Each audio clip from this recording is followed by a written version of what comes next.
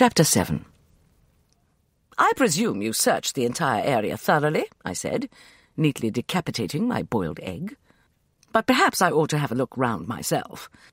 Emerson lowered the piece of toast he had held poised in mid-air ever since Ramses began his account of the affair at the Temple of Hathor, as I may term it.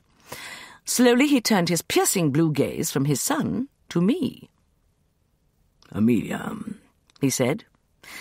More coffee for the Professor, Gargery, if you'll be so good. I don't want any damned... He did, however. So he neglected to finish the sentence. Gargery, who had been a fascinated listener, immediately obliged, and Emerson said in the same ominously mild voice, Thank you, Gargery. Ramses, why did you wait until breakfast to tell us about this? We agreed, all of us, that there was no need to wake you, Nefret said, emphasizing the phrase in a manner that made me suspect agreement had not been reached without a certain amount of disagreement. There was nothing you or Mother could have done. We did search as thoroughly as was possible.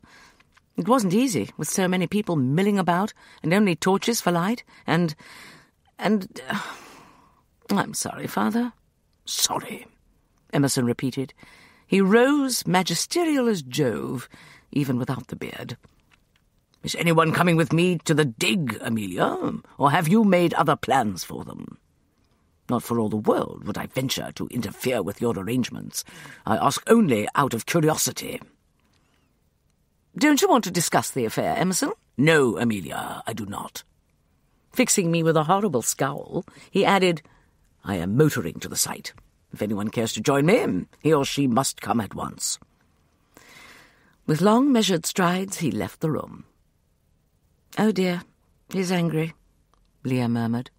He'll have got over it by midday, I replied. At least I hoped he would. The fact that he'd addressed me by my given name three times in a row indicated a degree of exasperation beyond his usual norm. However, it might put him in a better humour if some of you went with him this morning. You will not have to risk your lives in the motor car. It seems to have slipped his mind that he and Selim had one of the wheels off last night and did not replace it. Not you, Evelyn, or you, Walter. Do you want me to go with the Professor, Aunt Amelia? David asked. If you don't mind, my dear. Just for a few hours. Not at all. He looked at Ramses, who nodded agreement. We meant to have another look round in daylight anyhow.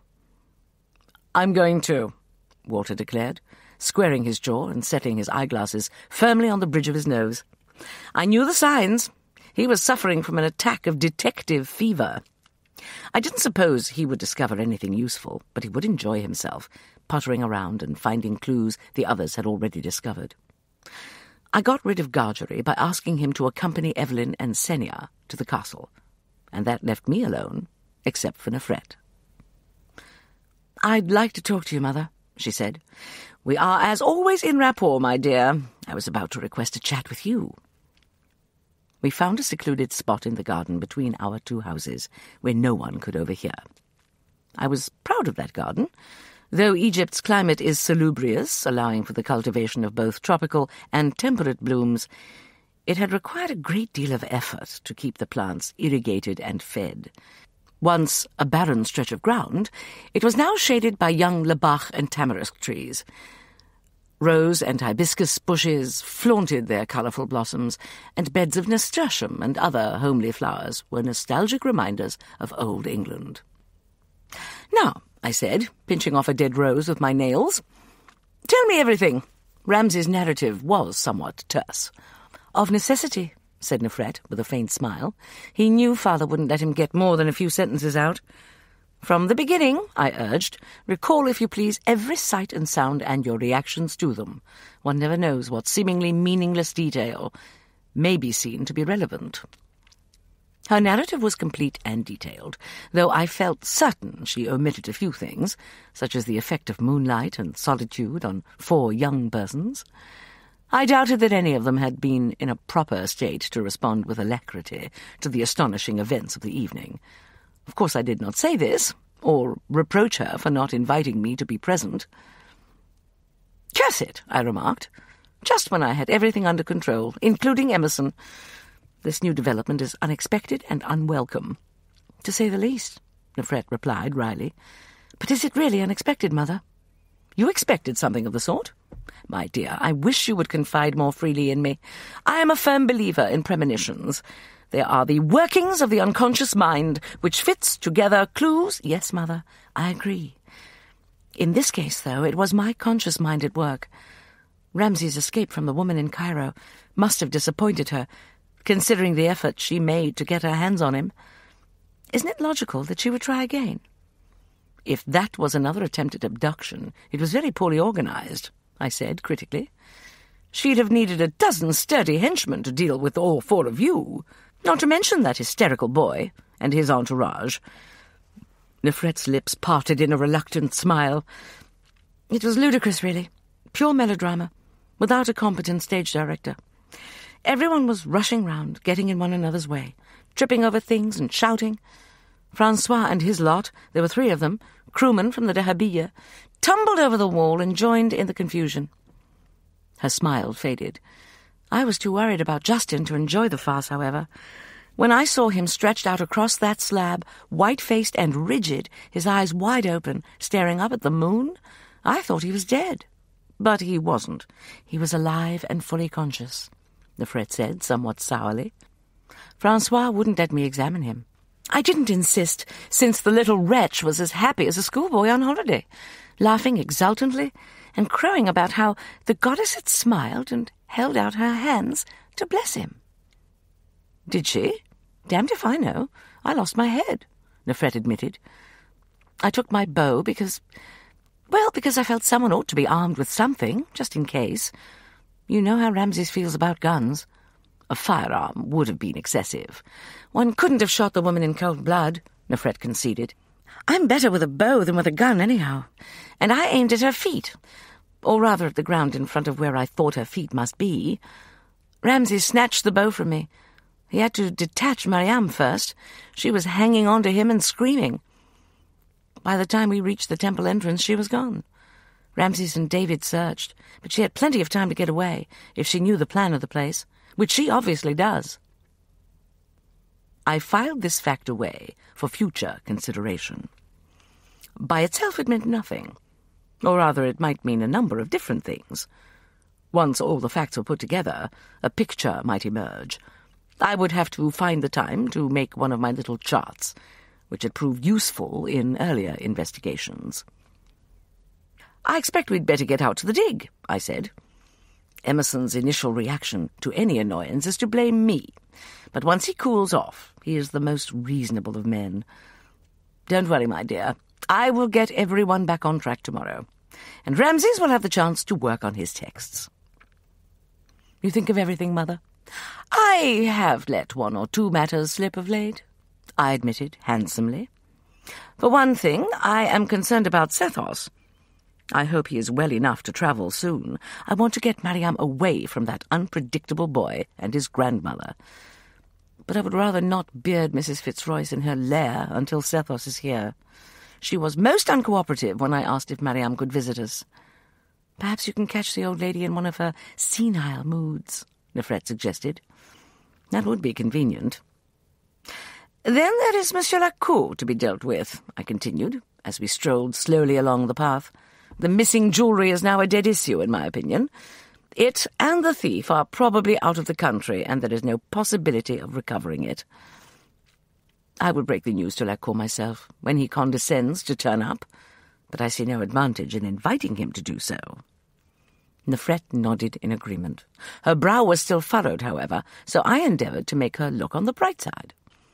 That leaves only the matter of Mariam to be settled, and we can do nothing until her father comes, which he will in his own good time. I will, of course, turn my analytical talents to bear on the identity of the imitation Hathor. But in my opinion, she is only a red herring, a nuisance, a distraction. What actual harm has she done? Until we know who she is and why she is doing this, we cannot predict what harm she's likely to do. Nefret stopped. Avoiding my eyes, she plucked a bright yellow zinnia and began pulling off its petals. Mother, I can't discuss this with Ramses, but you must have thought of the possibility that she is a past lover? Don't be afraid of shocking me, Nefret. I am quite familiar with the word, and tolerably familiar with Ramses' history along those lines. How familiar? She looked up from the poor mutilated flower. Perhaps suspicious would be more accurate. Naturally, he never admitted anything. All of it took place before you were married. Surely you've no reason to doubt his fidelity. He loves you. Madly? Passionately? Not at all, Nefret murmured, plucking a petal with each word. I don't doubt him, Mother. I only wondered if there was one in particular. But I wouldn't ask you to talk about him behind his back.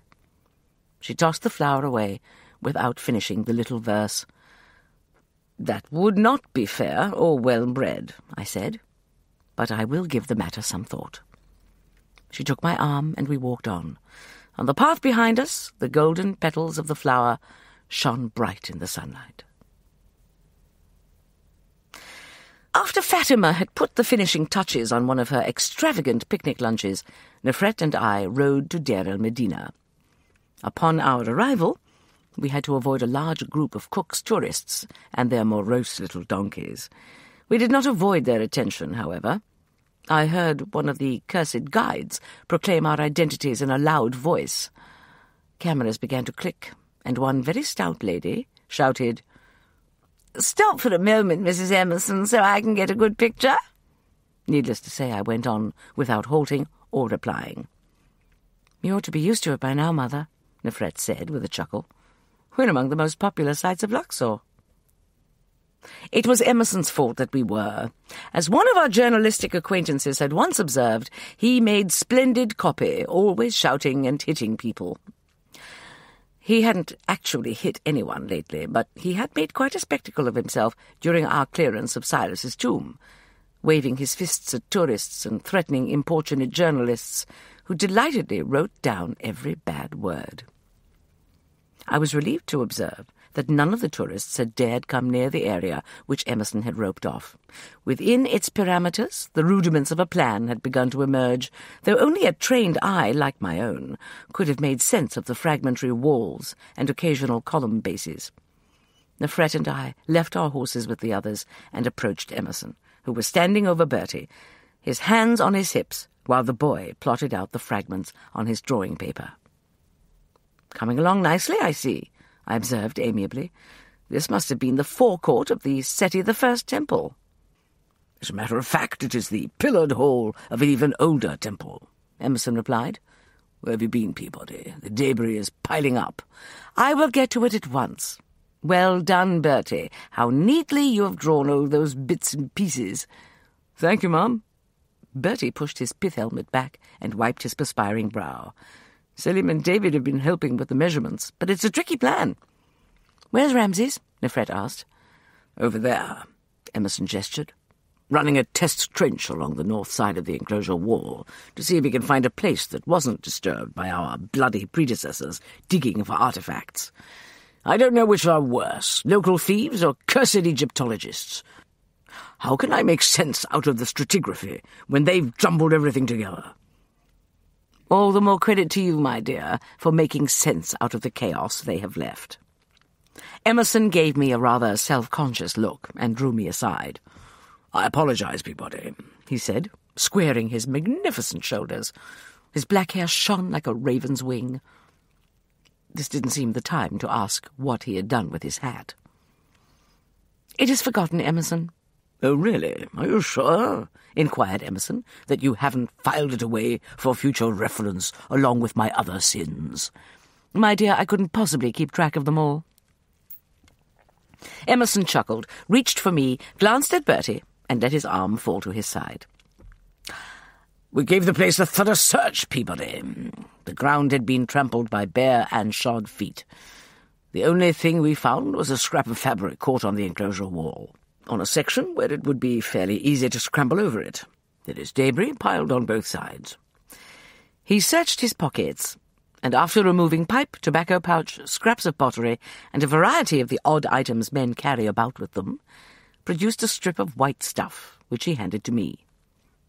Hmm, I said, examining it. Fine linen, with, I do believe, the remains of pleating. I will keep this, if I may. Put your pipe away, Emerson, before you drop it. Why do you have a pocket full of nails? I was putting up a sign, Emerson explained, pricking his finger on one of the nails. He sucked it and then went on. A more emphatic sign, warning the cursed tourists off. One of them actually offered me money to pose for a photograph.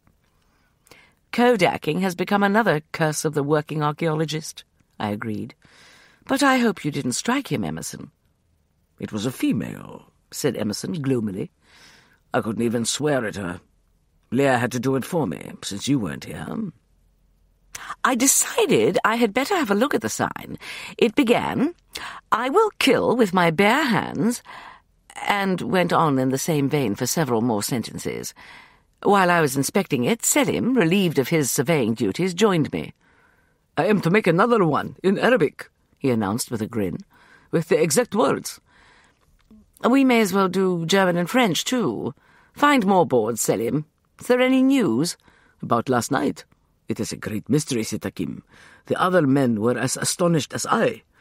Was it known in Gurna that Ramses and the others were to be here? Oh, yes, Sitt. They made no secret of it. Selim delicately scratched his beard and glanced at me from under his lashes. It is also widely known that the White Lady has come before, on the night of the full moon. How many people have actually seen her? Selim thought about it, frowning. It is a good question, Sitt. I have not spoken with any who saw her. They heard the stories, as did I, from others. The women do not come here, seeking her favour? The ancients prayed to Hathor for happiness in love, and for children. They would be afraid to come after dark, Sitt. They fear demons and ghosts. Interesting, I said thoughtfully. Yes, Sitt, but what does it mean? Another good question, and one to which I had no answer. Selim had one piece of relatively good news. The boat had been located a few hundred yards downstream, run up against the bank. The men who had found it had immediately reported the discovery to Daoud. Though the damage was extensive, it was not beyond repair, and the boat had already been towed to the landing near Luxor. Until the repairs on the boat are completed, Sabir is without a means of income, I said, after we'd all gathered round the luncheon basket. Tell him to purchase another vessel, Daoud. We will pay for it, of course. It will be a loan, said Daoud firmly. He will repay you. Bah, said Emerson. It's our responsibility. Unless Sabir had a business rival who resented his success. Can you think of any such man? They are all jealous, said Daoud proudly. All the boatmen, because Sabir made more money than they. But none would destroy another man's boat. It would not it would not be honourable, I suggested, as Daoud groped for the right word. A matter of professional ethics. Yes, said Daoud, relieved. He looked inquiringly at the last of the sandwiches, and I said, Take it, Daoud, the rest of us have finished even if your assessment is not correct, and I feel certain it is. I cannot imagine anyone daring to risk injury to us. The wrath of the Father of Curses is more dangerous than a sandstorm in the desert, Daoud agreed. Emerson is always in a better state of mind after he's been fed. After Fatima's excellent luncheon, he agreed without demur to the dispersal of his staff. Ramses said he would stay to finish excavating the trench, and I returned to my rubbish heap, with Leah to help. When we returned to the house that afternoon, I fully expected Emerson would retreat to his study with Bertie's plan and his own field notes, but he declared he didn't want to miss his time with the dear children. We don't see enough of them, he complained, returning from the bath chamber and hastily assuming clean garments.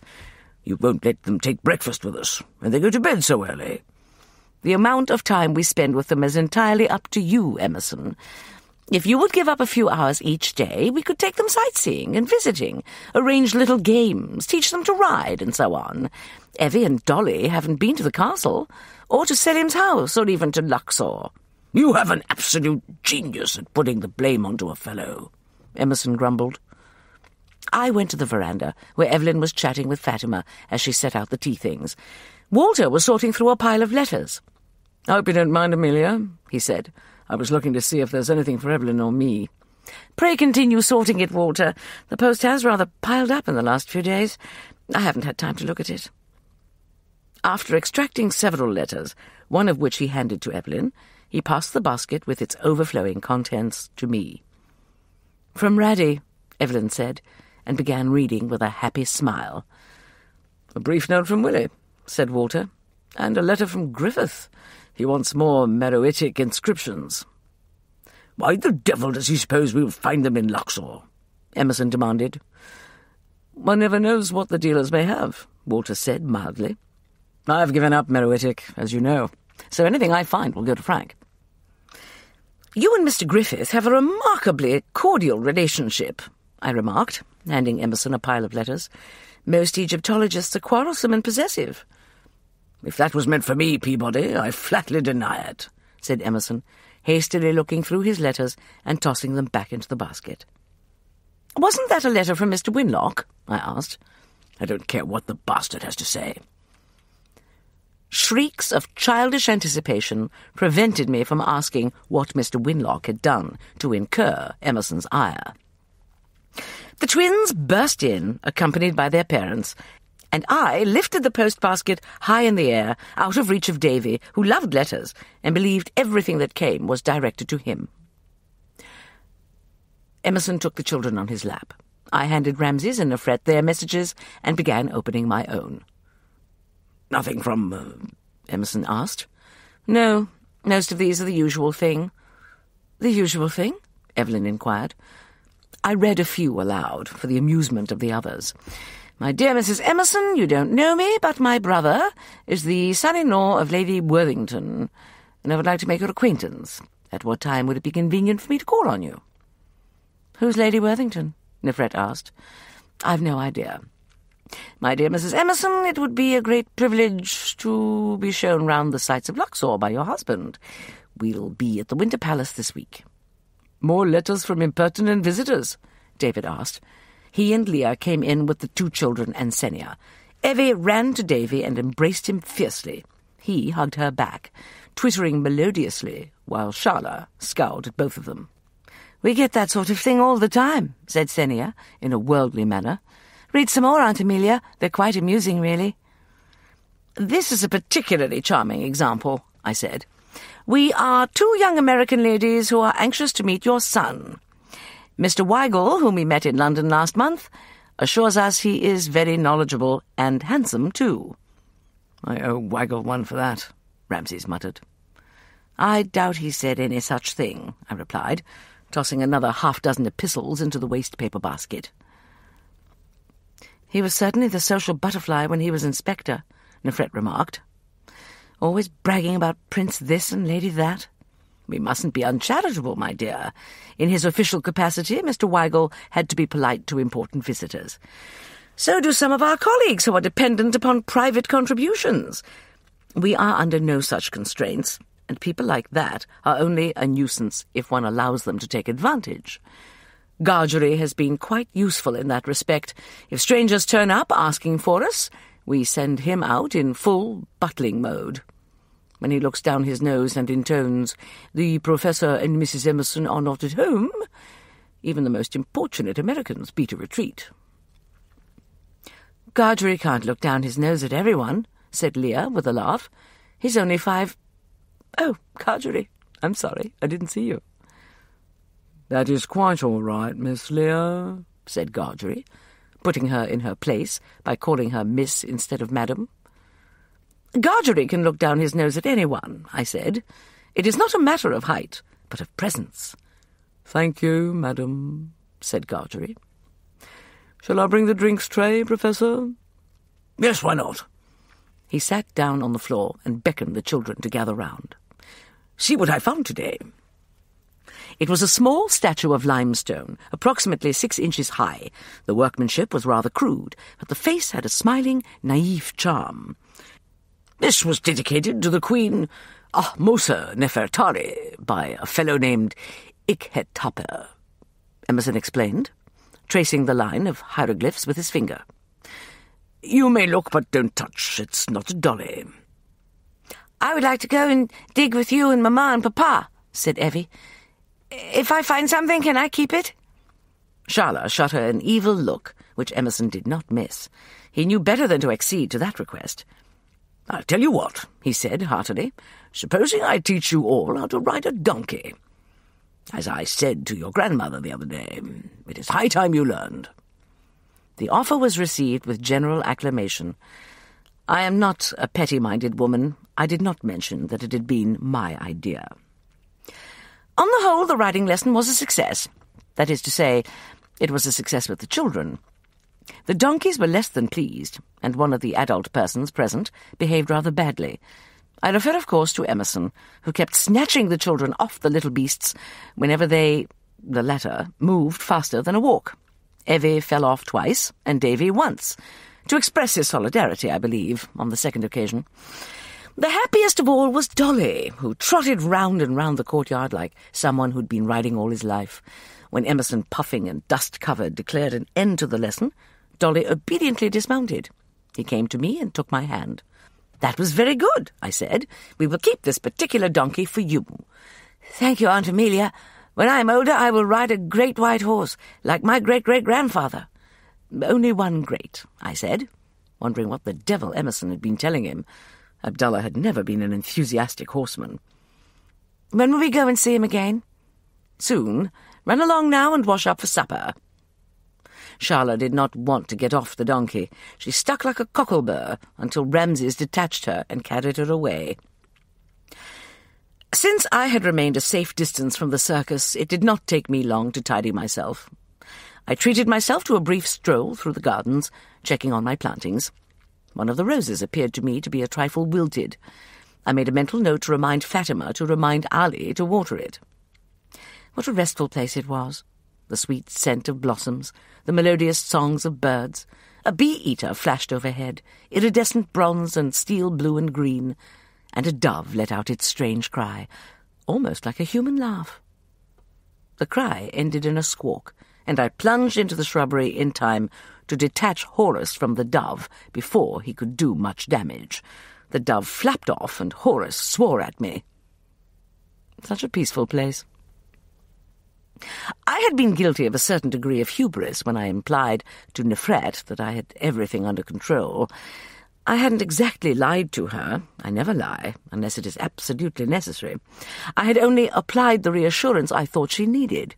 However, things had happened so fast that it was hard to keep track of them. The infuriating Mr. Smith's visit had added additional complications. It was time to make one of my little lists. As soon as dinner was over, I excused myself, claiming I had work to do, which was the truth. Seating myself at my desk, I began by ruling my paper into neat sections and then headed one column, Annoying and Mysterious Events, the next, Theories, and the third, Steps to be Taken. The veiled Hathor of Cairo was the first event to be considered. Three possible explanations occurred to me. First, that she was someone out of Ramses' past. Second, that she hoped to be someone in his future. Third, that her motive was something other than personal attraction. I could not think what on earth that motive could be.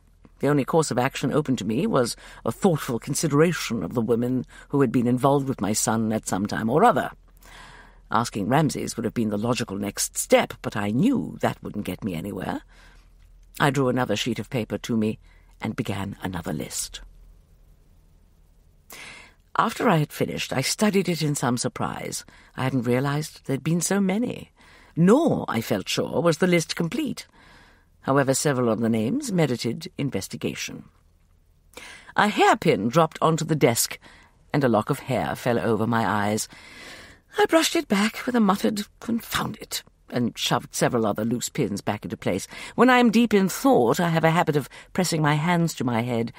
This has a deleterious effect upon one's coiffure, but it does seem to assist in ratiocination. The affair at the Temple of Hathor came next to mind. Had it been the same woman? It is the duty of a good detective to consider all possibilities, but it seemed hardly likely that there were two resentful females in league. At any rate, Mariam could not have been the second Hathor. The incident had at least supplied two physical clues. Nefret had given me the crumpled white garment found at the temple.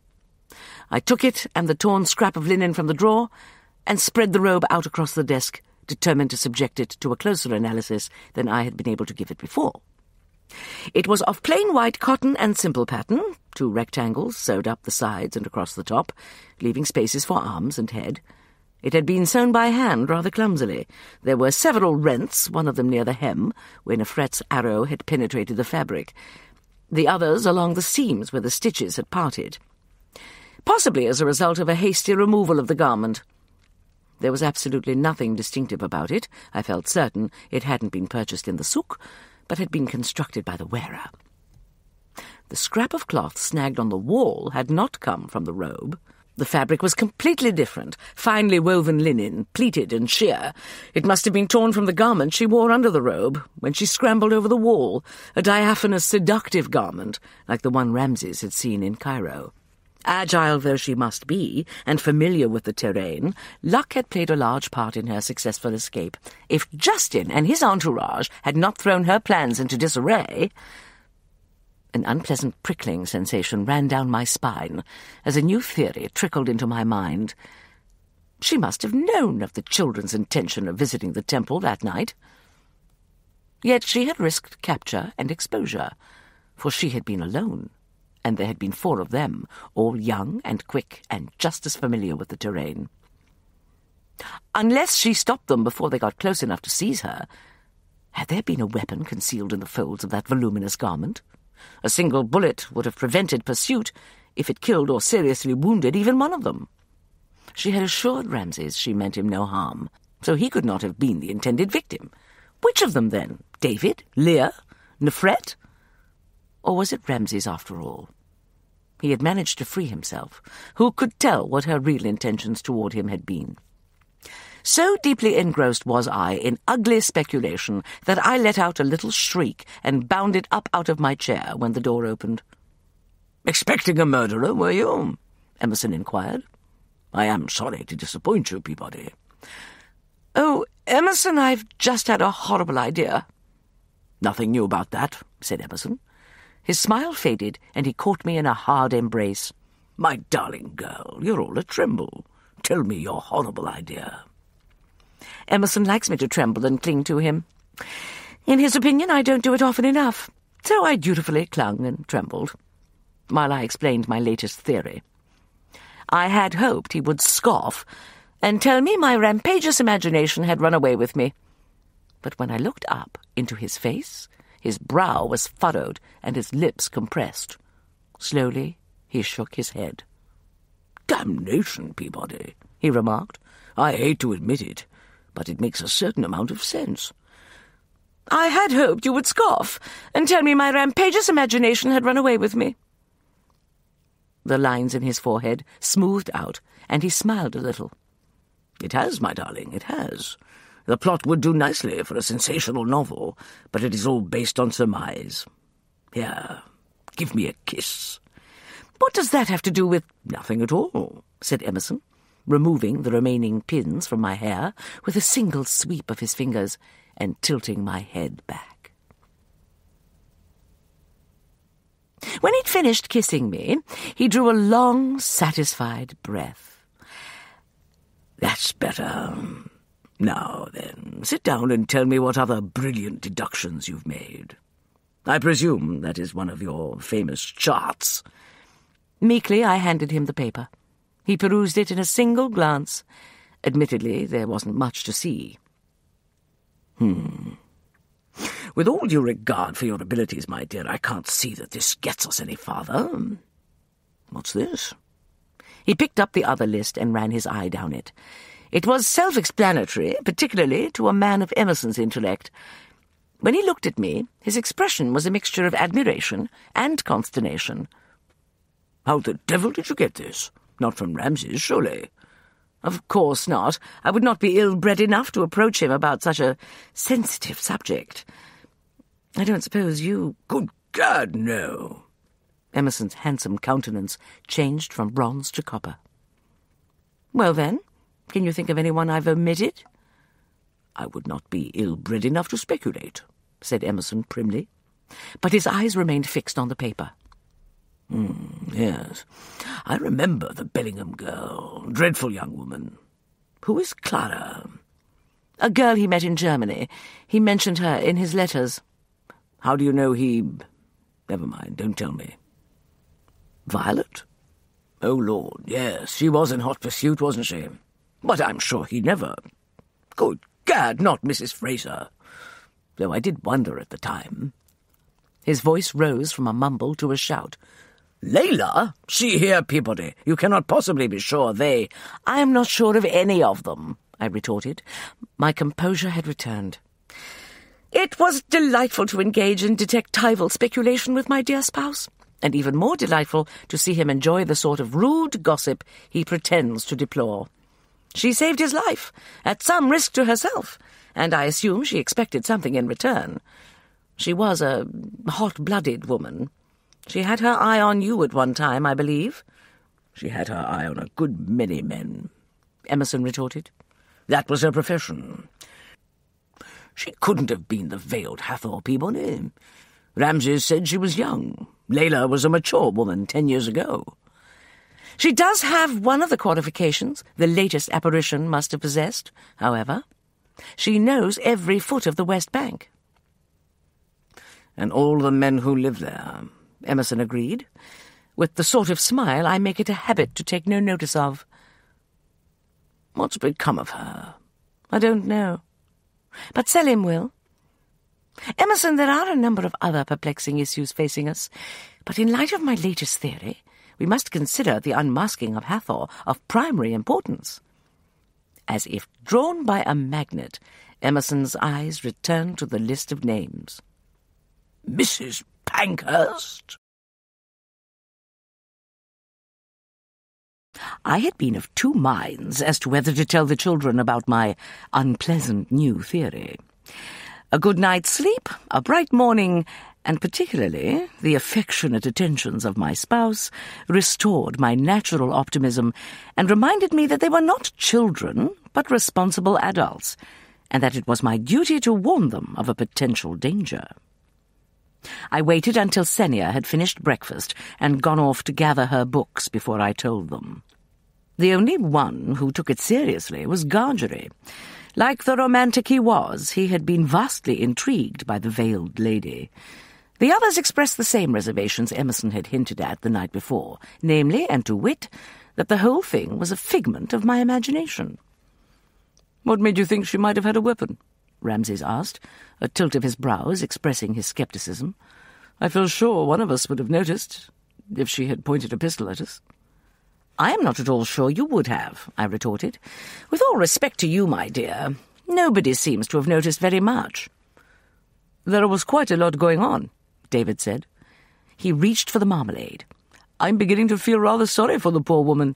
It must have been disconcerting in the extreme to have her performance interrupted by that screaming mob. And can you picture her scrambling over the wall, tearing her elegant robe? Nevertheless, said Emerson, who had finished eating and was glancing pointedly at his watch, we must take every possibility into account. Peabody's wild, unorthodox theories have often, uh, sometimes, proved true. Keep a sharp eye out, all of you. As soon as we arrived at the site, I found Selim and informed him I wanted to talk to him. He had been a bit shy of me since the arrival of the motor car, but this morning he had a new grievance. When may we give a fantasia of welcome? said Hakim. It should have been done before this. Ramses said he would talk to you, and we have been waiting for you to say when it will be. I am sorry, Selim, I said, acknowledging the justice of his complaint. Ramses did speak to me, and the matter slipped my mind. You know how difficult it is to get Emerson to agree to attend a social event. This is not a social event, said Selim. Now that he had me on the defensive, he folded his arms and gave me a severe look. It is an obligation and an honoured custom, as well as a pleasure. The father of curses will obey your slightest wish. He ignored my wishes about the motor car. You did not forbid him to get one, Sitt. His beard twitched. just as his father's had done when he was trying to repress a smile. I could not help laughing. You are in the right, Selim. I have been remiss about entertaining the family. Mrs. Vandergelt wants to give a party for them too, and several old friends in Luxor have sent invitations. But your Fantasia must come first. Would this coming Friday suit you? Selim no longer repressed his smile. I will tell Daoud and Khadija. Now that that most important matter is settled, I want to go over a few things with you. I unfolded a piece of paper. I had found time to make another list. It was headed Outstanding Questions. Ah, said Selim, a list. Several of the items were of long standing, and Selim had nothing new to add. The purported madman who had attacked Mariam had not been identified, nor had the individual responsible for the sinking of Daoud's boat. There had been no sign of the jewellery stolen from Cyrus or of Martinelli. Selim's face grew longer and longer as I read on. He prided himself on his connections, and he hated admitting he had drawn a blank. The last question took him by surprise. Layla. Yes, Sitt, of course I remember her. The third wife of Abd el-Hamid. Why do you ask about her? I've been trying to think of people who might bear a grudge against us, I explained. Why should she bear a grudge? You treated her more kindly than she deserved. Selim stroked his beard. She is no longer in Luxor, Sitt. I think someone told me she had gone to live with the sisters in Asyut. What? I exclaimed. Layla, a nun? Selim grinned. I do not believe she would dare turn Christian, not even Layla. But she was a woman of extremes, Sitt. That would certainly be going from one extreme to the other. People sometimes do, said Selim, with a worldly wise air. Shall I investigate it? Never mind. It was a far-fetched idea. Thank you for your help, Selim. I have not been able to give enough help, Sitt. Sitt, I have a question. He shuffled his feet and looked down like a shy schoolboy. Will you ask Emerson if he will allow me to drive the motor car to the Fantasia? All the way up the hill to your house? It can't be done, Selim. It can, Sitt. He raised shining eyes. Did I not drive the other motor car through the Wadi El Arish and up the hills and across the desert? The Fantasia will be at the house of Daoud, which, as you know, is on a lower slope. And there is a track, a good track, not so very steep except in a few places, and a good wide space in front of the house to turn the motor car, where everyone can see. Some of the women and the children have not seen it, nor seen me drive it. I will talk to Emerson, I promised, patting him on the shoulder. Thank you, Sitt. Thank you. I watched with a fond smile as he walked away, with a spring in his step. He wanted to show off in front of his wives and kinfolk. Who were we to deny our loyal friend such a harmless pleasure? When I put it that way to Emerson, he was forced to agree. After observing that the infernal machine appeared to be operating properly, I had allowed him to drive it down to the river and back a few times. He enjoyed himself a great deal, and while he was busy playing with the car, I was able to get on with my other duties. I had promised to take tea with Catherine that afternoon and see how the work on the collection was progressing. After assuming proper attire, I went to the room we had designated as Walter's study where I found him and Ramses sorting through ostraca. They were so happily absorbed, I had to cough several times before they became aware of my presence. Sorry, Mother, said Ramses, getting to his feet. Have you been there long? No, my dear. I waved him back into his chair. An interesting text, is it? Fascinating. Listen to this. The house of Amenachte, son of Bukentef, his mother being a Tarikhanu, his wife Tent Pauper, daughter of Chaim Hedjet, her mother being Tenkhenuemheb. It's the same fellow whose house we cleared earlier this year. I'm sure I saw another fragment of this same text somewhere. He saw my glazed expression and laughed. I know it doesn't sound like much, but it's a kind of census, don't you see? And it gives a genealogy for one family, Several generations, if I can find the rest of it. It warmed my heart to see his sober face light up with laughter. Splendid, I exclaimed heartily. And you, Walter, have you given up on the papyrus? No, not at all, Walter said, adjusting his eyeglasses. I was just helping Ramses look for more fragments of his genealogy. It requires a certain experience to recognize the same handwriting. His long, thin fingers continued to sort through the fragments, moving as rapidly as a woman's might have done while matching patches for a quilt. It was an impressive demonstration of his expertise, for the pieces were of all sizes and shapes, and the writing on them ranged from the neat, scribal hieratic script to the scribbles of the later, more cursive demotic, which had always reminded me of a row of hen tracks. That is good of you, Walter, I said. How far have you got with the horoscope? Here's my copy, if you'd like to look at it. Walter indicated the pages. My dear Walter, you might as well offer me a manuscript in Chinese. Aren't you going to translate it? Eventually. Ah. He picked up a fragment and examined it.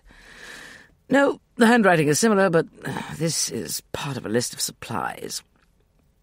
I didn't mean to disturb you, I said. I'm off to the castle for tea. Any messages for Cyrus? Walter only grunted. Ramses got up and went with me to the door. What's on your mind, Mother? he asked, eyebrows tilting. Nothing, my dear. Uh, you haven't come across any other interesting predictions in the papyrus, I suppose? He took me by the shoulders and gave them an affectionate squeeze. Honestly, Mother, you don't credit that nonsense, do you? Certainly not, I said, laughing. A bientôt, then. As Walter had explained, it would be virtually impossible to match the date on the papyrus with a modern calendar. However, if one took as a point of departure the day on which our accident had occurred and counted the days from then on, it was only a matter of academic curiosity, and one I would not be able to satisfy unless I could persuade one of the absorbed scholars to translate the text for me. Emerson was not at all pleased when I informed him I had accepted Catherine's invitation to a reception on the Sunday. He had already begun to work himself into a state of aggravation about the Fantasia. Selim's been so busy making arrangements he isn't worth a piaster, he grumbled. And Daoud's almost as bad. Now you are proposing I waste another day. I won't do it, Peabody, and that's flat. Supposing I let you have Ramses and David tomorrow, and the next day, to make up for your lost time? Let me? Hmm, said Emerson. Everyone was agreeable, even Walter, who said he wouldn't at all mind a day in the fresh air. All of us, including Sennia and Gargery, were at the dig the following afternoon. Horace went everywhere with Sennia, and the great Cat of Re had decided to accompany us as well. He and Horace got on reasonably well, since the former was attached to Ramses and did not challenge Horace's preemptive claim on Sennia. The great cat of Re, who specialized in snakes, flushed an angry cobra out of its hole, and was with difficulty prevented from attacking it. Emerson killed the poor snake. It was only behaving as a snake is entitled to behave, but a venomous serpent is a dangerous neighbor. We did not often encounter them, for they avoid human beings.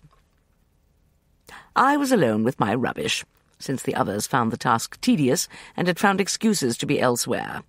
I watched them enviously, for I too had become bored with rubbish. Evelyn was under the shelter, taking a little rest. Her silvery hair glowed even in the shadows. Emerson, bareheaded in the boiling sunlight, was lecturing Walter about something, as my eyes wandered, I became aware of a strange, insect-like buzzing. As it grew louder, I looked about, trying to find the source. Ramses, whose keen hearing is proverbial in Egypt, popped into sight from behind the ruined wall he was digging out. Like his father, he was without a hat. Shading his eyes with his hand, he looked up. I sprang to my feet, staggering just a little, and hurried to Emerson, the others had seen it too. Frozen in identical postures, heads raised, they stared in astonished silence as the aeroplane circled and headed off across the river. What's everybody gaping at? Emerson demanded, recovering from his initial surprise. Haven't you ever seen an aeroplane before? A good number of them had, during the rioting the previous spring. Planes had dropped leaflets all over the country, warning that anyone committing acts of sabotage would be shot, and bombs had been dropped on any gathering that struck the military observers as suspicious. It's not surprising that as this one turned and came back toward us, a great outcry arose, and some of the men flung themselves flat on the ground. I found the confounded things unnerving myself. When they were airborne, they looked unreal, not like a bird or a machine, but like some mythological flying insect, rigid and fragile, gliding on the wind with motionless wings. This time it passed directly overhead, so low that I could see the concentric circles of red, white, and blue on the wings, and the heads of two persons protruding from the body of the machine. Their faces were concealed by helmets and goggles. One of them raised an arm and gestured. Damnation! Emerson exclaimed. What does the damned fool think he's doing? He wants to land, Ramses said in disbelief. On this side of the river. He ran toward the shelter where we had left the horses, vaulted onto Risha's back, and set the stallion at a gallop toward the road that led around the hill of Kornet Murai toward the river. Where is he going? Nefret demanded.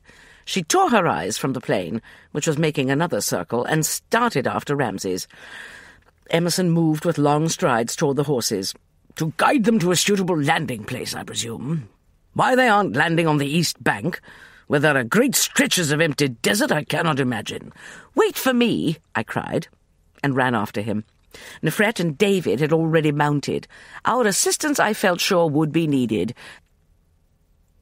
The stretch of low desert between the cultivation and the cliffs was rock-strewn and hilly, with pits and tombs and ruins all over the place.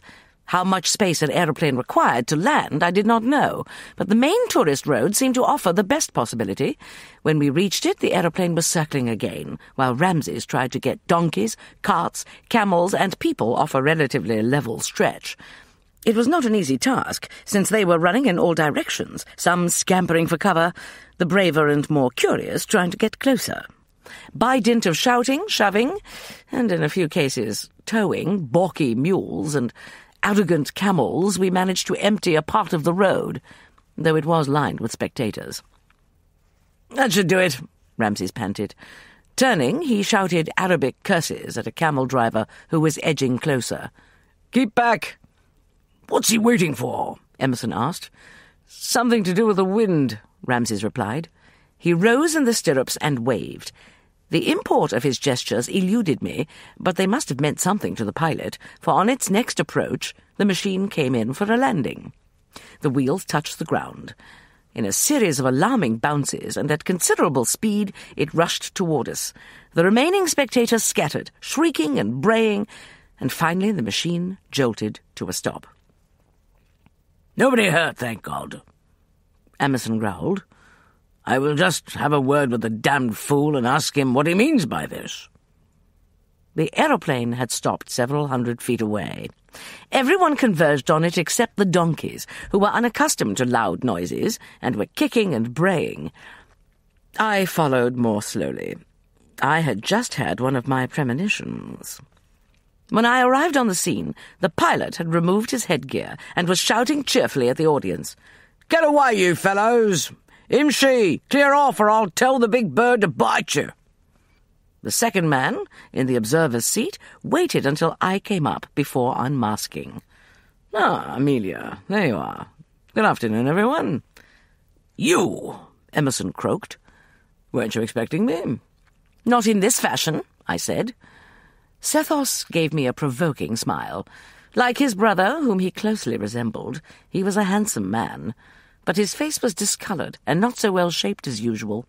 It looked to me as if someone had given him a severe beating. I was in a hurry, he explained. Rob was good enough to give me a lift. Flight Lieutenant Wickens, may I present you to Mrs. Emerson, her husband, Professor... Not now, for pity's sake, I exclaimed. Get out of that cursed machine at once. Sethos shifted position, winced theatrically, and reached out to Emerson. Oh, give me a hand, will you, old chap? I'm a trifle stiff.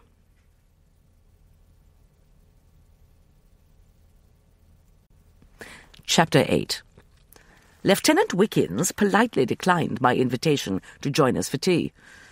Can't leave the old bus unguarded, ma'am. These beggars will strip off everything they can carry. Must start back anyhow. Due for a nasty wigging from my CO as it is. Absent without leave, stealing one of His Majesty's valuable aeroplanes. He chortled like a mischievous child. He wasn't much more than nineteen or twenty, with a fresh complexion and merry brown eyes under brows as sun-bleached as his hair. I do hope you won't get in trouble for this, I said. Couldn't refuse good old Badger, ma'am. Wouldn't have missed it for the world. The slower members of the party had caught us up. Lia was carrying the great cat of Re, and I could hear Horace spitting and swearing in his basket. Walter stared. Badger? he echoed. I gave him a little poke, and the boy went on blithely. I'll need petrol. Can you help me there? He addressed Emerson, who could never be taken for anything but the leader of any group of which he made a part. However, Emerson was glowering at his brother, who leaned pathetically on his arm. So Ramses took it upon himself to reply. Yes, of course. It'll be dark before long, though. Wouldn't you prefer to wait until morning? Piece of cake, was the breezy reply. Just follow the river. Can't miss Cairo. Sooner the better, though. So if you don't mind.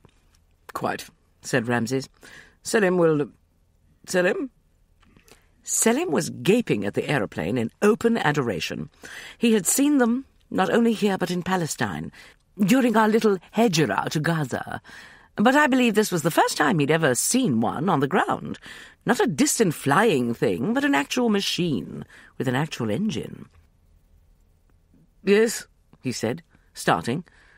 What did you say, Ramses? Sethos let out a faint groan. I had better get uh, good old Badger back to the house, I said, giving him a hard look. Will you excuse us, Lieutenant? The men will stay, of course, to help you. I hope you will come for a proper visit one day. Delighted, ma'am. Frightfully good of you, old chap, said Sethos, overdoing the accent a bit. I'll be along shortly, said Emerson. He heaved his brother unceremoniously onto Selim's stallion and went back to staring at the aeroplane with the same expression of vacant adoration as Selim's. A sense of deep foreboding ran through my limbs. When we reached the house, I sent Sethos to our room to freshen up and asked Fatima to make tea. A few tactful hints dispersed most of the others, though Evelyn had to drag Walter away, and I knew Gargery would probably listen at the door. Sethos was back almost at once. His face and hands were cleaner, but the uniform, that of a major in the Egyptian army, was a mass of wrinkles. Passing his hand over his bristly chin, he said, I know I look like the devil, Amelia, but don't lecture me. I haven't been able to shave for a week. I brought a change of clothing with me, but not much else. Cargo space in those machines is limited. What happened to your face? I asked. Sethos settled himself in the most comfortable chair.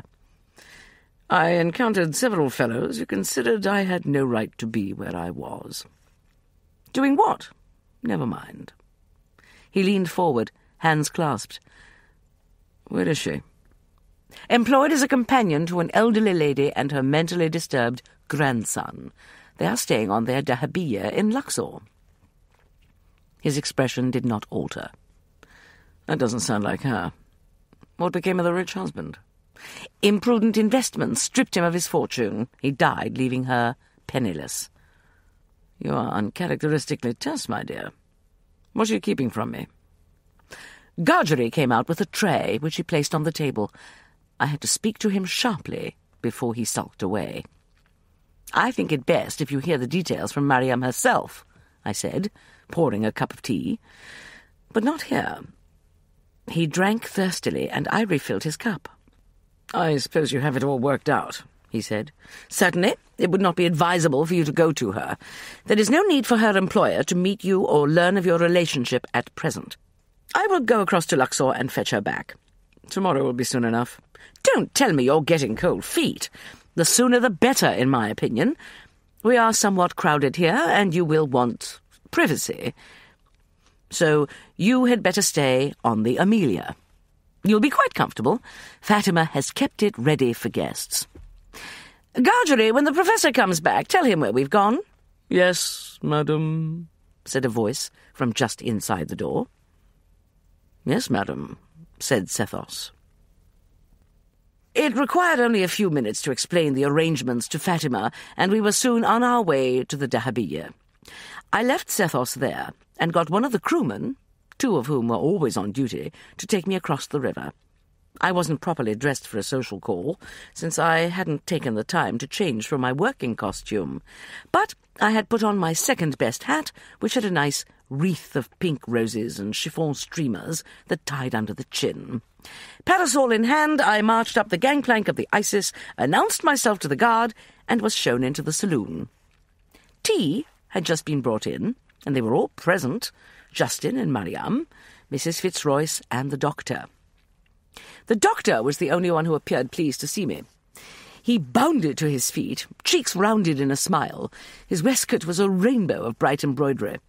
Hands resting on the head of her stick, Mrs. Fitzroyce looked me up and down, from my dusty boots to my rose-trimmed hat, as her late Majesty might have eyed a mongrel dog.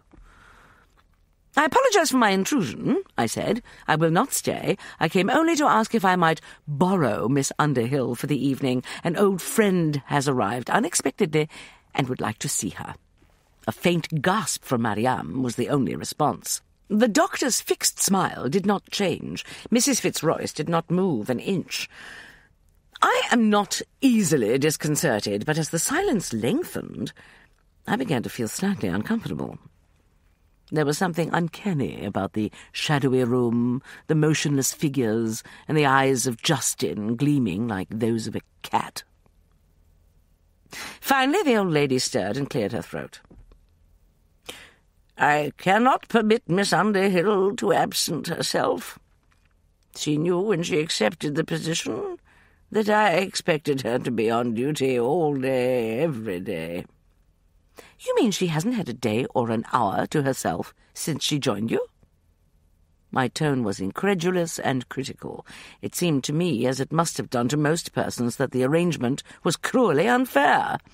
Mrs. Fitzroyce responded with a brusque, that is correct. But surely...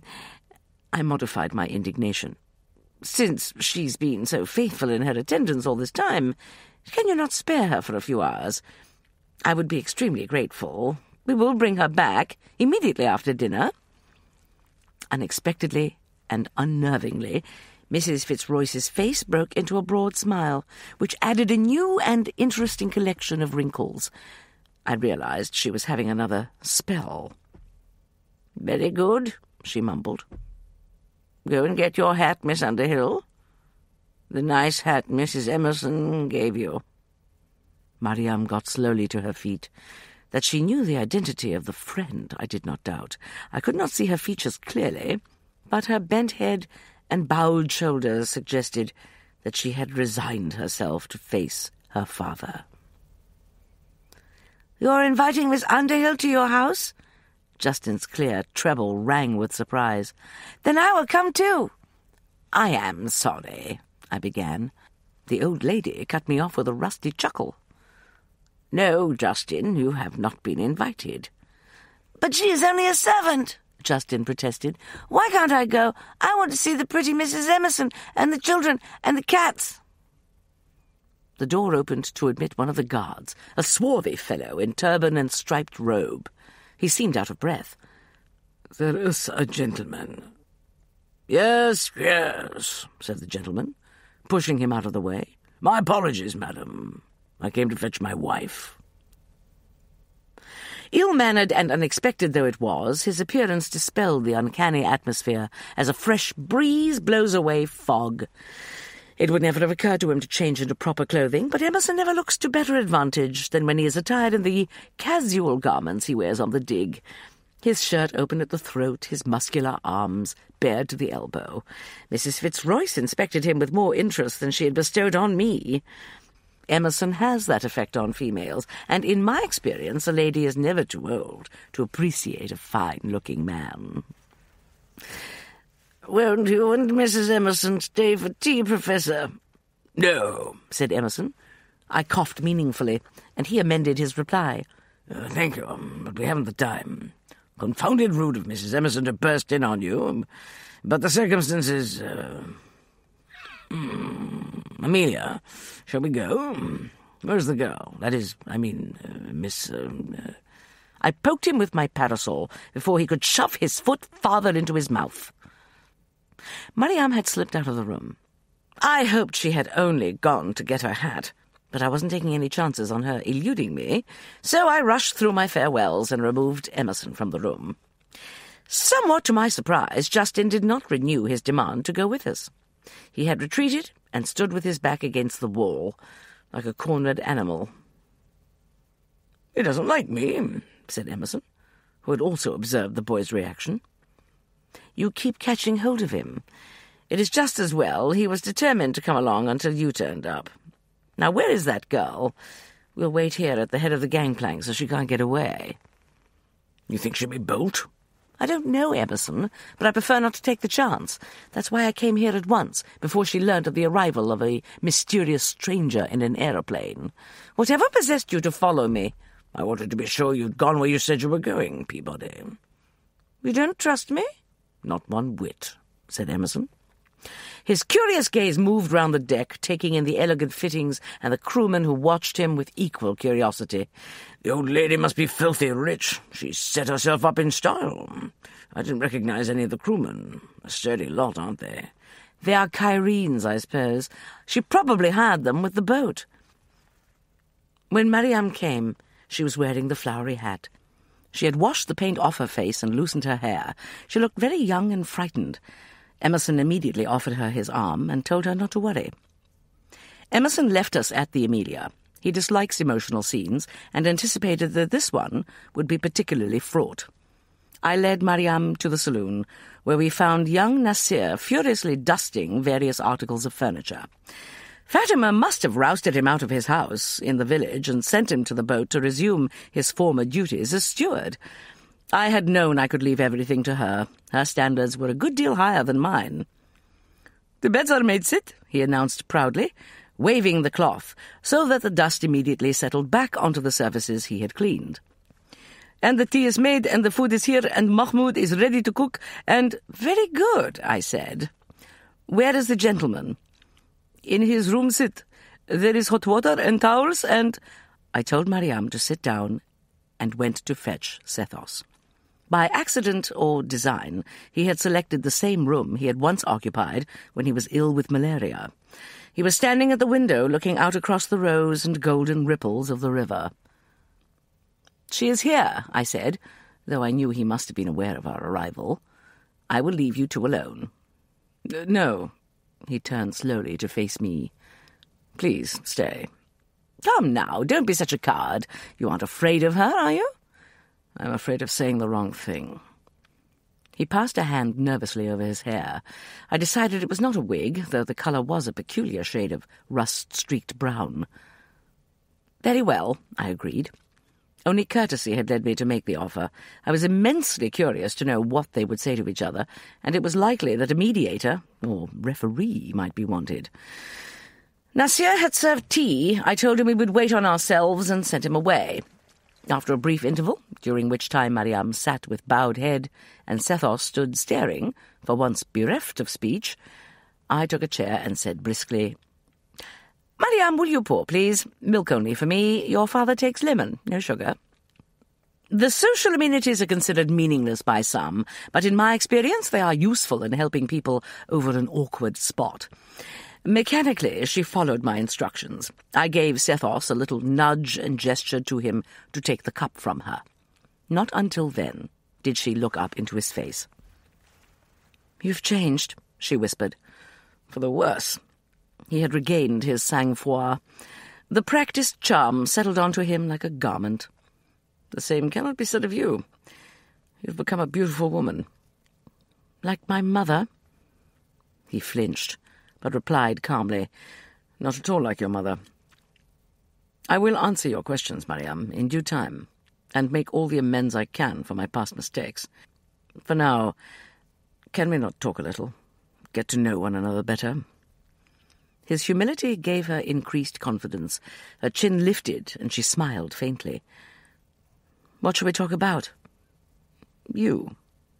Remembering his manners, he brought me my cup and then seated himself next to her on the divan. Mrs. Emerson has told me of your present situation. It cannot continue. Has she told you the boy is dependent on me, and that I have given Mrs. Fitzroyce my word to remain as long as she needs me? We'll find someone to take your place. And then what? She responded as any woman of spirit would, with flashing eyes and heightened colour in her cheeks. Will you take me to live with you and your latest mistress? I feared that would arouse the sort of cutting response at which Sethos was so expert. Instead, he replied quietly, The lady to whom you refer is my dear companion, and will be my wife as soon as I can persuade her to accept my proposal of marriage. She has refused you. Why? It might not have been intended as a compliment, but her tone of surprise made it sound like one. She doesn't consider me reliable. I can't imagine why. His rueful smile would have been hard for any woman to resist, and as I had realized from the start, she did not want to resist. Hardship and suffering had softened her. Only stubborn pride had prevented her from yielding at once. Her lips trembled, and her wide hazel eyes overflowed. She turned to him slowly, almost timidly.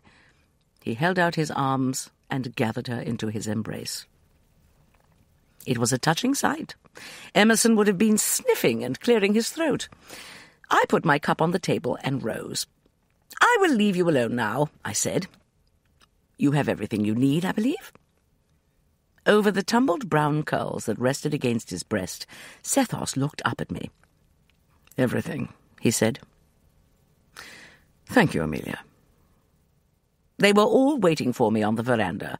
I had to admire six or seven crayon scribbles before the children retired to make more, and I was able to satisfy the curiosity of the adults.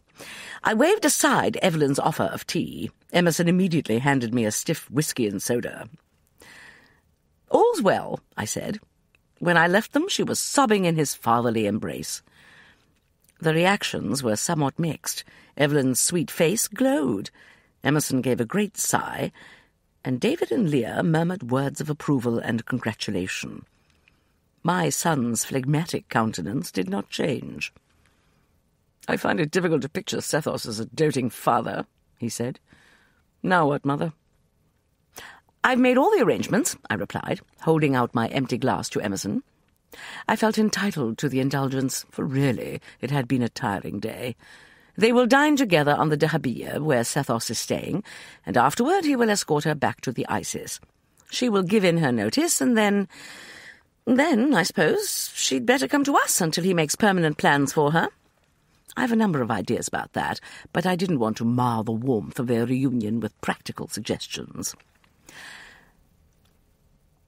The last of the sunlight vanished as the sun sank below the western mountains.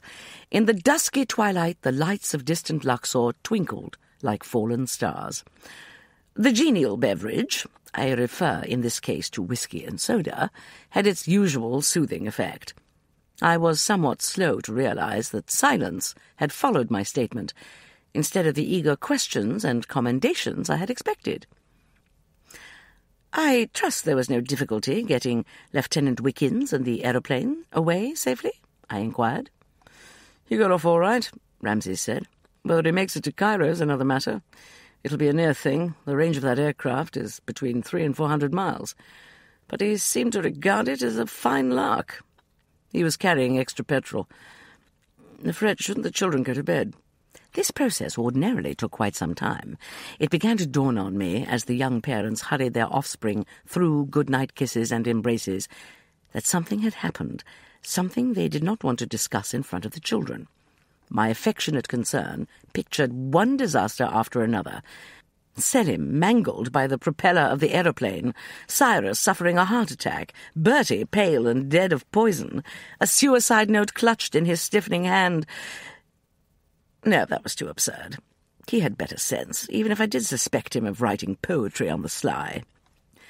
Sennia was the last to leave. She considered that her right, since she was the eldest.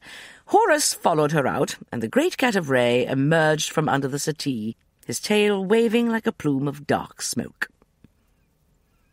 Well, I cried, Do not keep me in suspense, Emerson. Something terrible has happened. I know it. Is it Cyrus or... Nothing like that, Peabody. Good gad, you must learn to control your rampageous imagination. There's been a body found. The remains of one, rather. Ah, I said, relieved. No one we know, then. That seems to be the question, said Emerson. The police think the fellow was not an Egyptian. They've asked Nefret to come to the Zaptieh and examine him. Them. Bones.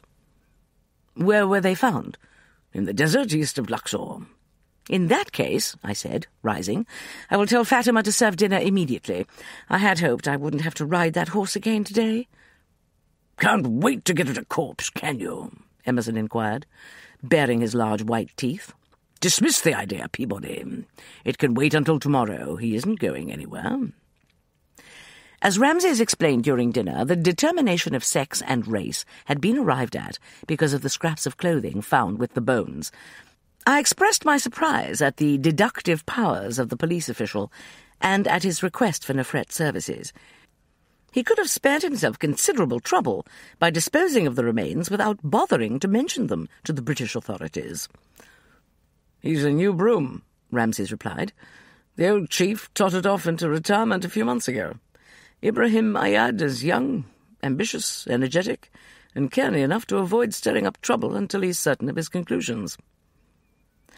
I had reached certain conclusions of my own, but like the admirable Mr. Ayad, I was canny enough not to commit myself. If the others shared my suspicions, they did not say so. I had intended to pay a quick visit to the Dahabiya before accompanying Nefret to Luxor, but it did not prove necessary. Sethos arrived at break of day. Informed of his presence by Gargery, I hastily finished dressing and went to the veranda, where I found that Fatima had brought him coffee. He looked reasonably respectable in flannels and tweed coat, which Nasir must have pressed for him. The bruises had faded to a greenish yellow, and the beard was now well developed. Breakfast will be served shortly, I informed him. So Fatima told me, with apologies for the delay. Uh, sit down, Amelia, and let us watch the sunrise together. You will no doubt appreciate the symbolism. Pale clouds of rose and amber washed the cerulean blue of the heavens. It was the same sight I had watched so often with Abdallah. From a greater height, the symbolism did not elude me. You've made your peace with Mariam, then? We had quite an emotional few hours, said Sethos, at his ease. She's a moist young woman, isn't she? I don't recall her weeping so much. She has had cause for tears. The tone rather than the words themselves conveyed the reprimand I intended. His eyes avoided mine. My remark was in poor taste. You have reason to believe me a poor parent, but I did spend time with the child whenever I could. I don't. Uh, the truth is. Uh, Confound it, Amelia.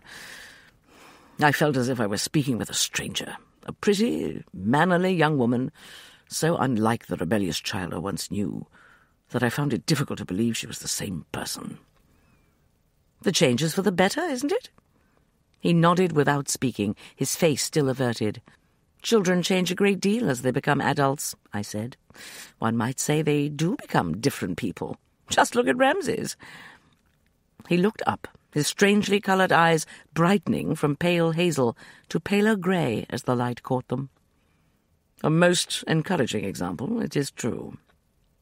Oh, we got on quite well, avoiding, by mutual consent, such delicate subjects as a mother's career as a murderess.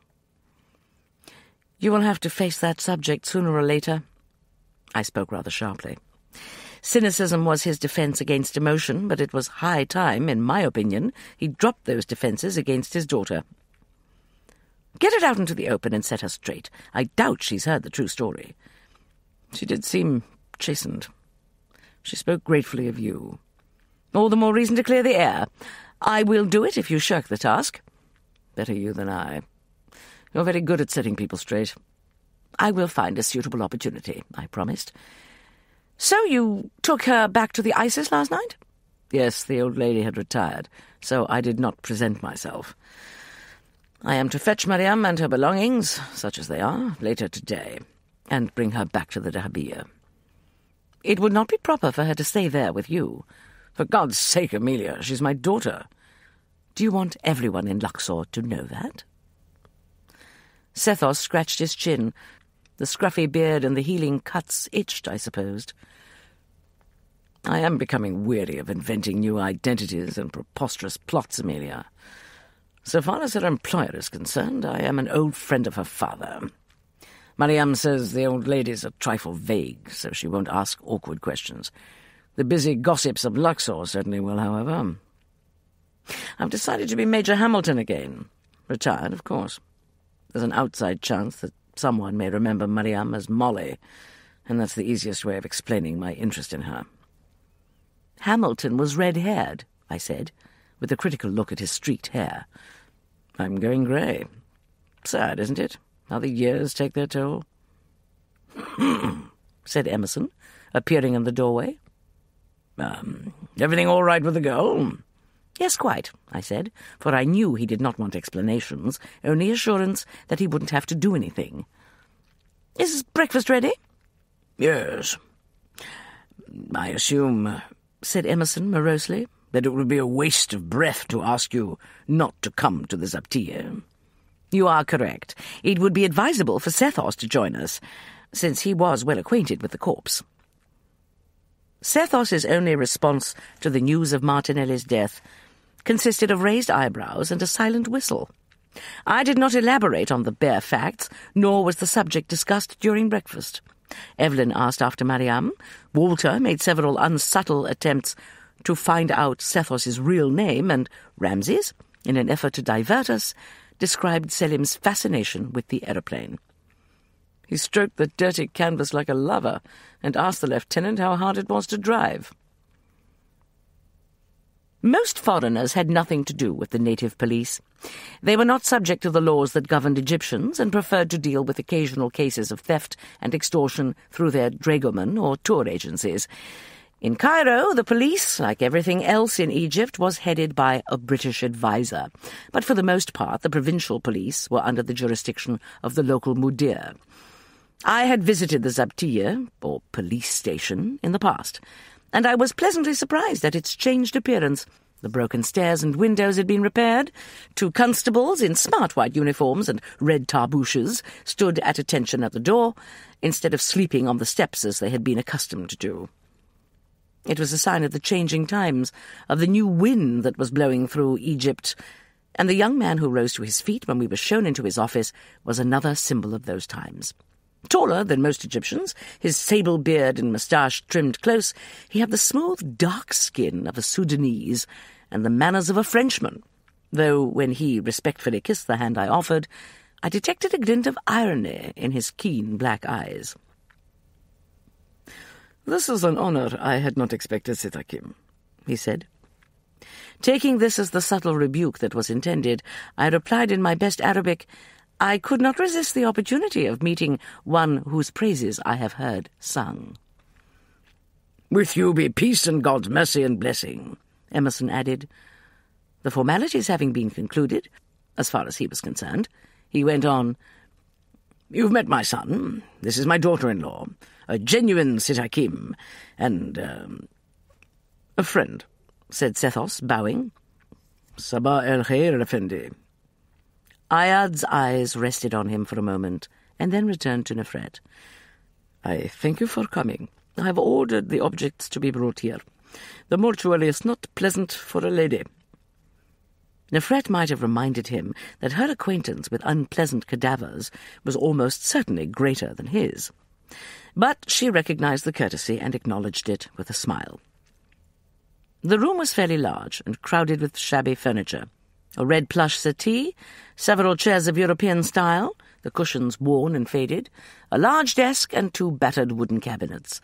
Under the windows on the east wall was a long table covered with cotton sheeting. Without ceremony, Ayad whisked it off. In Egypt, one inevitably thinks of mummies. However, a body left unburied has little chance to dry out before predators get to it, vultures, wild dogs, jackals, and after them a varied collection of insects.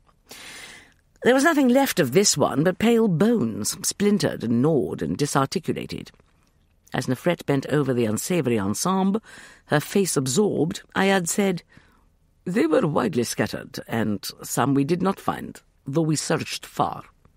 She heard the defensive note in his voice and gave him the compliment he wanted. You've laid them out in the right order, she said, without looking up. I'm impressed that you found so many. The small bones of hands and feet are missing. That's not unusual in such cases. Some of the ribs. As she spoke, she took a tape measure from the pocket of her skirt. Without the feet, I can only estimate his height. How estimate? Ayad asked, edging closer.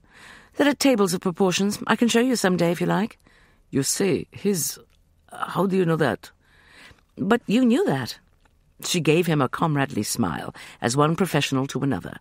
From the clothing, scraps of European-style trousers and coat and waistcoat, we were told. Yes, they are in that box.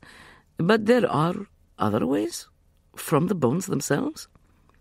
She gave him a little lecture, to which he listened attentively, his head close to hers. The skull also indicates a male, she finished. You see these ridges of bone over the eye sockets? In most women, they are not so prominent, and the angle of the jaw is more rounded. Age? I rapped. Not a boy, not an old man. That's just an educated guess, based primarily on the teeth. The four back molars have erupted and show signs of moderate wear. I can't tell you much more. The damned jackals haven't left me enough to work on. She had spoken English, and he had replied in the same language, so absorbed that he spoke to her as directly as he would have addressed a man. I sympathized with the desire of any person to improve his understanding, but time was getting on, and Emerson was beginning to fidget. Enough to determine his identity, I said, forestalling another question from Ayad. It is Martinelli. Look at his teeth. Stained brown and yellowish green, the chipped lower incisors bared by the fleshless lips. They grinned up at us. The scraps of the clothing confirmed my identification. The faded shepherd's plaid was the same pattern as that of the trousers Martinelli had worn the night he disappeared. The only other objects in the box were a few buttons and metal fasteners from various articles of dress. His ostentatious stickpin and his pocket watch and chain were not there. Needless to say, neither were the gold bracelets and the pectoral. Sethos stepped in to relieve us of the problem of what to do with the bones. Declaring himself to be an acquaintance of the dead man, he manfully struggled to conceal his shock and distress at the bad news. How often have I warned him of the dangers of those long, solitary walks of his? he murmured, passing a clean white handkerchief over his eyes. His heart was weak. He must have collapsed and died, out there in the waste, under the cold, uncaring moon. And it would not be long before... He shuddered. He is at peace now. I was tempted to give him a hard poke with my parasol, but he prudently stayed at a distance. After promising to collect the bones and notify the proper authorities, we left the office.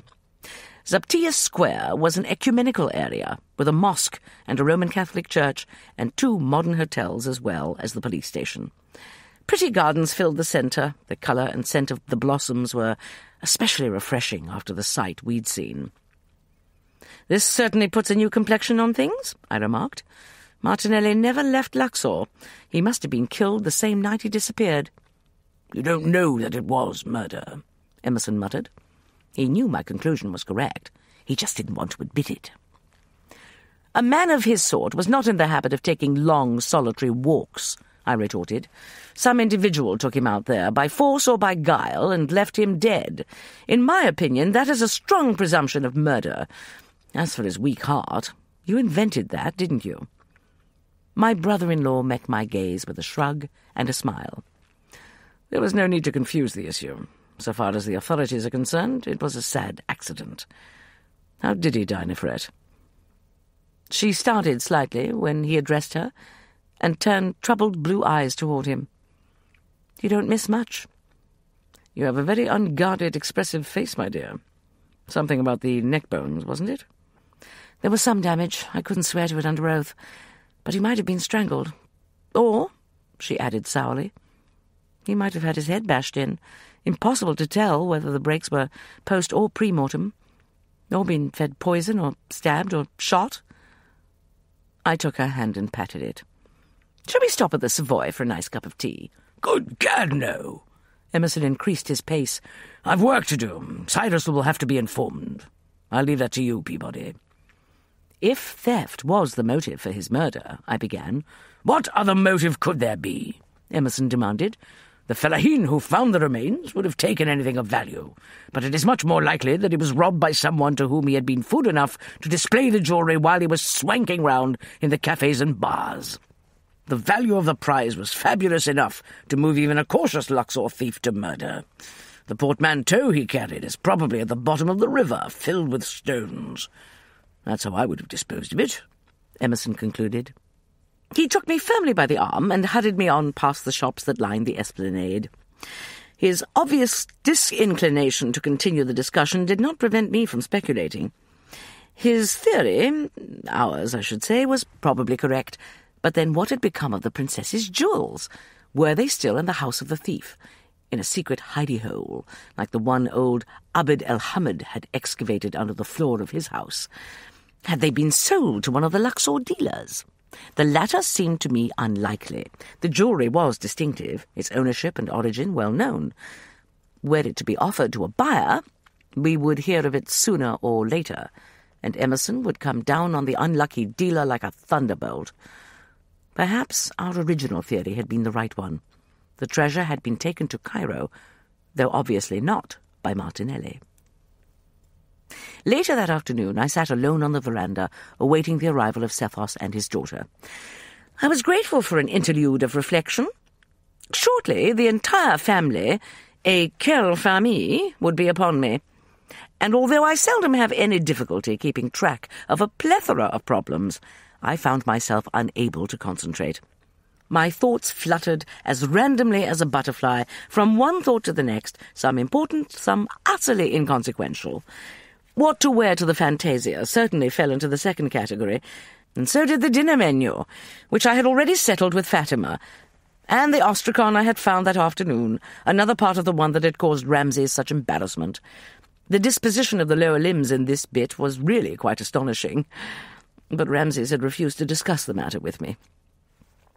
With an effort, I forced myself to fix my thoughts on more important matters.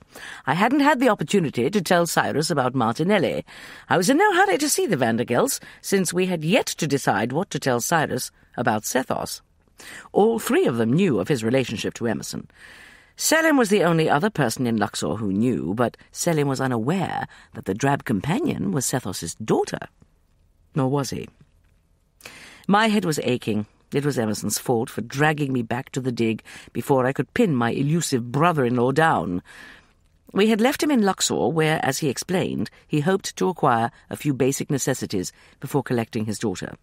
They were to come directly to us, and I had expected them before this.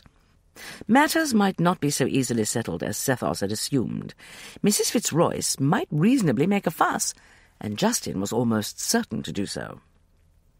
Emerson was the first to join me. Where is everybody? he demanded. They'll be here soon, I expect. All of them. They were. All of them except Sethos and Mariam. The children began clamouring for tea, so I told Fatima to serve. Shouldn't we wait for our guests? inquired Sennia. My poor head gave a great throb. I'd forgotten about Sennia, bright as a new penny, and as quizzitive as the elephant's child. How much had I told her?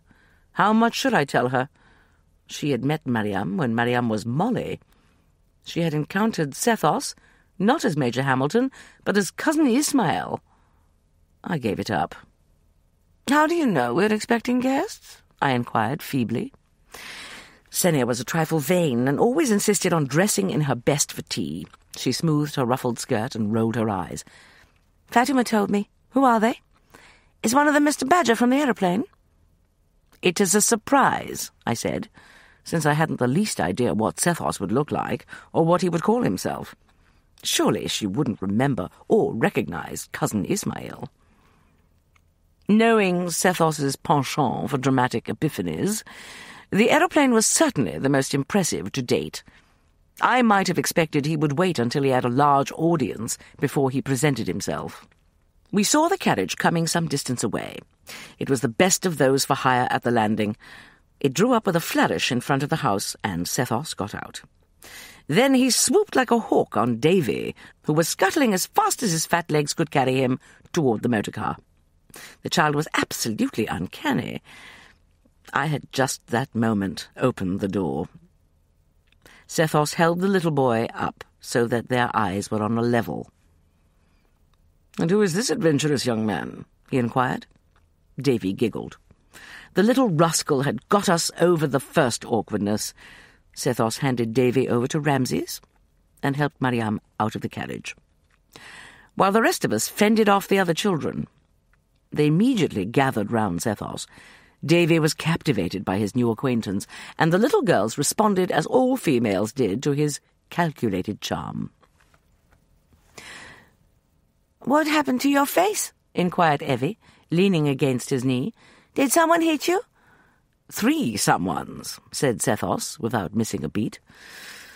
Three large, cruel men. They were about to hurt a poor cat. I made them stop. The twins chirped approvingly, and Evie batted her lashes at him. Where is the kitty? At my house. I am calling her Florence. She has black stripes and a white front. That was very noble of you, sir, said Dolly. Sethos's face softened a trifle as he looked at the little boy. You must be young Abdullah. I knew your great-grandfather well. He would have done the same. Uh, why don't you all draw a picture of Florence? I suggested, glaring at my inventive brother-in-law. Abdullah had hated cats. The pack dispersed, except for Sennia.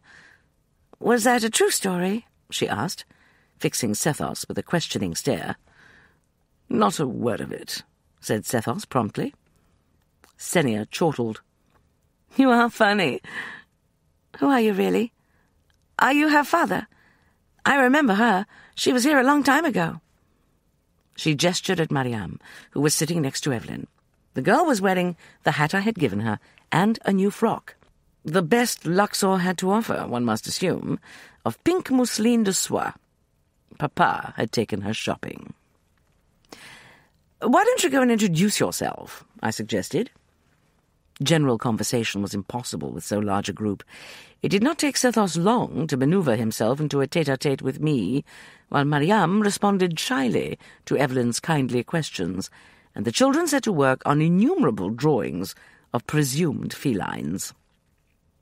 The tete-a-tete was immediately expanded by Emerson, who squeezed himself onto the settee next to me and fixed stern saphirine orbs upon Sethos. You're awaiting my report, I suppose, the latter said. I'm awaiting elucidation of precisely who everyone in Luxor believes you to be, I replied. What did you tell Mrs. Fitzroyce? I didn't meet her. Sethos leaned back and crossed one leg over the other. Two husky lads intercepted me at the head of the gangplank. When I handed over my card, I was informed that the Sitt was resting, but that the other lady was expecting me. I wasn't allowed onto the boat. Mariam appeared with her pathetic little bundles, then we left. Then you did not meet Justin? I caught a glimpse of him, peering out from the doorway to the cabins. At least I assume it was he. He appeared as wary as a timid animal, so I pretended I hadn't seen him. What card did you leave? I asked. That of Major Hamilton, of course. I always carry a selection. Ha! said Emerson. The Vandergelts know your real identity. I suppose there is no way of avoiding them, Sethos said with a martyred sigh. I don't see how you can be ready to leave Luxor for a few more days, I said. The Vandergelts are giving a soiree on Sunday, and Selim will expect you to turn up for his fantasia tomorrow. Sethos groaned theatrically. Must I? You sound like Emerson, I said, wondering if he was doing it on purpose to annoy. It would be advisable to give the impression that this is an ordinary visit from an old acquaintance. Your habit of popping in and out in various bizarre costumes, like the Demon King in a pantomime, makes things very difficult. But much more interesting, Amelia dear. We lingered over Fatima's excellent dinner, for everyone was on his or her best behaviour, and Sethos exerted himself to be agreeable. I was about to suggest we withdraw to the parlour when a visitor was announced. I'd been half expecting him, for nothing is a secret in Luxor. Show Mr. Vandergelt into the parlour, I said to Gargery, and make sure there is plenty of whisky. Cyrus was too much of a gentleman to forget apologies and greetings, but even these held an element of reproach. I figured the fella in the aeroplane was you, he said, shaking Sethos's hand. I'd have called earlier if anybody'd bothered to tell me you were here. What are you going to do next? Ride in on an elephant? Whiskey, Cyrus? I inquired. I reckon. Thank you. He tugged fretfully at his goatee and turned reproachful eyes on me. How come I have to hear all the news secondhand? Don't you folks trust me any more? Um, said Emerson, busy with the decanters. Um, the fact is, um, there hasn't been time, Nefret said. She perched on a hassock beside Cyrus and put a caressing hand over his. You've heard about the identification of the bones? Don't be angry, Cyrus, dear. We would have notified you at once if we'd found the princess's jewels. You think I'm pretty selfish, I guess, Cyrus muttered. That poor devil, out there all this time and me thinking the worst of him? This discovery alters neither the circumstances nor your assessment of Martinelli, Cyrus, I said. He took the jewellery, there can be little question of that, and although we may never know his motive for doing so, he had no right to remove it without your permission. You sure it was him? Where was he found? If you're thinking of conducting a search of the area, I beg you will abandon the idea, Ramses said. Like myself, he had seen the stubborn glow of archaeological greed in Cyrus's eyes. Believe me, Cyrus, I'd have done so myself if I believed there was the least likelihood of finding the jewellery. It was Martinelli, all right, but if he wasn't murdered and robbed, the men who found the body would have taken anything of value. Cyrus knew he was right, but he was not the man to abandon hope so easily. He kept asking questions and proposing theories. His final appeal was to Sethos. Can't you do anything? The corners of Sethos's mouth twitched slightly. Not much use having a master thief as a friend of the family if he can't help out, eh? I didn't mean, uh, Cyrus began. Of course you did. Quite right, too. I will make further inquiries, but don't get your hopes up. Sure appreciate it, Cyrus said, his hopes obviously rising. Well, I better get on home. Sorry for busting in on you like this. He had avoided looking directly at Mariam. Now he went to her and held out his hand. Good to have you back in the family, young lady. We'll see you at our soiree on Sunday, I hope. His tact and kindness brought a becoming flush to her cheeks. Thank you, sir. I, I don't know. She glanced at her father, who said easily, We accept with pleasure. Please convey my thanks and regards to Mrs. Vandergelt. I look forward to seeing her and her son again. Oh, say, that reminds me. Hat in hand, Cyrus turned to me. Catherine told me to ask whether some of you folks might want to stay with us at the castle. We got plenty of room, and you must be getting a mite crowded here. Such was certainly the case. I had had to move Sennia out of her pleasant little suite of rooms and give them to David and Lia and their children. She was in David's old room, with the one next to it serving as a schoolroom. Evelyn and Walter occupied the guest rooms at the other house.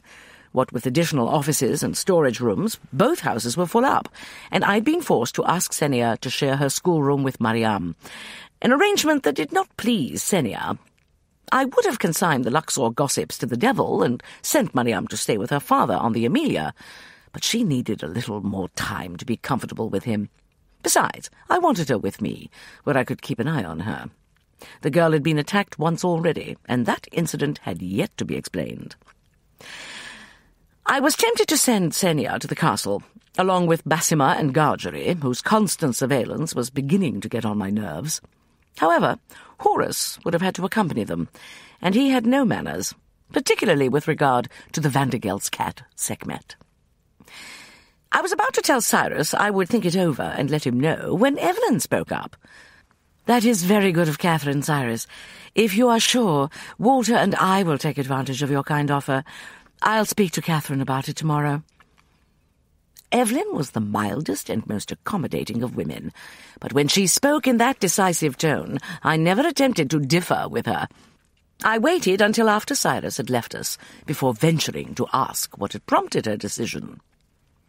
Having house guests for a protracted period becomes inconvenient, was her smiling reply. Ramses and Nefret would never say so, but I'm sure we're putting them out. Catherine and I enjoy each other's company. She has been feeling a bit neglected, I think.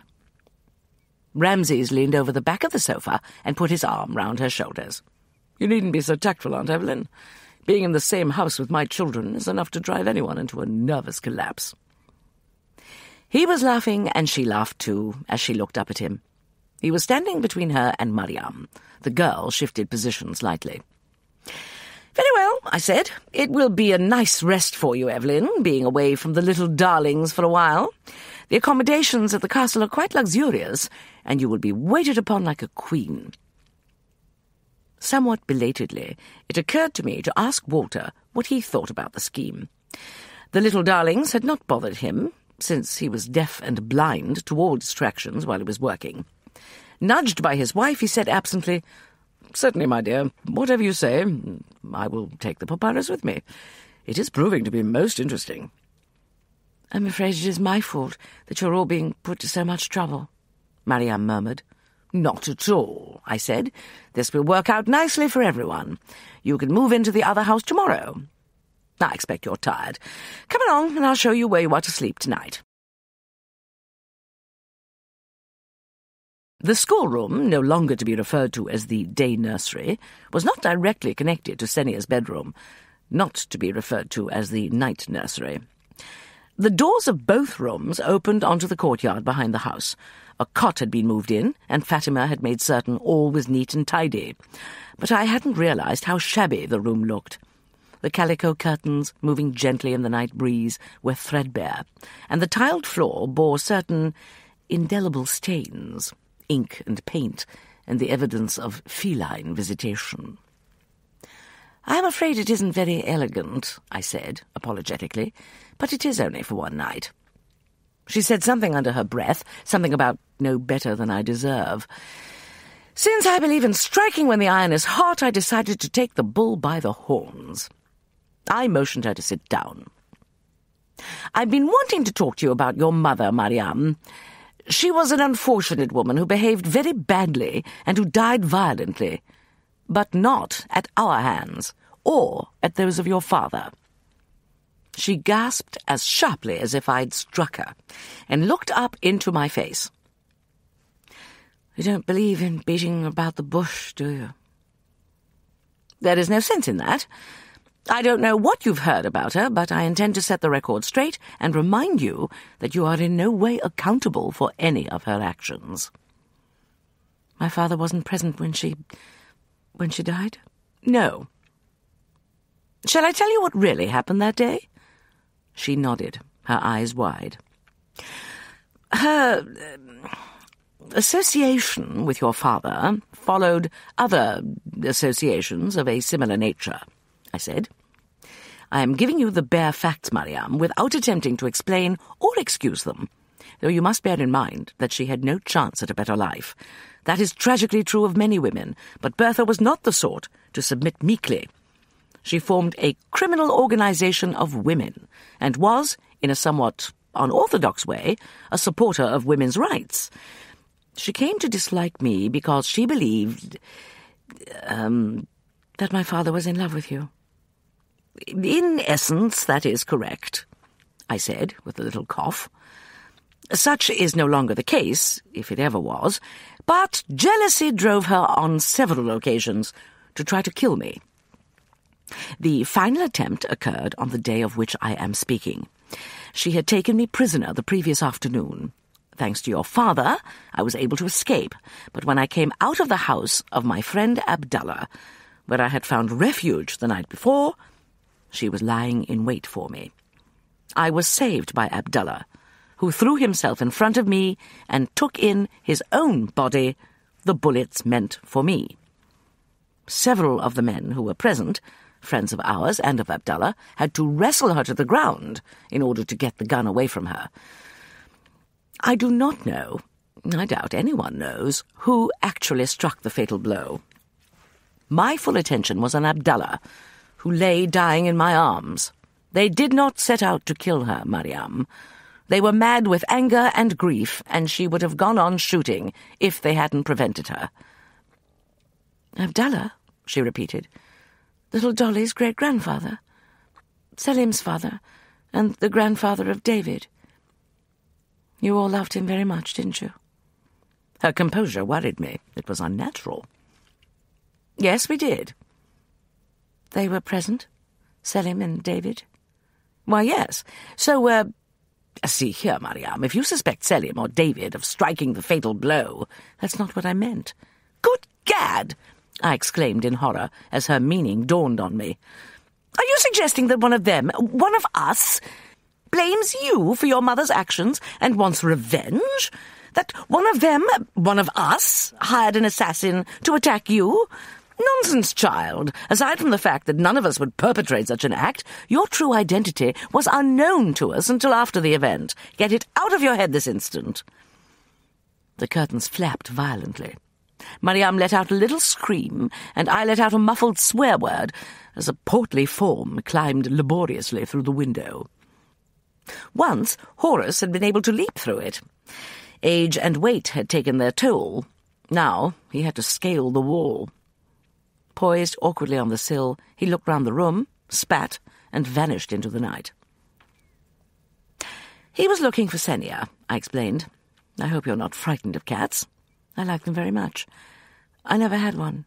Don't waste your time trying to make friends with Horace. He detests all of us except Sennia and Nefret.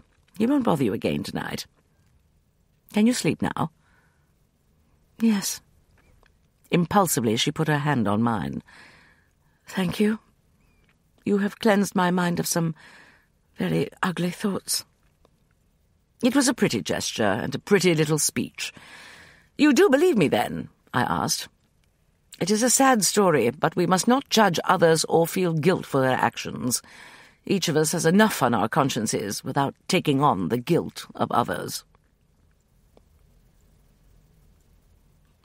The following is an excerpt from Manuscript H.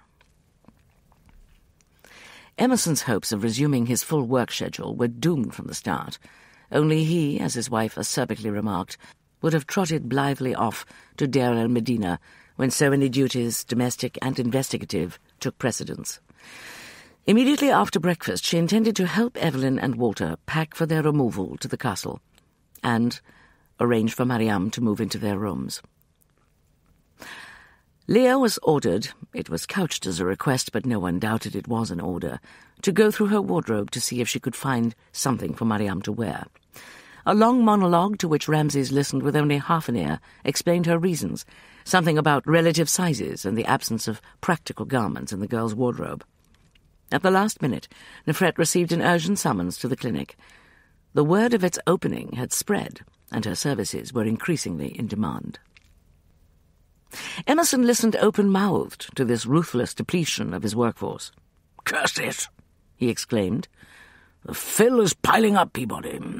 How long is it going to take you to pack a few clothes? You know nothing about it, Emerson, so kindly refrain from putting your oar in. Obviously pleased with this bit of slang, she added, in a more amiable voice, I'll be along later, perhaps. You can have Ramses and David if you like.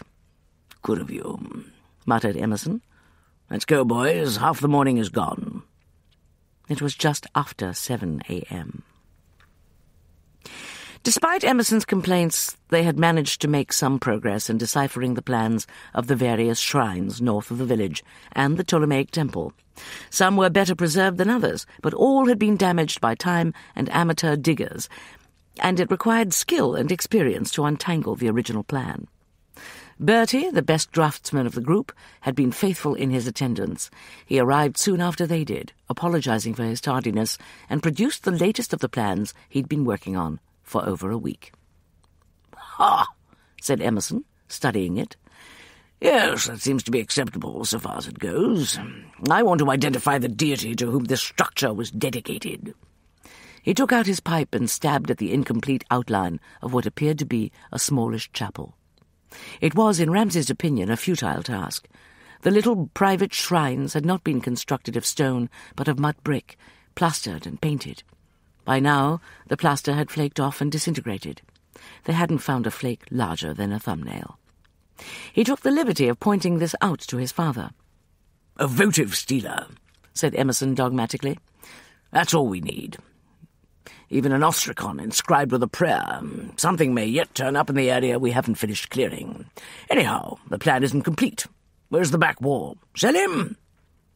Selim hadn't been listening. His head thrown back, he was staring at the brightening blue of the sky with a bemused expression. Looking for another aeroplane, Ramses thought, with inner amusement. Emerson had to call him twice before he responded. Emerson's luck was proverbial. They found his votive stela, or part of it, dedicated by the workman Nachtmen to the deified king Amenhotep I and his mother Ahmose Nefertari. Emerson carried it off in triumph to the shelter while Selim's crew went on clearing the sanctuary. Where the devil is your mother? Emerson demanded, delicately brushing encrusted sand from the brief inscription. The rubble is piling up. She arrived a little before midday, bringing the hamper of food Emerson had forgotten, and accompanied by Lia and Sethos. Emerson hurried to meet them. The rubble, he began. Yes, Emerson, I know. You may as well stop for luncheon now. As you see, we have a guest. Ha, said Emerson, studying his brother's elegant tailoring and spotless pith helmet. He can help you with... Not today, said Sethos amiably. I only came along to keep the ladies company and have a look around. There's not much here to interest an enthusiast, he added with a disparaging survey of the monotonous greyish-brown foundations and scattering of stones.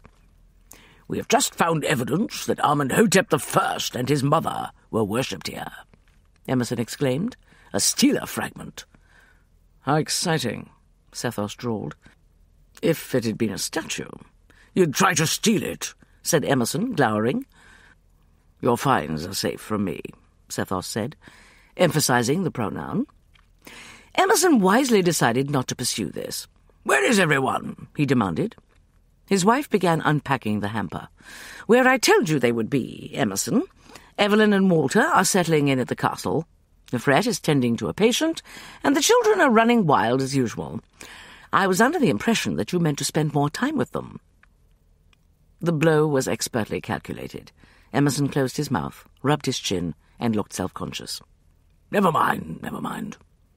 He raised his voice to a shout that made everyone jump. Selim, rest period. Quarter of an hour. They were still eating when another rider approached. It was Cyrus Vandergelt, urging his reluctant mare to a trot and waving a large envelope. He dismounted with more haste than grace and ran toward them. Just got this from Lacau, he panted. It has to be a list of the objects he wants. Look at the thickness of the envelope. I came here for moral support. Didn't have the nerve to open it. Get a grip on yourself, man, said Emerson, taking the envelope from him and ripping it open. The sheaf of papers inside was indeed depressingly thick. Emerson scanned the pages. He wants the coffins and the mummies. Well, we expected that. Robe Martinelli restored, the storage chests with the rest of the clothing, the canopic jars. All of them? Cyrus cried in anguish. Hmm, said Emerson in acknowledgement. Concluding that it would take less time to read out the objects Lacau did not want, he proceeded to do so. Half the Ushebtis, his choice naturally, three small uninscribed cosmetic jars, an ivory headrest. Everyone waited with bated breath until he finished. Two beaded bracelets and two rings. Cyrus groaned and dropped onto a stone column base. Rotten luck, Cyrus, Ramses said sympathetically, while his mother patted the afflicted American's bowed shoulder. He says he's being excessively generous, Emerson reported, after reading the enclosed letter. By rights, the museum ought to keep everything, except for Tetisheri. This is the only royal burial that has been found, and the museum has few pieces from this period. It's a reburial, though, Bertie said. Doesn't that change the terms? Lacau defines the terms. He requests that we begin packing the objects. He is sending a government steamer for them. Why not ship them by train? Bertie asked. Too rough a ride, Ramses replied. They'll be jostled less in the hold of a boat. When will the steamer arrive? He doesn't say. Let him send his damned steamer, said Emerson through his teeth. He can sit here twiddling his thumbs until we've finished the job, which we will do at our leisure. No. Cyrus rose slowly to his feet. What's the use? May as well get it over with. The sooner the better. I can count on your help, I know, Amelia. I commend your fortitude, Cyrus, she said. We will all help, of course. Emerson's black brows drew together. Now she here, Peabody. No one expects you to assist in such menial tasks, she informed him. It is woman's work, as usual.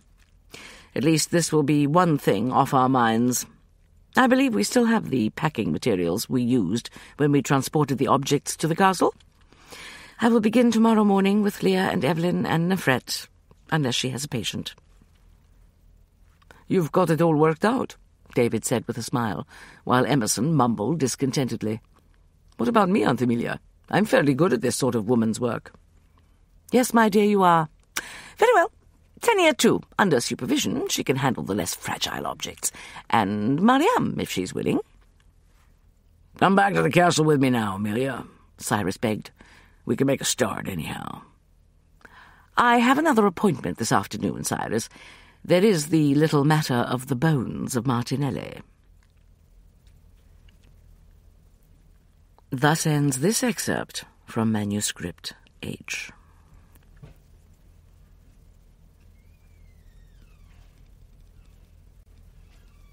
Chapter 9 We have to do something with him, I pointed out, after Emerson had run out of expletives. It would be indecent to leave him lying round the police station. I asked Father Benedict to make the arrangements and to meet us at the cemetery this afternoon. Since Martinelli was Italian, I assume he was of the Roman Catholic faith.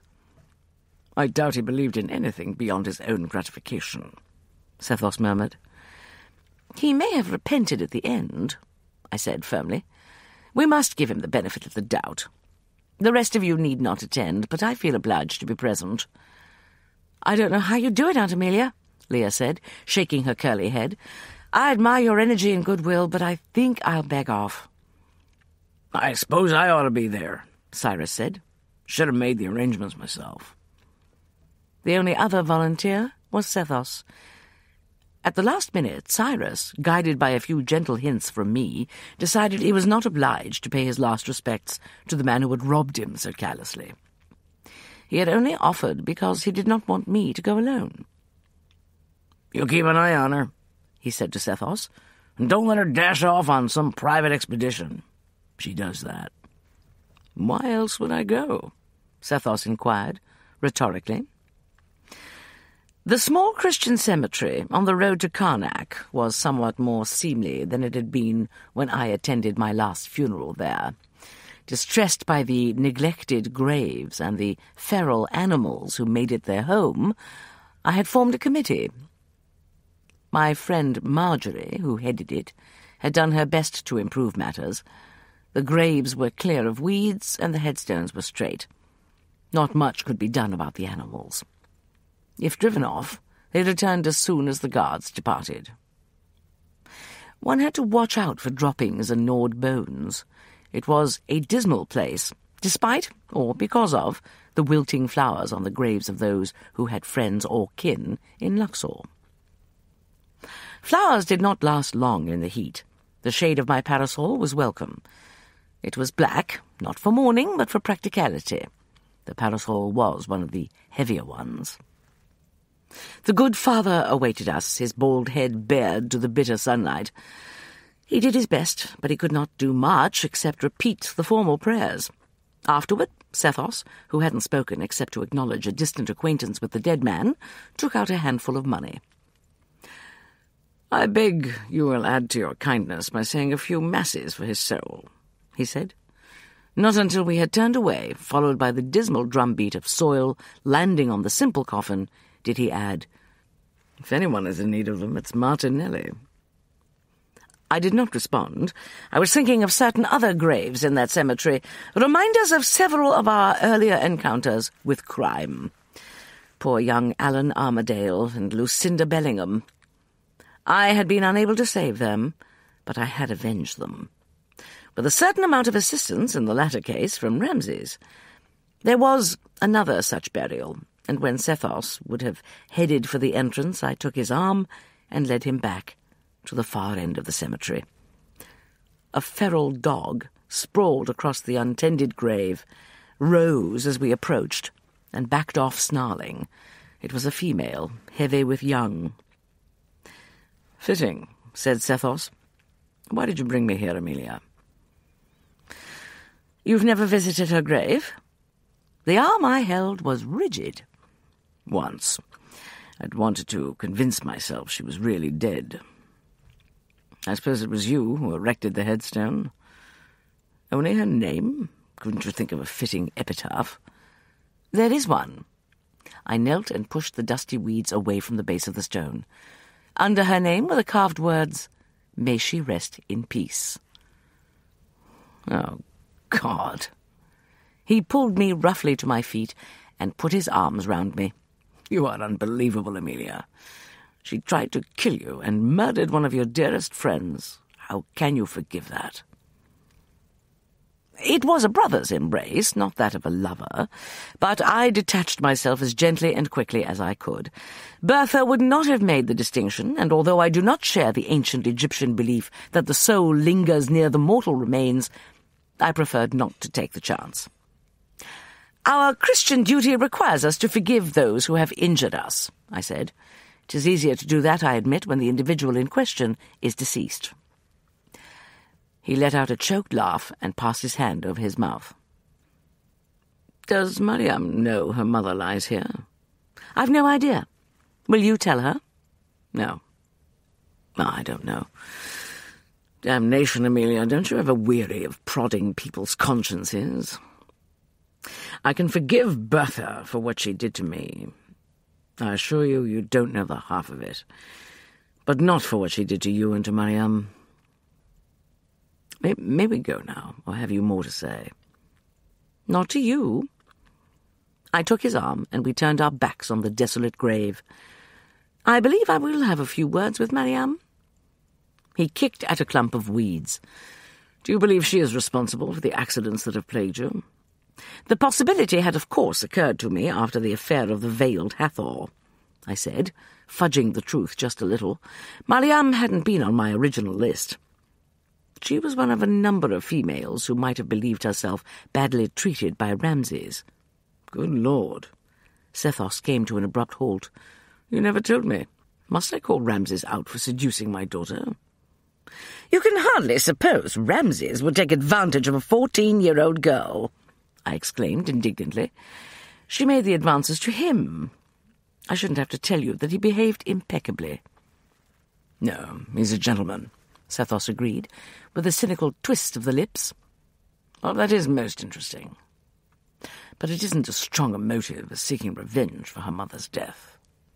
I've already discussed that with her, and I believe I am safe in asserting that she has reached, or is on the way to reaching, a proper understanding. Moreover, it would have been impossible for a girl that age to carry out such a complex scheme. She certainly could not have been Hathor, since the most recent appearance of that lady occurred when Mariam was with Ramses, and Mrs. Fitzroyce told me she was here in Luxor when Hathor made her first appearance. The carriage we had hired was waiting for us on the road. I accepted the hand he offered to help me in. In my opinion, it is not a betrayal of one's feminist principles to accept such gestures graciously. We will discuss this later, I went on, as the carriage rattled into motion, with everyone present. It is time for a council of war. The following is an excerpt from manuscript H.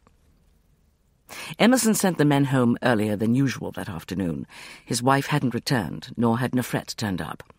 Ramses went at once to the clinic. There were two people in the waiting room, a very pregnant girl of about fourteen, and a child racked with an incessant dry cough. Nisreen was with them, looking very professional in a tightly wound white headcloth and a man's galabeeah that had been shortened at the hem and the sleeves. Nur Misur is very busy, but I will let you go in, she announced. Kind of you, Ramses said, and went through into the surgery. To his surprise, the patient was Daoud. He gave Ramses a sheepish smile, and Khadija, standing over him with folded arms, said, Marhaba, Ramses. Tell this stubborn man to show Nur Misur his hand. I had to make him come to her. Finding himself outnumbered, Daoud obeyed. It needs to be stitched, Nefret said, inspecting the ugly gashes that ran across his large palm and the insides of his fingers. How on earth did you do this? Daoud mumbled something. Khadija said, Someone left a hijab, a charm, lying in front of the house, and Daoud, fool that he is, picked it up. It was a fine hijab, Daoud protested. Large and silver with red stones. I would have asked who had lost it, but when I closed my hand over it, it cut me. What did you do with it? Nefret asked. I buried it, Khadija said. It was a holy thing, but broken sharp as a razor along two sides. Nefret selected an instrument and bent closer. It's a good thing you did. There's something metallic deep in the wound. Hang on, Daoud. She exchanged the probe for tweezers, and before long she had it out. A needle-like bit of metal, half an inch long. Good heavens, Daoud, this must have hurt badly. Why didn't you come to me straight away? I put the ointment on it, Daoud said defensively. That was obvious. His palm was green. That probably prevented an infection, Nefret said, with a nod at Khadija. Well, now we know why the owner discarded it. Let me make sure there are no other broken pieces embedded. Daoud sat like a large brown statue while she cleaned the cuts and put several neat stitches into them before bandaging his hand. Change the dressing every day, she said to Khadija, giving her a box of bandages. I don't have to tell you what to watch out for. No, no, monsieur, thank you. How does it feel to be back in harness? Ramses asked, as Nefret cleaned her instruments and put them away. Wonderful. I should have done this ages ago. Nisreen, show in the next patient, please. Have you been at this all day? he asked. Can I help? No, thank you. If you want to do something useful, go and play with the children. That puts me in my place, Ramses thought baby tender. The children were gathered in the courtyard. His advent was greeted with cries of relief from the adults who were present, and cries of welcome from his daughter, who ran to him holding out her arms. He picked her up. She jabbered imperatively at him, her black eyes bright and demanding. Mamma has been busy with a poor sick man, he said, assuming that was what she wanted to know. Apparently that was only part of it. She tugged at his shirt and dug her knees into his midriff. He had learned to interpret that gesture. He helped her climb up onto his shoulders. High time you got here, said Lia. As usual, you men left us to do the hard work. Not me, David protested. He was on his hands and knees, giving Evie a ride. Everybody but you, Lia said. The women looked as if they had had a hard time. Lia's hair was in wild disorder, and Evelyn was leaning against the back of the sofa, her eyes half closed. Sennia was conspicuous by her absence. He couldn't blame her. It wasn't fair to expect her to play nursemaid. Mariam had been pressed into service, though. She seemed to have suffered less than the others, perhaps because she had concentrated her attention on Dolly. He sat close beside her, her arm round him. She looked up from the storybook from which she'd been reading and smiled at Ramses. Where is everyone? he asked. Catherine was here for lunch, his aunt replied in a faint voice. She helped entertain them for a while, but she finally gave out. Walter's playing with his papyrus. Your mother is attending a funeral, and so is Sethos. I presume your father is still at his cursed dig. An undeserved denunciation, said Emerson, coming out of the house. I'm shocked to hear you use such language, my dear Evelyn. He made sure the door was firmly shut before he turned to meet the assault of the children. Charla was among them. She repelled herself to the ground as soon as her grandfather appeared. Have you had a good time? he inquired. Evelyn said carefully, The children have been very active. Very. They do seem a trifle restless, Emerson conceded, gazing benevolently at the twins, who were clutching at his legs while Evie tried to pull Charla away. You've kept them cooped up too long. Young children need to run about and be kept busy. Emerson never needed as much rest as a normal person. His blue eyes were unshadowed, and his smile broad and cheerful. He seemed to be unaware of the fact that several hostile looks were focused on him. Thank you for pointing that out to us, Emerson, said his sister-in-law, snapping the words out. No doubt you have a suggestion. Hmm. What do you say to a nice donkey ride? The shouts of approval of the children were not echoed by the adults. This activity would demand as much effort as their earlier exhausting supervision. However, Emerson swept all before him, and the affair was under way when his wife and Sethos returned. High time you lent a hand, said Emerson, addressing both of them. What took you so long? I stopped by the clinic to see if Nefret needed my assistance, his wife replied. Sethos's gaze had gone to his daughter, who was trotting along beside Evie, holding on to the child. Evie did not want to be held on to, and said so, at length. Mariam laughed. Don't go so fast, then. I'll not hold you if you let the poor donkey slow down to a walk. She seemed to be having as much fun as the children, and Sethos's hard mouth curved slightly as he watched. The donkeys were the first ones to show signs of disaffection. Enough! Emerson declared, lifting Davy off his steed. It had come to a complete standstill and refused to move. Run along and have a little rest before tea, eh? They won't, but I intend to, Lia declared. David? I promised Mariam a riding lesson, David said. She's been wonderful with Dolly.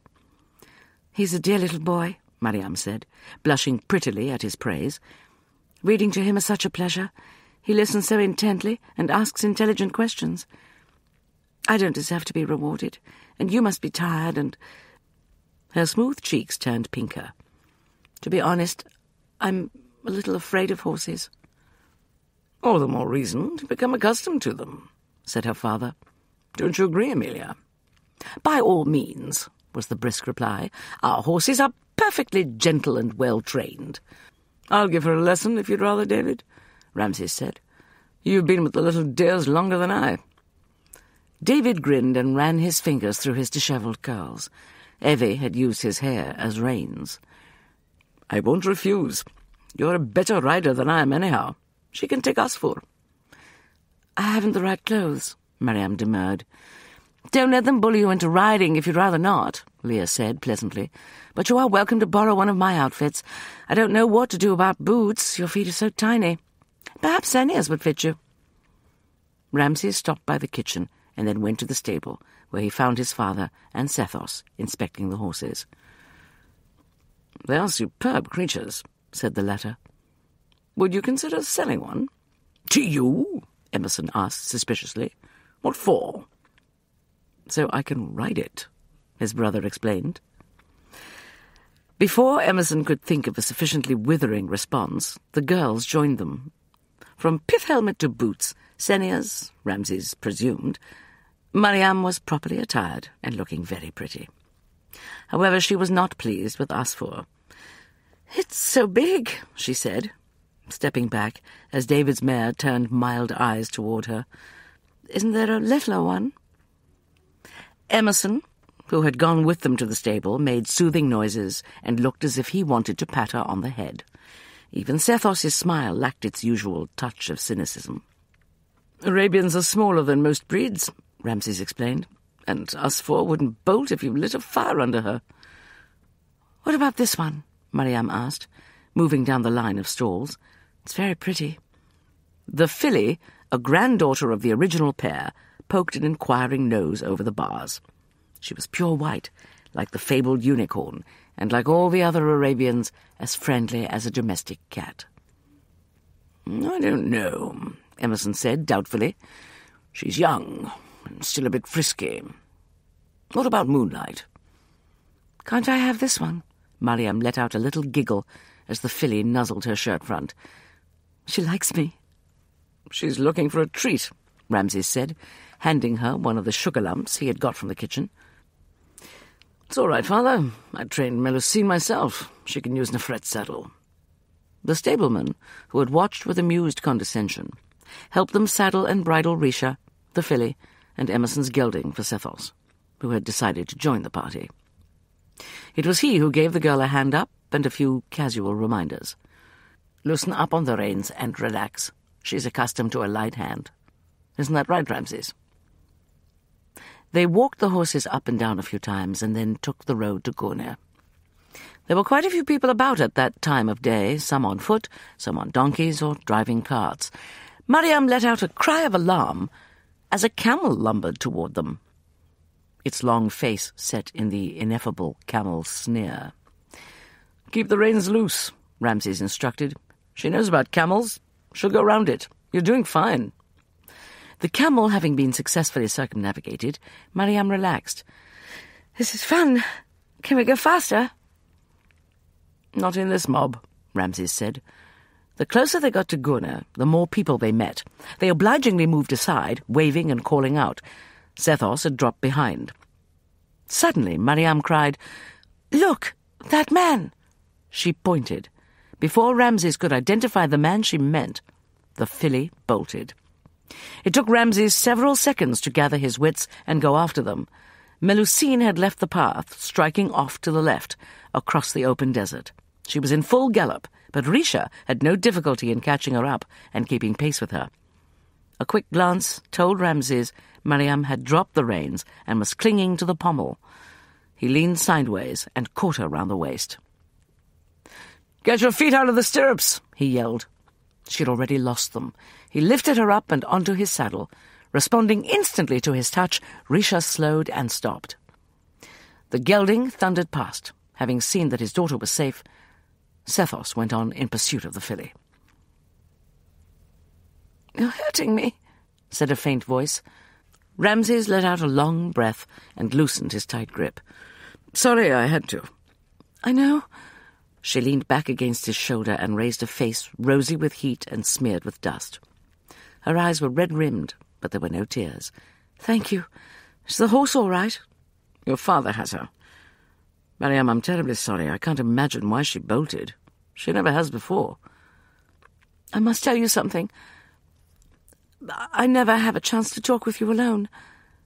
Feeling him stiffen, she went on in a rush of words. No, no, it's not what you think. I wanted to ask your forgiveness for the day I came to your room and tried to. A darker flush of colour ran up from her throat to her hairline. I embarrassed you and made a fool of myself. But I was only fourteen, and I know now that. He tried to help her out. That I wasn't worth all that fuss. Oh, no, you're a wonderful man. Any woman would be proud. You're teasing me, aren't you? A little. It's forgotten, Mariam. Now that I've seen you and Nefret together, I know you are meant for each other. The long lashes fell, half veiling those extraordinary hazel eyes. I'd like us to be friends. Cousins. Can we? We are. Sethos came up, leading the filly. All right, are you, Mariam? Yes, sir, thanks to Ramses. Yes, it was quite a spectacular performance, said Sethos. The smile was the one that always made Ramses want to hit him. She seems calm enough now, Ramses said, inspecting the filly. I can't imagine what spooked her. Sethos directed their attention to a trail of blood on Melusine's right flank. That's what, a sharp object piercing her side. Mariam's hand went to her mouth. The man, I saw him just before she ran away with me. The man who attacked me before. Thus ends this excerpt from Manuscript H. Another incident to add to the list, I said. Our council of war had convened. I had insisted that everyone attend, in case one of them could contribute information others had missed. Fatima sat uneasily on the edge of her chair. She would much rather have been trotting round offering food. The only one not present was Khadija. She would not have spoken up in company anyhow. So now we have an aborigine with a blowgun? Ramses was pacing irritably up and down, his hands clasped behind him. A projectile, propelled by any one of a number of means, Sethos corrected. The object was sharp as a tack, and it penetrated less than an inch. So, what do we have? I took a refreshing sip of my whisky and read the list aloud. One, the theft of the jewellery and the murder of Martinelli. Two, the veiled Hathor of Cairo. Three, the sinking of the boat. Four, the initial attack on Mariam. Five, the second appearance of Hathor. Six, the second attack on Mariam. It's not complete, Emerson said, chewing on his pipe.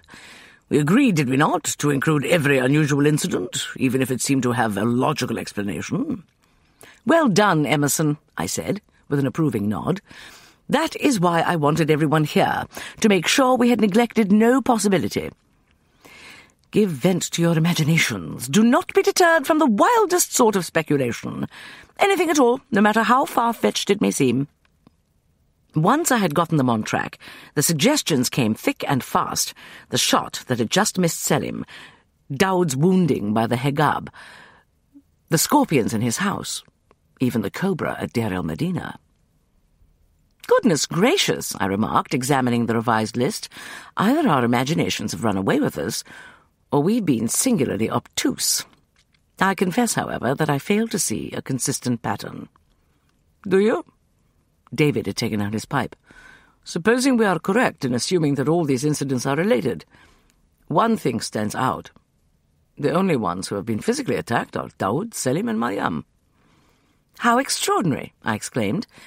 As a rule, such attacks are directed at us. Of course, we are affected by danger to any of those we love. A reader, are you familiar with the sensation of trying to capture an elusive thought? An idea that hovers just on the edge of awareness? I feel certain you are. I was attempting to pin the thing down when Emerson spoke. It's a blow, isn't it, Peabody? Your favourite method of catching criminals is to provoke them into attacking you. They've all got off scot-free in this affair. Even the veiled Hathor only wanted um, that is to say, um, but what can be the connection between Mariam Daoud and Selim? Ramses, glancing self-consciously at his wife, was quick to change the subject. I confess I cannot find a common denominator, I admitted. The vagrant thought had escaped back into the murky depths of the subconscious. I did not attempt to pursue it. Let's try another method. What do we know about the enemy? He has access to a rifle, and he's a good shot, Ramses said. That suggests a man, but the veiled Hathor was obviously a woman. I fear it's another dead end, Mother. There may be a number of people involved. A gang, I murmured. How annoying. I much prefer dealing with individual criminals. How can you all speak so coolly? Mariam's eyes moved from one of us to the other. She was sitting quite close to her father, in a posture that would have prompted most men to put a comforting arm round her shoulders. Sethos had not done so, but he seemed more at ease with her. She had acquitted herself well that afternoon, remounting Melusine, who had behaved like a lamb all the way home, and making light of her aches and pains. Being thumped down onto a hard saddle with an arm like a steel vice gripping one round the ribs leaves bruises in sensitive areas. That's just Mother's little way, Nefret explained lightly. She expects all of us to demonstrate a stiff upper lip. Mariam, are you certain you can't think of anyone who means you harm? I don't want to pry into your private affairs, but the answer is no, Mariam said. Her eyes locked with those of Nefret.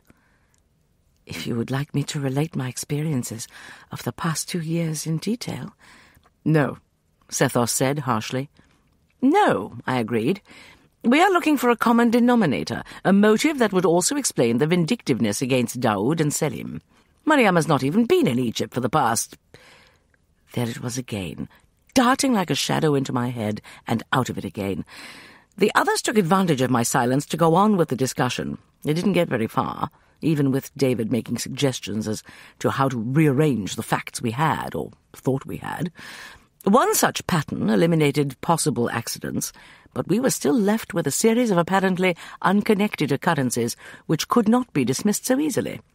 The veiled Hathor, the theft of the jewellery, the murder of Martinelli, and the deliberate damage to the boat, which, as Emerson optimistically pointed out, might have been aimed at someone other than Daoud. Another pattern eliminated the theft and murder as an unrelated, coincidental criminal act. Still another would remove Hathor from the equation, supposing her to have been motivated by what David delicately referred to as personal feelings. Ramses did not like this pattern. He had taken to pacing again. We can't eliminate her or Martinelli, he declared vehemently. Neither of those theories makes more sense than any other. There has to be a connection. We haven't found it yet, that's all. I sure don't see it, Cyrus declared. All right with you, Amelia, if we call it quits for now? Yes, run along. If you think of anything we've overlooked, make a note of it. We've got everything in that list except the finger I cut on a piece of paper, Cyrus said. He was mistaken, as was I. We had overlooked one peculiar incident, which would prove to be the key to the entire mystery. If my more astute readers have spotted it, allow me to deflate their self-esteem by pointing out that they are sitting at ease reading this journal, not trying to deal with four active children, an unpredictable brother-in-law, an archaeological dig, and a thousand household chores. Not to mention Emerson. The following is an excerpt from Manuscript H. As they walked along the shadowy path to their house, the leaves of the poinsettias and mimosa stirred, rustling as if they were conversing in some unknown language, rather like the twins, Ramses thought. The great cat of Re marched ahead of them, taking the lead as cats will without regard to their convenience. Every now and then he would stop without warning and stare into the shadows. Sometimes the stare was followed by a sudden leap and a frantic rustle of activity in the shrubbery. Sometimes he just sat there until they stumbled over him. We need more lights here, Nefret said, catching hold of his arm. Or a better trained cat. Damn it, he's got something. I hope it isn't a snake. They're all tucked up in their little holes for the night, Nefret said. Don't bother yelling at him, Ramses. He'll ignore you with magnificent disdain. Stop for a minute. Why? He showed her why, drawing her into his arms and holding her while his mouth drifted across her face until it reached her lips. They parted, welcoming and warm, and her hand slid into his hair. After a long moment, she whispered, Don't start something unless you're prepared to finish it. I can finish any time, but let's sit here for a while. It's a beautiful night, and Lord knows we don't have many chances to be alone. He picked her up and sat down on a nearby bench, holding her on his lap, the breeze lifted a strand of her hair. It brushed his cheek like a caress. Between kisses, he told her all the things he felt, but seldom said, and she responded with the murmured endearments only he had heard. The cry that broke the spell was sharp and high and human. Ramses sprang to his feet and lowered Nefret to hers, pushing her behind him as he turned to face the thrashing in the shrubbery. Who's there? he demanded reaching for his knife and realizing he didn't have it. Don't hurt me, I'm sorry. She came out from behind a rose bush, an unidentifiable shadow in the darkness, but he had recognized her voice. At his shoulder, Nefret said, Helen, damnation! I'm not going to hurt you, Ramses said, in a strangled voice. He would almost have preferred armed attack to the embarrassment that flooded hotly through him. How long had the wretched girl been hiding and listening? It was the cat, Mariam said apologetically. I was just taking a walk. It's such a beautiful night. And he jumped at me, and, and I was startled, and uh, I'm so sorry. The great cat of Re had followed her, his tail waving triumphantly. He had flushed an impressively large prey this time. No harm done, Ramses said.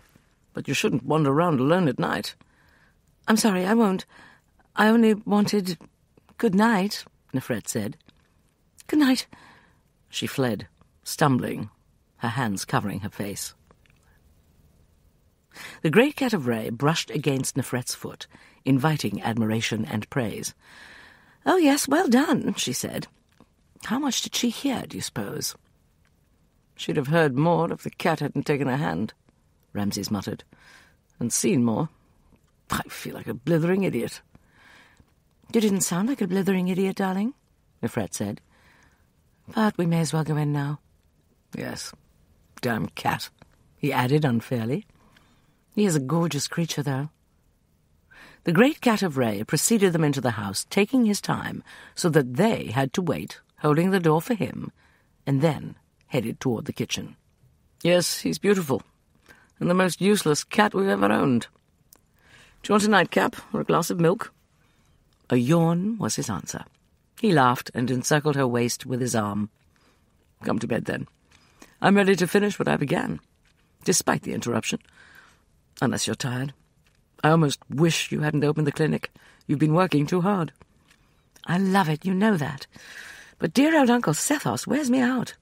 I thought you liked him. He closed the door of their room.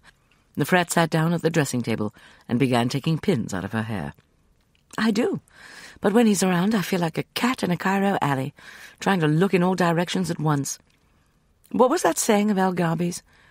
He walks among naked daggers, and they follow him wherever he goes. The same could be said of us. He's walked into our nest of daggers this time. She didn't answer. The quick, hard stroke of her hairbrush and the way the long golden locks clung to her fingers told him she was in no mood for reassurance or reason. When this is settled, he began. A small, silent voice in his head jeered, Oh, no trouble at all. Solve the murder of Martinelli, locate the missing jewellery, identify the bastard who sank Daoud's boat, and the crazy woman who thinks she's Hathor. When all this is settled, he went on, after a slight pause, why don't we get away for a few days? Just the two of us. And leave the children? Nefret opened a drawer and took out a nightdress. They've got a dozen people looking after them. At that inopportune moment, a hair-raising shriek split the silence. Nefret started violently and dropped the nightgown. Ramses snatched up the shirt he had removed and slipped into it. I'll go, he said. Charlotte was having one of her nightmares. The cries twanged directly into a parent's nervous system. The children's nursemaid, Elia, slept in the same room. She was a competent young woman, and the children both adored her. But she couldn't get through to Charlotte when the child was in this state. She was at the door when Ramses got there, wringing her hands in distress. Ramses caught the screaming child up off her cot and held her tightly against him. She clung to him with hands like small claws, and the screams turned into sobs. Shh, he whispered. It's all right, sweetheart. I'm here. He had left the door open. Hearing hurried footsteps, he turned, expecting to see Nefret. It was Mariam, her face drawn with concern. She hadn't paused to put on a dressing gown. The clinging silken nightgown must be one of Nefret's. It wasn't the sort of thing one would find in the wardrobe of a lady's companion. What's wrong? she asked. I heard her. The poor little thing. What can I do? Nothing, said Nefret, pushing past her. Go back to bed, Mariam, or put on some clothes. Her voice was, it seemed to Ramses, unnecessarily harsh. He smiled at Mariam. It was kind of you to rush to the rescue. As you see, she's all right now. Nefret went to Davy, who was sitting up in bed, his fair hair ruffled and his hands over his ears. He was a heavier sleeper than his sister, and he resented being awakened by loud noises. When he saw his mother, he took one hand from his ear and pointed at the window. Something she saw?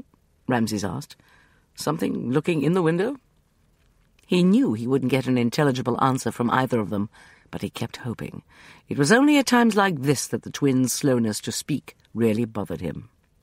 Dream or not, the terrifying thing she had seen was real to her, and he could have dealt with it more effectively if only she could tell him what it was. Davy was twittering helpfully, and Charla, sobs reduced to snuffles, began to wiggle.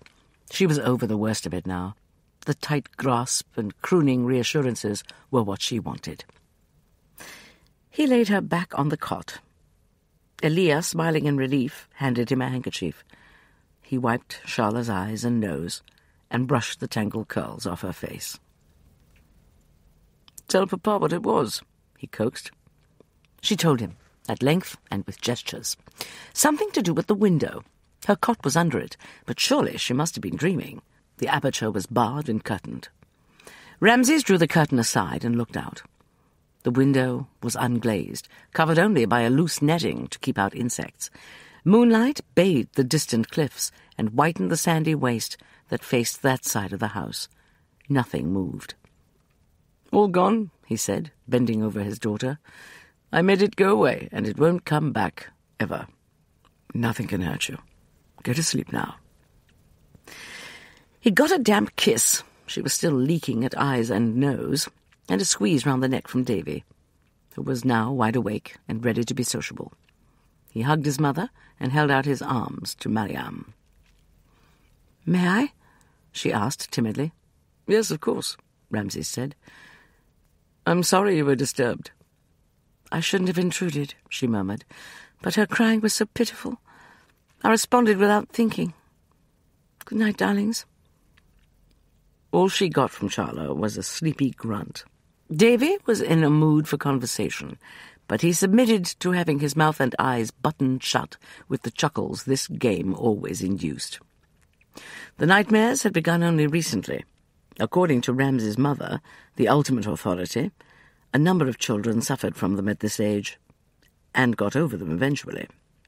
Which was all very well, but Ramses realized there wasn't much chance of a romantic holiday while the nightmares lasted.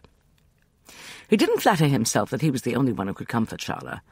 It just happened that he had been first on the scene every time, and Elia, for all her admirable qualities, didn't understand that a tight grasp and a firm, reassuring voice was what the little girl wanted. His father, or David, or his mother, could probably act as effectively. However, it wouldn't be fair to ask any of them to sleep in a neighbouring room while he and Nefret were absent. It took a while to get Nefret back into the mood that had been interrupted, not once, but twice. She was upset about something. He had learned to know the signs. But he couldn't think what. The Fantasia was not due to begin until evening, but even Emerson glumly conceded that there was no use going to Deir el Medina that morning. Selim and Daoud and the others were determined to put on the most extravagant performance ever given in Gurneh. The whole village had been buzzing, and no one had the least intention of working that day. The motor car stood in front of the house, shining like jet. Selim had spent all evening scrubbing and polishing it. After breakfast, his mother rallied her troops and took them off to the castle to begin packing the artifacts. She declined Emerson's half-hearted offer to join them. You'll only stand round grumbling and lecturing. And Sethos said he had business in Luxor. Cyrus was ready for them. The packing materials they had used before had been taken out of storage and brought to the display room, and a local carpenter was nailing the wooden cases back together. Ramses understood why Cyrus wanted to get the job done. It was pure torment to see the magnificent assemblage, and know it was lost to him. In theory, Ramses agreed, as did his father, with the idea that Egypt's treasures belonged in Egypt. But Cyrus's hangdog look made him wish Lacau had been a little more generous. They started with the smaller and less fragile objects, the stone and metal vessels. Even these were wrapped in cotton wool or waste fabric, with layers of straw under, between, and over them. When a packing case was full, Bertie and David nailed it shut. Cyrus trusted no one except themselves in that room. Ramses was assigned to the task of making lists of the contents of each case, with Lia to help.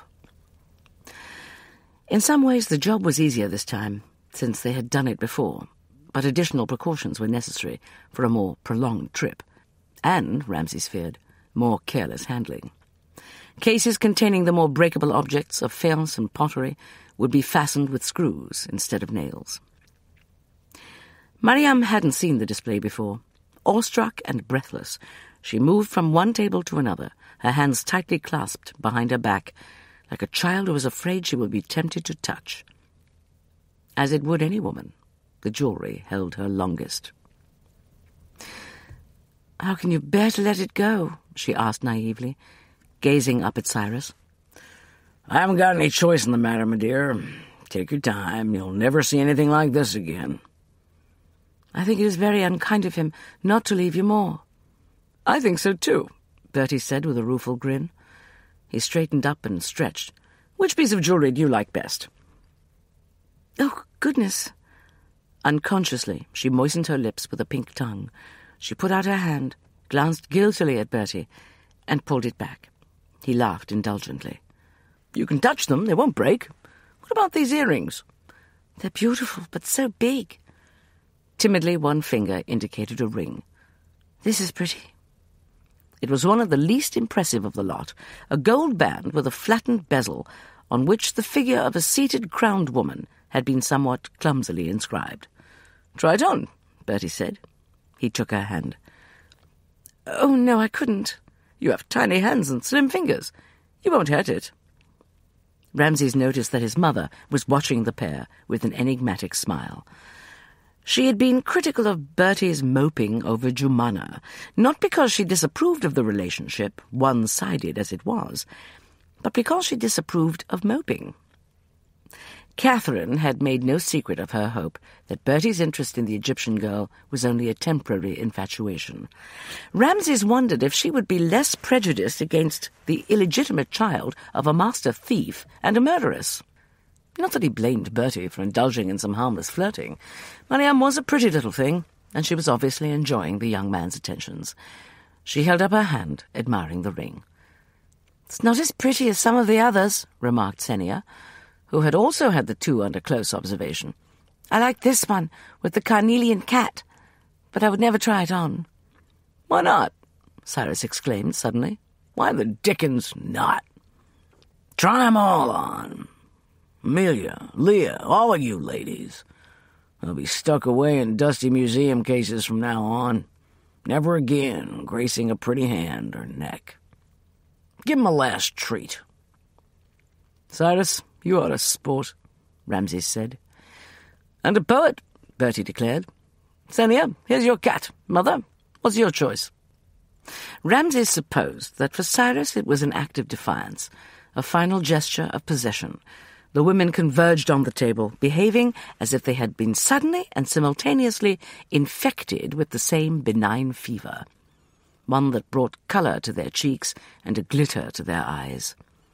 Even his mother, who claimed that baubles did not interest her, bent her head and allowed Cyrus to hang a magnificent pendant round her neck. It was a three-dimensional lapis ram, crowned with gold and reclining on a golden plinth.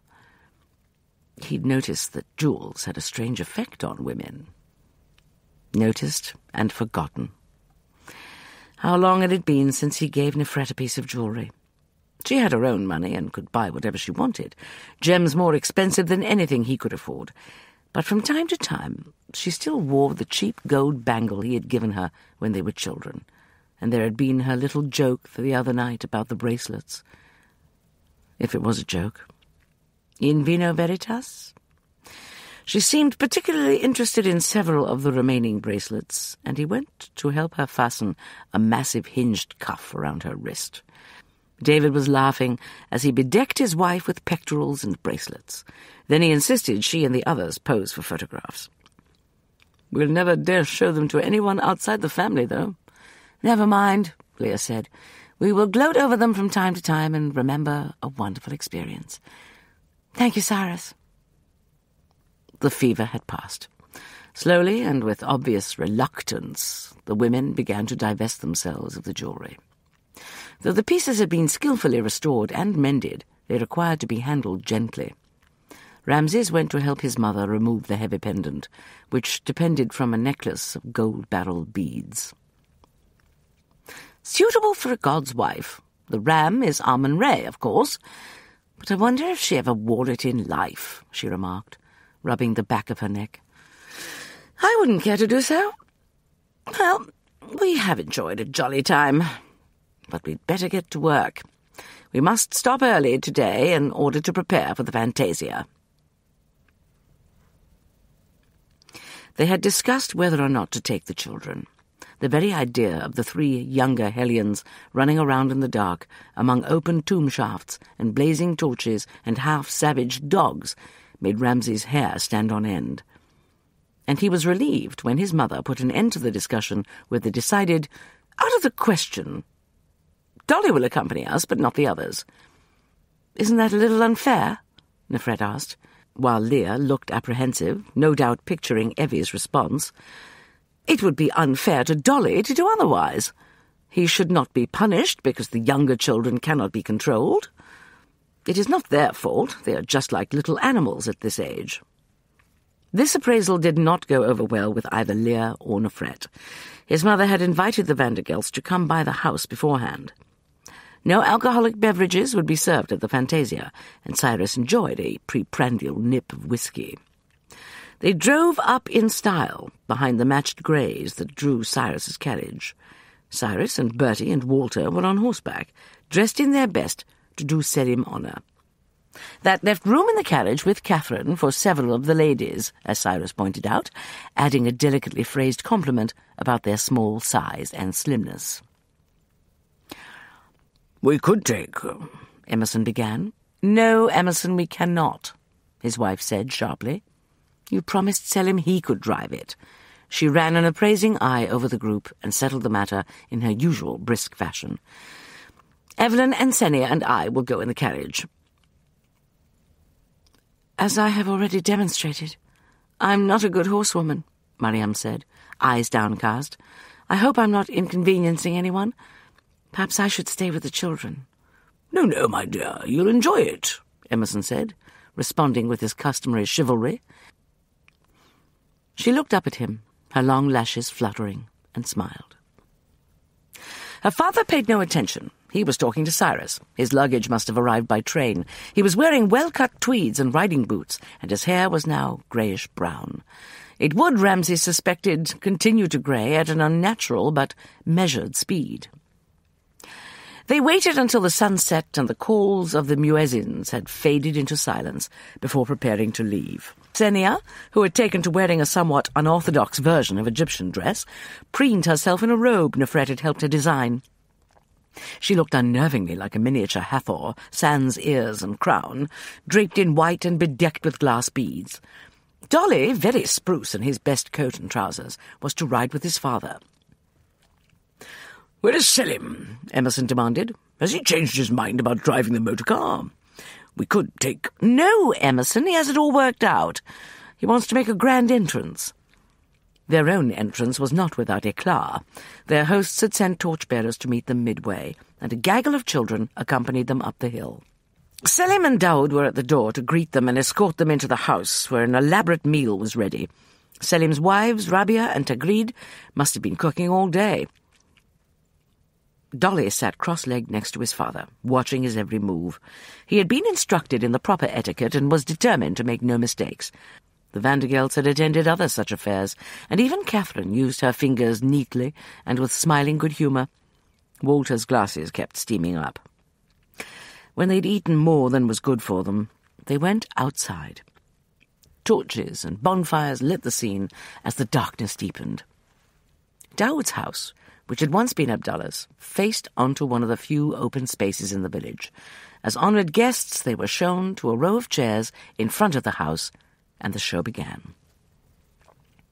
Dancers and singers, musicians and magicians performed in turn. Selim caught Ramses' eye, winked, and withdrew. The most famous storyteller in Luxor launched into a tale. A hand plucked at Ramses' sleeve. Mariam was sitting behind him. What's he saying? she whispered. The flames gave her face a rosy glow and danced in her eyes. She looked as if she were enjoying herself. He didn't have the heart to hush her, although talking during the performance was frowned upon. It's just a little fairy tale about a princess and a magician. I'll translate it for you later, all right?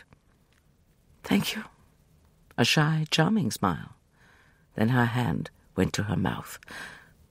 Oh, what's happening? The storyteller must have exceeded his time limit. Daoud hurried into the center of the space, gesturing and calling out orders. The audience moved back.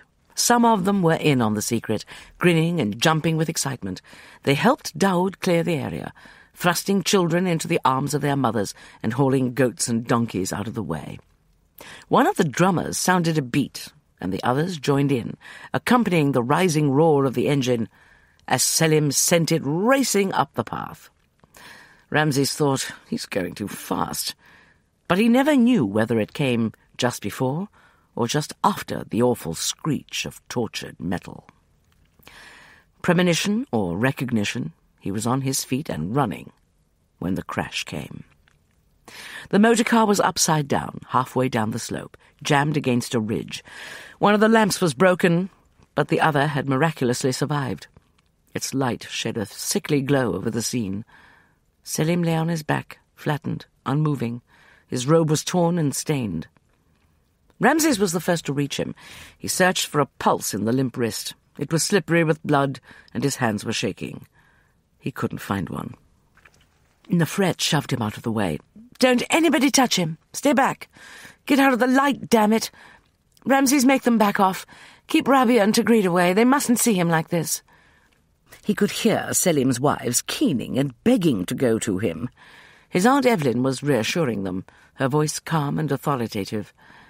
His mother, of course, was already on the scene, shining a torch onto the broken body. She was the only one who'd had the sense to think of it. Ramses could almost have wished she hadn't.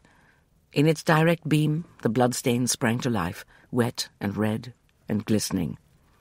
What do you need? Ramses asked. Nefret didn't look up. Your coat. Yours too, David. Splints, bandages for starters. Thank God, Ramses whispered. He'd been afraid to ask. He's alive? So far. Naturally enough, Selim's two young wives wanted him brought to their house. Nefret overruled them curtly and coldly. The burden was on her now, and Ramses, aching with sympathy for her, knew she was desperately afraid. She'd always agonized over losing a patient. Losing this one would devastate her. Carrying the litter on which Selim lay wrapped as rigid as a mummy, Emerson and Daoud started along the road home. Cyrus had offered the carriage. Nefret had refused in that same chilly voice. The patient must not be jolted, and the two strongest men could move him more gently than any other means of transportation. Subdued and anxious, the Vandergelts left, taking their guests and Sennia and Dolly with them. Nefret didn't wait for the rest of them. She mounted Moonlight and headed her down the hill. Do you want me to stay? Ramses asked. Selim was lying face down on the table in her examining room. It had been scrubbed and covered with a white sheet. The lights glared down on his naked body, still clotted with blood where it wasn't dark with bruises. Yes, Nefret said. Scrub and put on a gown. You too, Mother. Everybody else, out. His mother nodded and began rolling up her sleeves. Selim will have a fit when he finds out we undressed him, she said calmly. It was precisely the right note, her unquenchable optimism and her little joke. Nefret's tight lips relaxed a trifle. He's got several cracked ribs, plus cuts and bruises. Not too bad, but... She ran a gentle hand over Selim's black head. Mother, put your fingers here. His mother complied. Fractured skull, she said evenly. Depressed fracture, probably bleeding in the brain. You will operate then. Mother, I can't. I've only performed the procedure once, and that was years ago. There is no surgeon of your competence closer than Cairo, his mother said remorselessly. Would he survive the journey? Would not his condition worsen with delay? The answer was engraved on Nefret's white face. Thus ends this excerpt from Manuscript H. Chapter 10 The sun rose behind me as I climbed, and my long, pale shadow leaped ahead, racing me to the summit. Abdullah was waiting for me in the usual place, at the top of the rocky slope behind Deir el Bahri. Instead of offering a hand to help me, he stood with folded arms, his bearded face grim. Will he live? I gasped, collapsing onto a boulder. Thanks to the goodness of God and the skill of Nur Misur. You could have prevented this, Sitt Hakim. The cruelty of the charge brought me to my feet, shaking with anger, no, but you could have. Why didn't you warn me? There are many futures. The final shape is not known. until it takes place. His thin lips curled. I never thought to see you behave like a woman, Sitt. I'm not sure I want to know what you mean by that.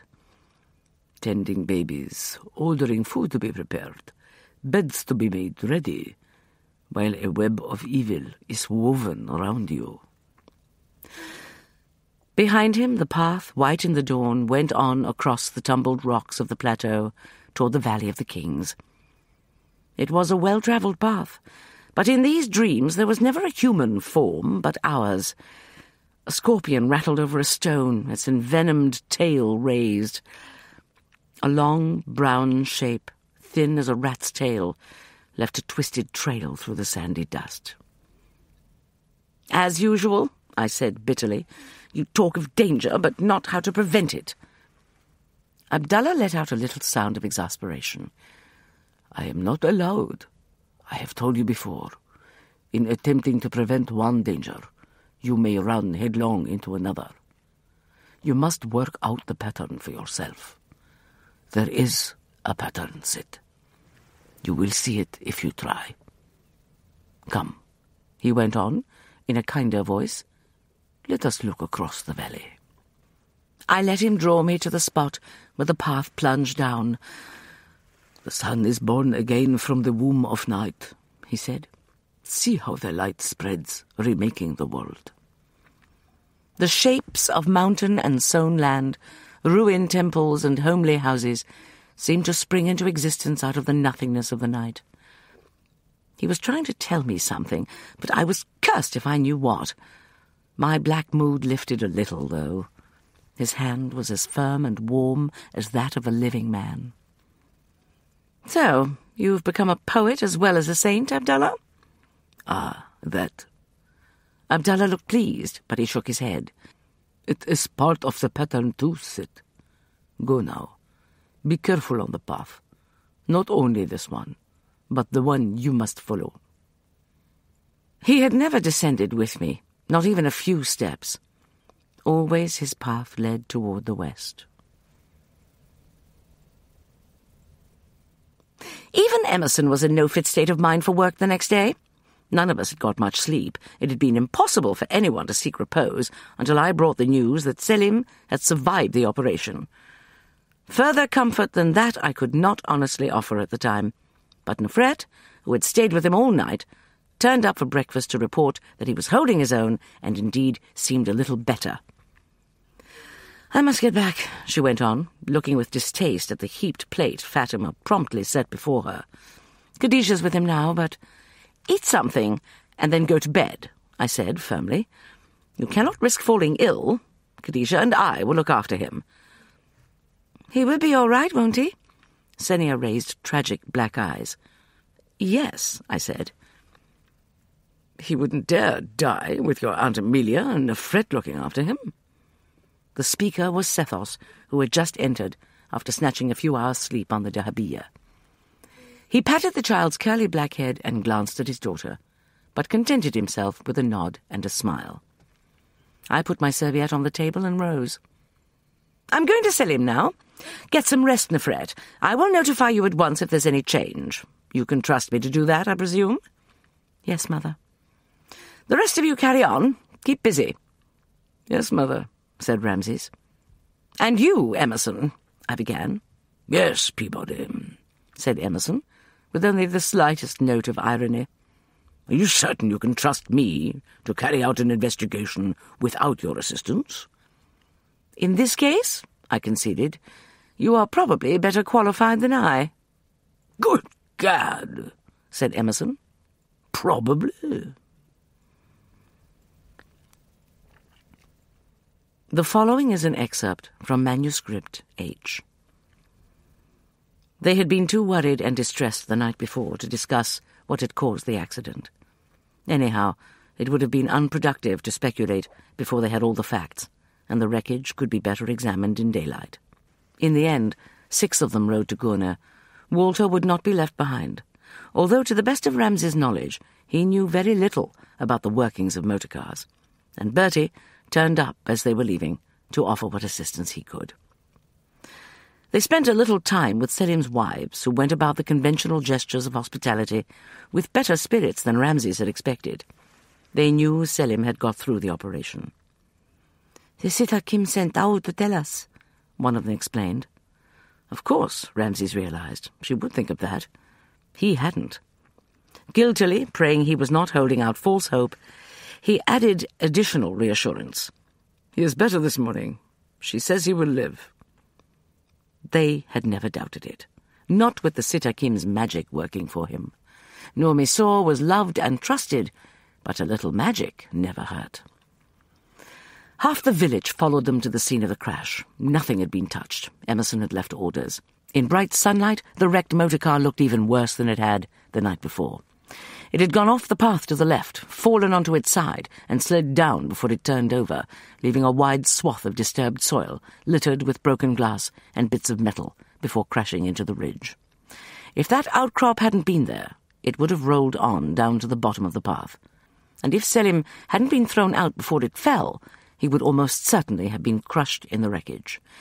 Almost all the structural damage was on the left side of the vehicle, the door ripped off its hinges, the windscreen bent and shattered. One wheel was missing. The wooden spokes of the other were splintered, and the tire was flat. The radiator had burst, and the petrol tank had been ruptured. By now, the petrol had evaporated, though the smell lingered. Here's the wheel, David called from farther up the hill. They scrambled to join him. Emerson swept the area with an eagle eye, measuring distance and trajectory. If it came off as a result of the impact, it would be under the car or lower down, he muttered. The lug nuts are missing, Ramses said. All six of them. Even though he had expected this, he felt slightly sick. They must have been deliberately loosened. The car toppled over when the wheel came off.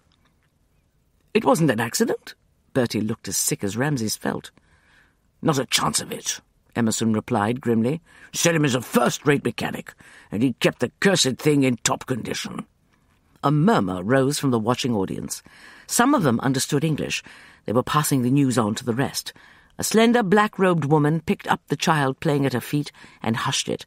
One of the squatting men lit a cigarette. Otherwise no one stirred. Intent dark eyes followed their every movement as they went over the vehicle, inch by inch. Emerson insisted that it would have taken a man's strength to loosen the bolts. Ramses wasn't so sure of that. A long-handled wrench might have done the job if it were in the hands of a determined woman who knew something about motor cars. When was it done? he asked. Emerson fingered the cleft in his chin. We put the wheel back on the day before yesterday. It was the wheel on the front right, not this one. The job must have been done that night. If I'd put the damned car in the stable yard as your mother kept telling me to do. The lines round his mouth deepened. It wouldn't have made any difference, Ramses said. The stable yard is easily accessible, and Ali sleeps like the dead. Loosening the lug nuts would take only a few minutes. He, whoever he was, counted on the wheel coming off when Selim hit a steep stretch, Sethos said musingly. The car was bound to turn over once it lost a wheel, Ramses argued. Wherever that happened, he had to keep up a fair speed. That's the only way to drive over rough terrain.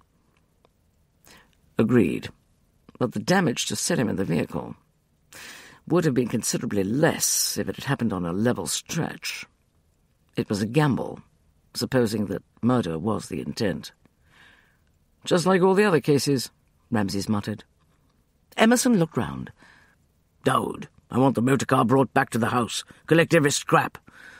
It's a total wreck, sir, Bertie exclaimed. You'll never repair it. Do you suppose I'd give a curse about that? Emerson demanded. Daoud flexed big brown hands and nodded vigorously. It shall be as you say, father of curses. Selim can repair the motor car. You will see. Emerson's features twisted into a painful grimace. His voice was hoarser than usual when he replied, You're right, Daoud. He can and he will. And, said Daoud placidly, you will find the man who did this and give him to me. Inshallah, said Sethos under his breath. Daoud repeated the word, and after a moment, so did Emerson. Thus ends this excerpt from Manuscript H. I had sent word to Catherine and Cyrus that morning, for I knew they would want the latest bulletin. Shortly thereafter, they came in person. We won't stay unless we can be of use, Amelia, Catherine assured me, seating herself next to me and taking my hands. What can we do to help? Is he really better? I had just left the sick room, where Khadijah sat like a large ebony idol, her very presence reassuring. He is still unconscious, but his breathing is easier. It must have been horrible for Nefret, Catherine murmured, with a little shiver. The knowledge that the life of someone she knows and loves was in her hands. She's always come through when she had to, I said, cool and steady as a machine. She will break down eventually, but not before she is certain he is out of danger. You will stay for luncheon, won't you? Fatima, who had been trying to force me to eat again, let out a murmur of pleasure and hurried into the house. Cyrus stopped pacing. He'd been up and down the length of the veranda a dozen times and put his hand on my shoulder. Sure we won't be in the way? Not at all, I assured him. We could use some help with the children. I am very grateful to you for getting Dolly and Sennia away so quickly. But they all know something is wrong, and they are, of course, behaving like fiends. How well I remember, Catherine rose. Where are they? Lia and Evelyn have corralled them in Sennia's courtyard. At least I hope they have. She hurried off. I motioned to Cyrus, who was still pacing. Sit down, Cyrus. The men will be back soon. They went to Gurna to inspect the motor car. Will you wait for them here? I promised Nefret I would sit with Selim while she got a little rest. She was in his sick room when I hastened in, bending over the bed. Guiltily I began. I am sorry, Nefret. I was only away she looked up. Her eyes were luminous. He's conscious. Khadijah came for me. I dropped to my knees beside the bed. Selim's eyes were open. He saw me. He recognized me. His lips parted. Don't speak, I said gently. Don't move. You had an accident and were badly hurt, but Nefret has taken care of your injuries. You are in her clinic and you're going to be fine. I thought that answering the most obvious questions would keep him quiet, but he had something else on his mind. Did my father tell you? He told me you would live. Ah. It was a soft, relieved sigh. I have long been convinced that the mind affects the body in ways we cannot define. With that assurance, Selim had gained additional strength and will to live. Who could deny the wisdom of a saint? Nefret's fingers were pressed to his wrist. You have a number of broken bones and your head was hurt, she said. You mustn't move it. I'll give you something for the pain now. Selim's eyes opened wide, the whites showing all round the pupils. A needle? No, I do not want... All right, no needle. Nefret said quickly. Don't get excited. Selim grunted. Then his expressive orbs rolled in my direction. Who took my clothes off? Nefret began to laugh. It was the sort of laughter that is often followed by tears, so I was relieved when the door opened and Ramses looked in. Uh, what? he began. He asked who undressed him, Nefret gasped. She turned blindly into Ramses' arms, her face streaked with tears. I did Selim, said Ramses, over her bowed head. His voice was steady, but his black eyes shone suspiciously as he gazed at his friend.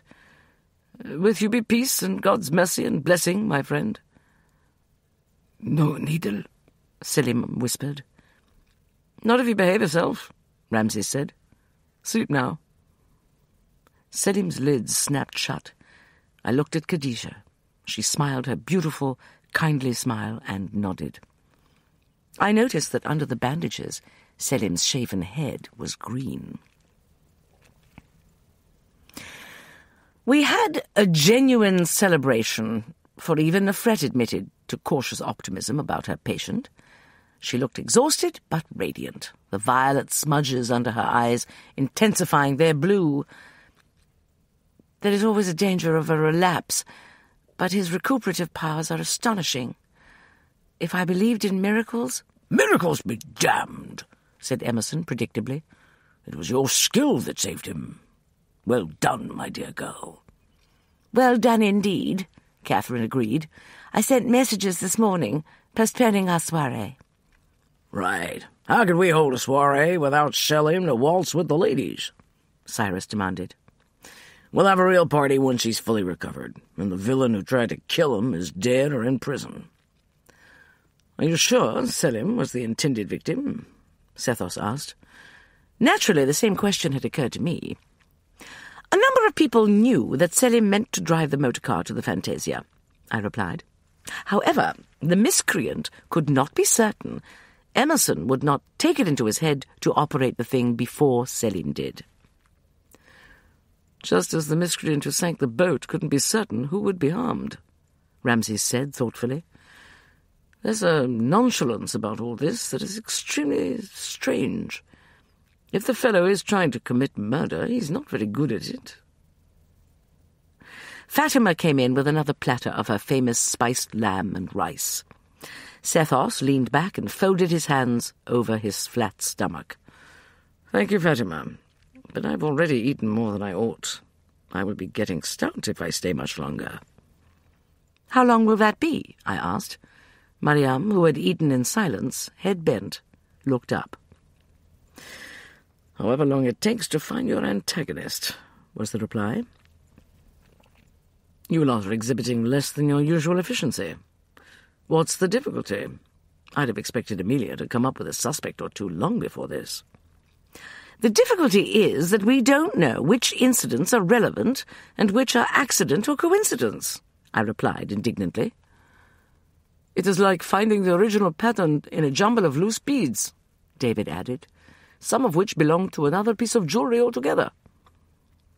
Sethos's curiously coloured eyes studied him. An interesting analogy. You're something of an expert on restoration, David. How would you go about separating the disparate elements? Lay them all out on the table, examine them, and try them in different arrangements, was the prompt reply. After long experience, one acquires an instinct for such things. Like Amelia's instinct for crime, said Walter eagerly. And uh, that of uh, uh, mine. Sethos's brows rose. You forget, Walter, that I have investigated fewer crimes than I have committed. However, I have no intention of leaving you without my protection. Emerson growled. Selim continued to improve. He was able to sit up for short periods, and his appetite was good though no one, not even Daoud, could have consumed all the food Fatima tried to force on him. He ought to have been a pathetic sight, encased in sticking plaster, with a miniature turban of bandages covering his shaven head.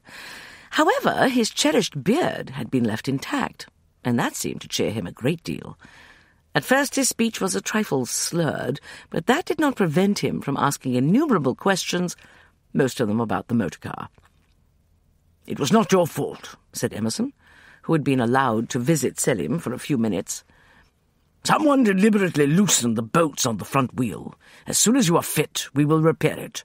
By that time, we will have found the man responsible. Daoud is looking after your family, I added, and so are we all. You are not to worry about anything except getting well. The excavations, Selim said.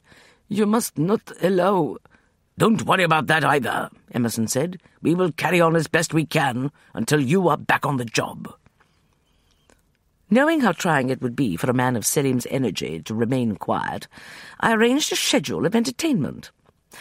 In my opinion, Emerson was not a soothing companion for a sick man, but Ramses and Bertie came by every day to report on the excavations, and Sennia and Evelyn read to him, I knew he was on the road to recovery when he gravely asked Evelyn to read from a manual on the maintenance and repair of motor cars. Never suppose, reader, that my attentions to our friend had kept me from other duties. Unfortunately and infuriatingly, the most imperative of those duties took very little of my time. Emerson brooded morbidly over the wreckage of the motor car, which had been transported to the stable yard. Even he admitted there was nothing more to be learned from it. Daoud instigated another, more intensive search for Mariam's first attacker and dragged several quaking strangers to the house to confront Mariam and Ramses. Neither was able to make an identification. To say that we were watchful and wary is to understate the case. Fatima went through both houses several times a day, brandishing a broom, on the lookout for venomous creatures. Khadija and two of her daughters took up permanent residence, sitting with Selim and keeping the children under close surveillance. I refused to allow Emerson to go alone to the dig, which provoked him into furious protests, though he insisted I follow the same precaution. The inevitable result was that everyone became twitchy and irritable, especially the children. We got on with packing the artifacts, as Emerson continued to point out with increasing acrimony and inventive swear words, Lacau would damn well have to sit and wait until we finished the job. But I had reasons of my own for wanting it completed before he got there. One of them, I feel no shame in admitting it, was that I had no intention of mentioning the stolen jewellery, or of allowing the others to do so. Lacau was unlikely to demand that the carefully packed cases be opened. He would have lists and his inventory, and would doubtless go over them painstakingly when he unpacked the cases in the museum. If at that time he realized several pieces were missing, sufficient unto the day is the evil thereof, as Scripture so wisely reminds us. We would confess if we had to, but not until we had to and there was still a chance, however unlikely, that we might yet find the thief and murderer. In fact, as Emerson would have expressed it, we had bloody well better find him before he decided to strike again. At least the packing process kept us occupied. Everyone pitched in with a will, including Mariam. She had a delicate touch and demonstrated a genuine interest in the precious things. You can help me with this if you will, I said, indicating a painted chest. I really do not know what we are going to do about packing materials. I've used up all the fabric and most of the cotton wool, and even so, I fear the garments in this chest will shatter when it is moved. What does the writing say? It is a list of the contents gloves, sandals, two robes, and a few other articles. Ramses has already copied and translated it. He reads hieratic as easily as he does English. I'd like to learn more, so that I can help with your work. Perhaps he would give me a lesson? If you are truly interested, we can arrange for you to study the subject. I added with a laugh. Though it will take more than a few lessons. You have already been very useful, Mariam. I've been meaning to thank you for your help with the children. I want to be useful, and I love being with the children. The next words were so soft I had to strain to hear them. I am very happy here. I will be sorry to go. That won't be for a while. We must have you here for Christmas at least. And afterward? I know it is a great deal to ask, but could I stay with you for a while? You've all been so good to me, and I think I could be useful with the children, even on the dig, if you will teach me. It was not only that she was happy with us, she was still uncomfortable with him. I had wondered what on earth he meant to do with her. He travelled a great deal, and so did Margaret. They had no permanent establishment where she could receive the attention she needed. And how in heaven's name would Margaret respond to the role of stepmother? Not well, if I knew Margaret. I will discuss it with your father, I promised though I felt like an overburdened donkey who has just had another sack of grain added to his load. Perhaps something can be worked out. The following is an excerpt from Manuscript H. Ramses was sitting with Selim reading from the motorcar manual, his Aunt Evelyn having admitted defeat, when the door opened and Sethos put his head in. Our visitors allowed, it was the first time he'd seen Selim since the accident. Selim's black eyes brightened, and his hand went to his beard. It was certainly more impressive than that of Sethos, though the latter's was coming along nicely. His face was almost back to normal, except for a few faded bruises. Yes, come, Selim said eagerly. You are still here. Leaning against the door frame, a picture of a sartorial elegance in well-cut tweeds. Sethos gave him a friendly grin. You didn't suppose I'd abandon the family at a time like this? With you out of commission, they'll need all the help they can get. That is true, said Selim, starting to nod, and then remembering he wasn't supposed to. Thank you both for your confidence, said Ramses. You are too honorable, Selim explained. He is not. Sethos threw his head back and shouted with laughter. Right on the mark, Selim. Is there anything I can do for you? Tell me about the aeroplane, Selim said eagerly. Another time. Fatima said I wasn't to stay. She's bringing your dinner. Selim groaned. She brings me food. Rabia and Tagrit bring me food. Khadija brings me food. Soon I will be fat. So, what are you after, really? Ramses asked, as they strolled along the path toward the main house. Visiting the sick isn't your style. How cynical. I like Selim. Sethos paused to sniff at a pink rose. You're right, though. It was you I was after. Would you care to join me in a visit to the gay and glamorous nightlife of Luxor? Lovely spot, this, he added, gazing sentimentally at a vine covered with blue flowers. Perhaps when I retire, I'll settle down in Luxor. The whole family together, eh? Ramses refused the bait. Why? To pass my declining years in the company of my nearest and dearest. Oh, you mean why Luxor? I think I may be onto something. He refused to elaborate, claiming that he wanted an independent judgment. His announcement of their intentions was met with raised eyebrows, but without comment, at least not at dinner. When Ramses went to change, Nefret went with him. What is this about? she asked. He says he's onto something. She watched curiously as he selected the suit he intended to wear. Black tie? Where are you going? He wouldn't say. Someplace respectable, at least, Nefret said. That's a relief. Are you going to take your knife? It doesn't go with evening kit. She did not return his smile. It goes with Uncle Sethos. Please. The so-called nightlife of Luxor ranged from the repellent to the respectable. The cafes and drinking establishments that catered to tourists were located along the Corniche. A few were relatively harmless, but evening clothes would have been glaringly out of place in any of them. The hotels, especially those of the top category, were the centres of social activity for upper-class visitors and residents. The tourist steamers and dahabiyas drawn up along the bank formed a narrow floating residential street. Lights shone from the decks and saloons. Their first stop was the Winter Palace, where Sethos was obviously known and welcome.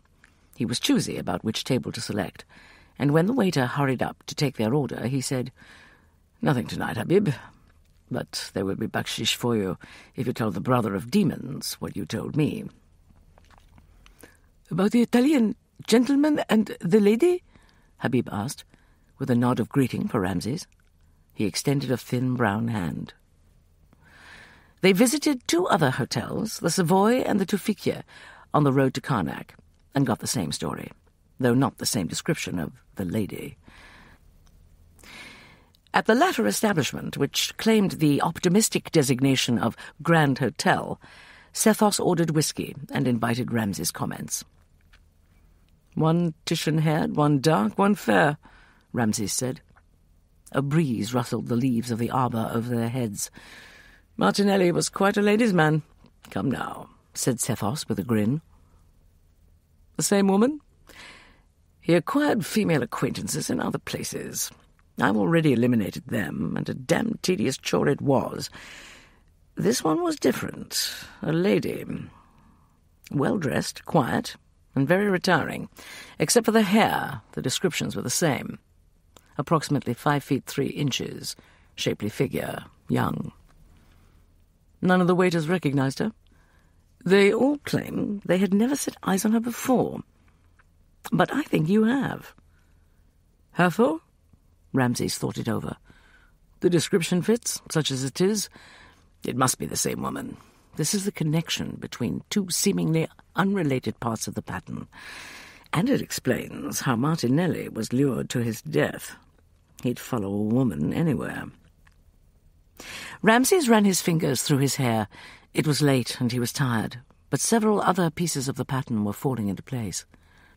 So he borrowed the jewellery in order to impress her. Offered it to her, perhaps, in exchange for favours she had withheld. He had no intention of paying her so high a price, though. It would have meant the end of his lucrative job with Cyrus, and the police on his trail. What a dirty little swine he was. Sethos lifted his glass and set it down again, making a pattern of interlocking rings on the table. A moralist would say he got what he deserved. She agreed to sell her favours, with no more intention of carrying out her share of the bargain than he. And he went panting after her, too blinded by lust to wonder why she was leading him into a remote part of Luxor.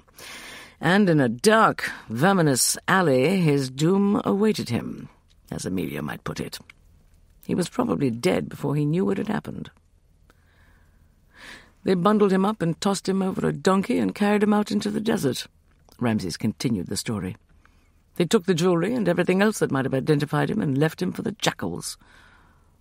It was as easy as taking candy from a child, Sethos said, bland and unmoved. He sounded almost admiring. Brilliantly planned, really. One had only to look at the poor bastard to know he had had no success with the sort of woman he wanted. No woman of taste would have touched him with a barge pole. He was ripe for the plucking, and she plucked him like a goose. Why? If it's the princess's treasure she's after. He wondered why he hadn't thought of it before. Could that be it? Why ask me? I'm a reformed character, said his uncle virtuously. If I were after it, and uh, don't give me that fishy stare, I'm not.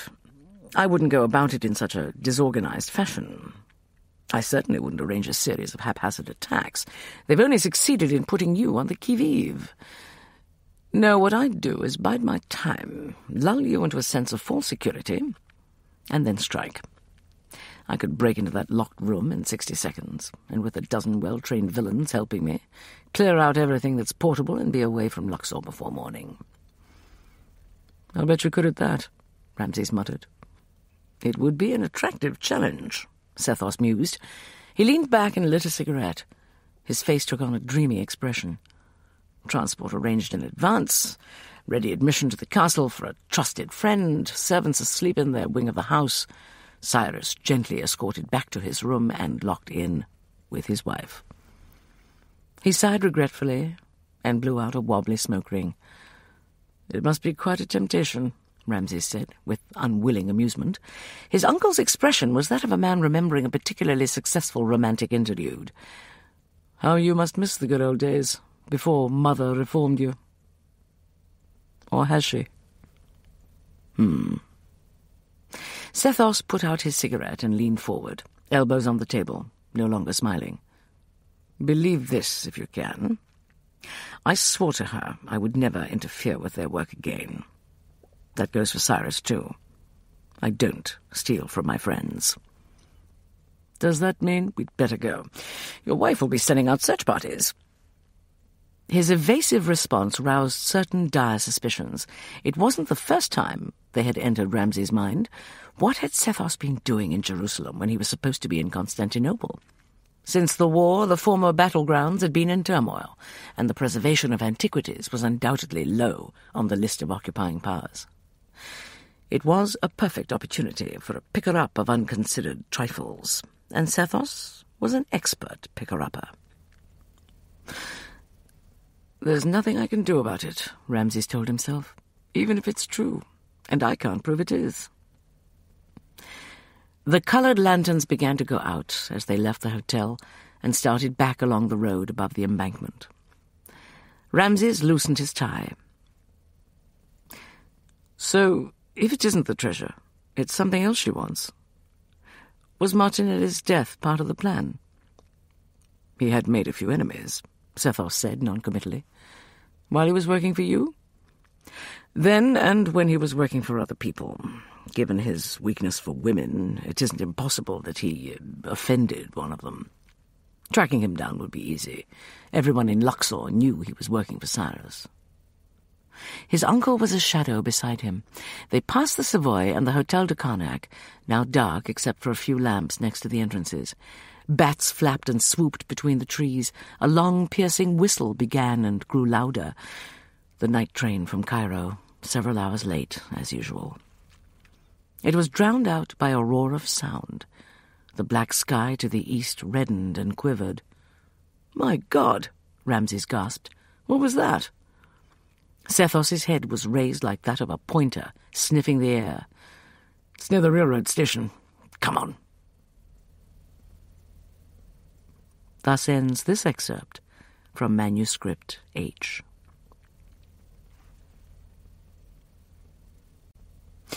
Chapter 11 None of us heard the explosion, which was a good thing, since certain of us might have been worried enough to investigate. When a loud noise is juxtaposed to the absence of Ramses, one naturally assumes he had something to do with it. As Nefret told me later, he did not return until almost three in the morning. His attempt to undress without waking her did not succeed, and when she lit a lamp, the sight of him almost made her drop it. His best evening suit was a complete ruin, torn, smeared with blood and ashes and other unmentionable substances, and his hands were, to quote Nefret, a bloody mess.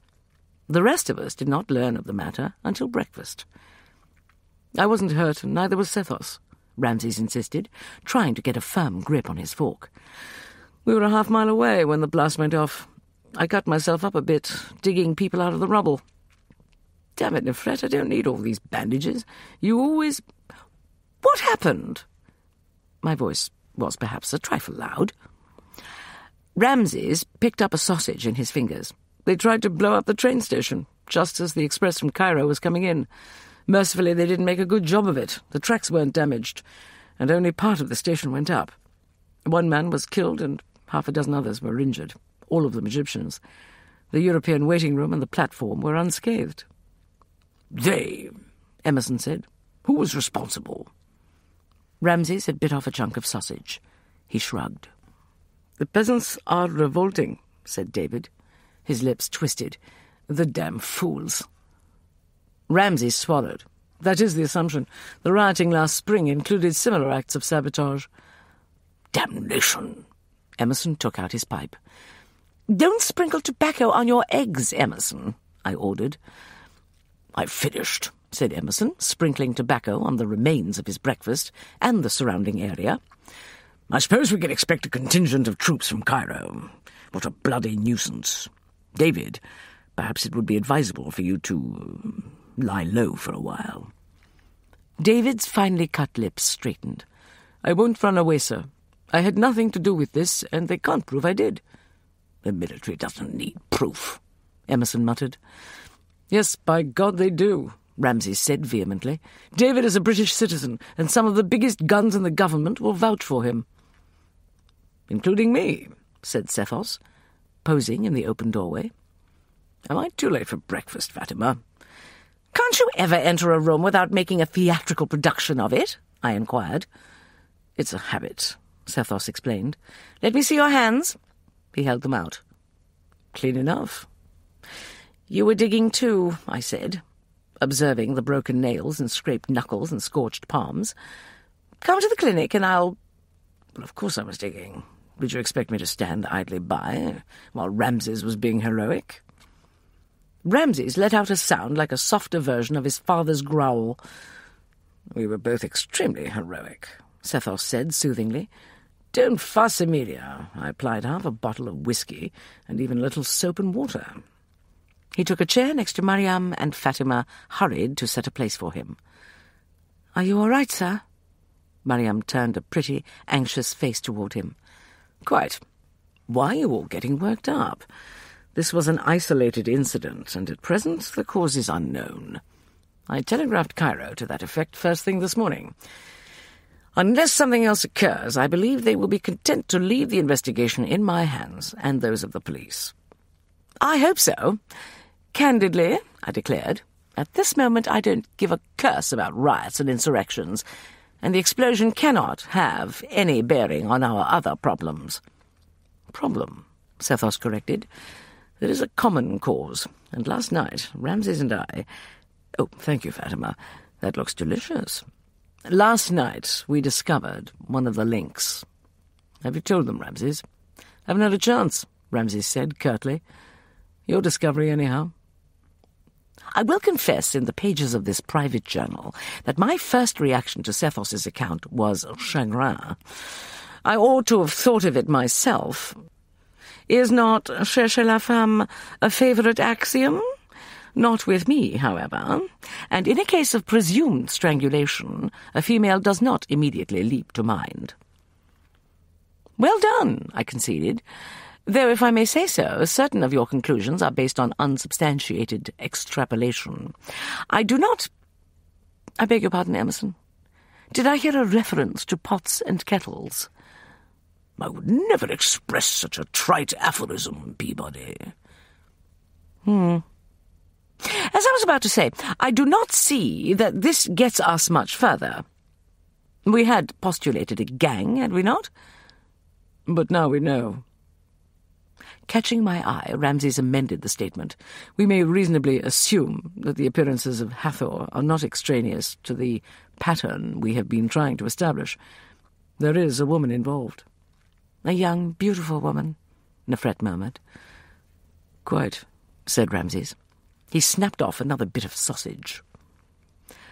But what was the purpose of those ridiculous appearances? I cried in exasperation. And who the devil is she? A permanent resident of Luxor, or a tourist who arrived in Luxor over a month ago, said Sethos. A month? I asked. I've made a timetable. Sethos explained, with a superior smile at me.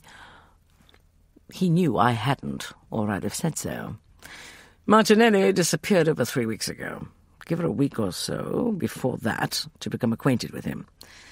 If it is the same woman, she made a quick trip to Cairo when you did, and then came back in time to arrange to sink Daoud's boat, and stage her second appearance. There is every reason to believe she is still here. That limits the number of suspects, surely, David said thoughtfully. Most tourists stay for only a few days, and there aren't that many permanent residents who are female. And young and beautiful, and uh, no better than she should be, I agreed.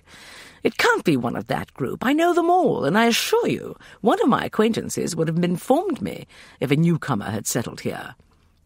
She's right about that, said Emerson to the group at large. Those females are always quick to relay the latest gossip. Still, there is no harm in inquiring, Sethos said. He had taken advantage of the lull to empty his plate, which Fatima immediately refilled. No, Amelia, not you. A direct question to one of your friends would arouse curiosity, and we must avoid that at all costs. I will make my availability for social functions of all sorts known to the good ladies of Luxor society. A new face is always welcome, and there is no man more welcome than an eligible bachelor. You'd better do something to your face if you intend to attract the ladies, I retorted. That beard. I've been waiting for it to grow out, Sethos explained, stroking his chin. Just wait, Amelia. Once I've had it trimmed and touched up a bit, and made a few other changes, the mere sight of me will cause you to swoon with admiration. Bah! said Emerson. All you will learn is that there are several women in Luxor, I name no names, Peabody, who would stop at nothing to marry off their spinster daughters. The woman you're after won't come anywhere near you. I think she might, Sethos said, his smile fading. I am known to be a friend of Mr. Cyrus Vandergelt, am I not? In short, said Ramses, after a moment of silence, you intend to set yourself up as bait. Mariam let out a little cry, and her father turned to her with a reassuring smile. It's perfectly safe, Mariam. I doubt very much she would try the same trick a second time. If she does, I promise I won't follow her into a dark alley. He looked round the circle of sober faces and shrugged. It's our best lead, and it ought to be pursued. It would be nice if we could clear the matter up soon, I said. The Christmas season is approaching. I have never allowed a criminal to interfere with my holiday celebrations, and I don't intend to begin now. Christmas! Emerson exclaimed, eyes bulging. Now see here, Peabody. I have never objected to the unnecessary effort you spend on what is essentially a pagan holiday with accretions from an equally nonsensical superstition. We certainly can't disappoint the children, Lia said. I must confess I hadn't given it much thought. I have, I said, but we still have a few weeks. There is another matter, said David, glancing at his father-in-law. The Milner Commission is due in Egypt shortly, and the British attitude is already known.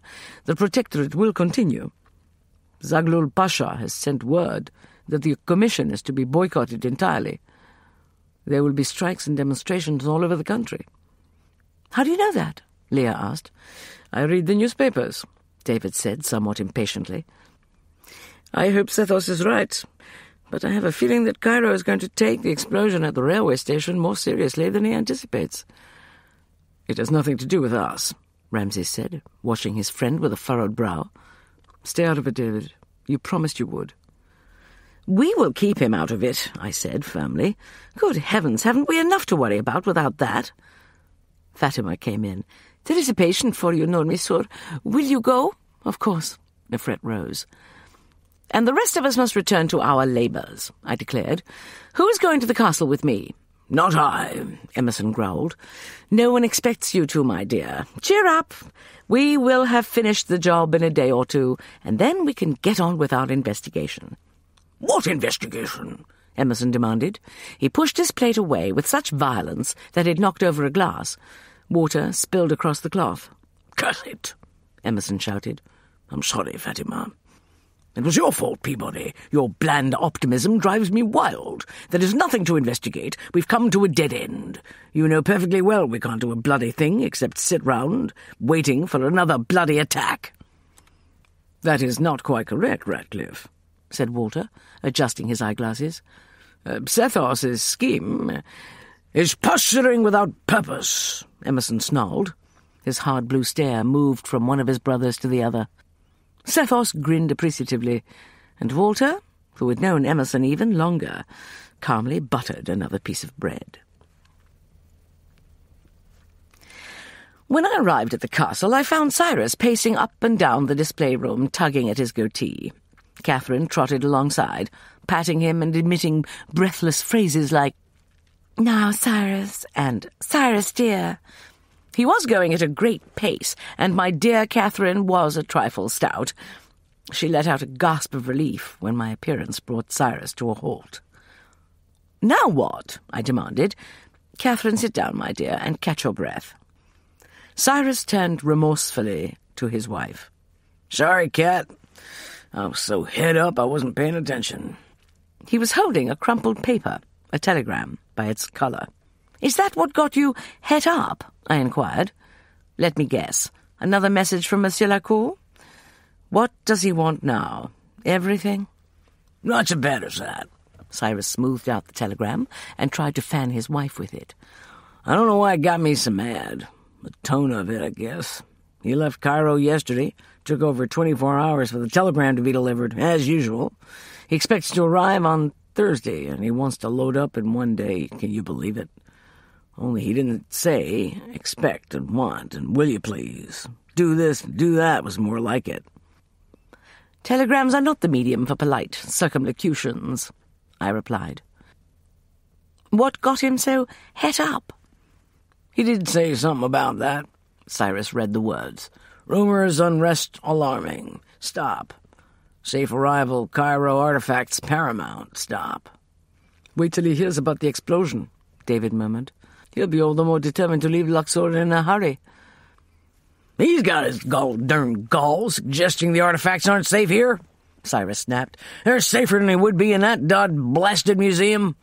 Oh, shucks, you don't think he found out about the stolen jewelry, do you? I cannot imagine how he could have, I replied. He is just being officious and overly fearful. This really doesn't change anything, Cyrus. We'll have his precious artifacts ready for him, and he can load up and go to the devil as Emerson might say. If we make arrangements in advance for bearers, he may actually be able to accomplish it in a single day. By midday, we'd run out of straw and cotton wool. We had dealt with most of the smaller objects. There remained only the coffins, the mummies, and the beaded robe. I am sure I do not know how we are to pack that, I declared. I would be afraid to roll it or fold it again, and if we insert pins to keep it from shifting round as it is moved, the pins may do even more damage. David, have you any suggestions? There isn't much we can do, David said regretfully. He brushed straw off his shirt. Except cover it closely with a clean sheet and wrap bandages round the whole ensemble, with additional layers of padding above. If it is gently handled, it won't be, I said with a sigh. Ah, well, what cannot be mended must be endured. We've done our best. I believe we can finish tomorrow if we can find more packing material. I'll go over to Luxor, David said. There must be some cellar fabric we haven't cleaned out. Shall I come with you? I asked. That isn't necessary. I'll try to locate more clean straw, too, while I'm about it. He picked up his coat and went out before I could reply. His haste and his refusal to meet my eyes made me wonder if he was up to something. David hardly ever did anything underhanded, unless he was egged on by Ramses. But in his own quiet way, he was as stubborn as my son. His disclaimers to the contrary, I suspected he hadn't entirely severed his connection with the nationalist movement, and this latest outbreak obviously worried him. I ran after him, calling his name. He pretended he didn't hear, but I caught him up while he was saddling Asfour. You are going to the railway station, I panted, aren't you? David had never been able to lie to me. Moral force established at an early age is irresistible. It had never been completely successful with Ramses, but he was an exceptional case. David looked down at me with an attempt at sternness and then caved in as I had known he would. Confound it, Aunt Amelia. How do you do it? It is well known in Luxor that I am a magician of great power, I replied with a smile. David did not return it. I only want to see the damage for myself. To what purpose? David, please don't go alone. Get Ramses or Emerson to go with you. Take the father of curses away from his excavations to play bodyguard. What can possibly happen that I can't handle? This is Luxor, not Gallipoli. I let out a sigh of exasperation. Masculine ego is a frightful nuisance. I'm in no mood for argument or explanation, David. Just do as I say. Ramses is at the house working on his ostraca. That isn't far out of your way. And don't swear at me, I added, for I saw the word forming on his lips. They drew back into a shape that was at least partially caused by amusement. All right, Aunt Amelia, you win, as always. You're finished here for the time being, I expect. Shall I give you a lift back to the house? He mounted and offered me a hand. I backed away. No, thank you, dear boy. I have enjoyed that romantic but uncomfortable experience too often. Tell Fatima we will be lunching here and eat something before. He gave me a grin and a mock military salute and rode off. Thoughtfully, I returned to the workroom. The following is an excerpt from Manuscript H.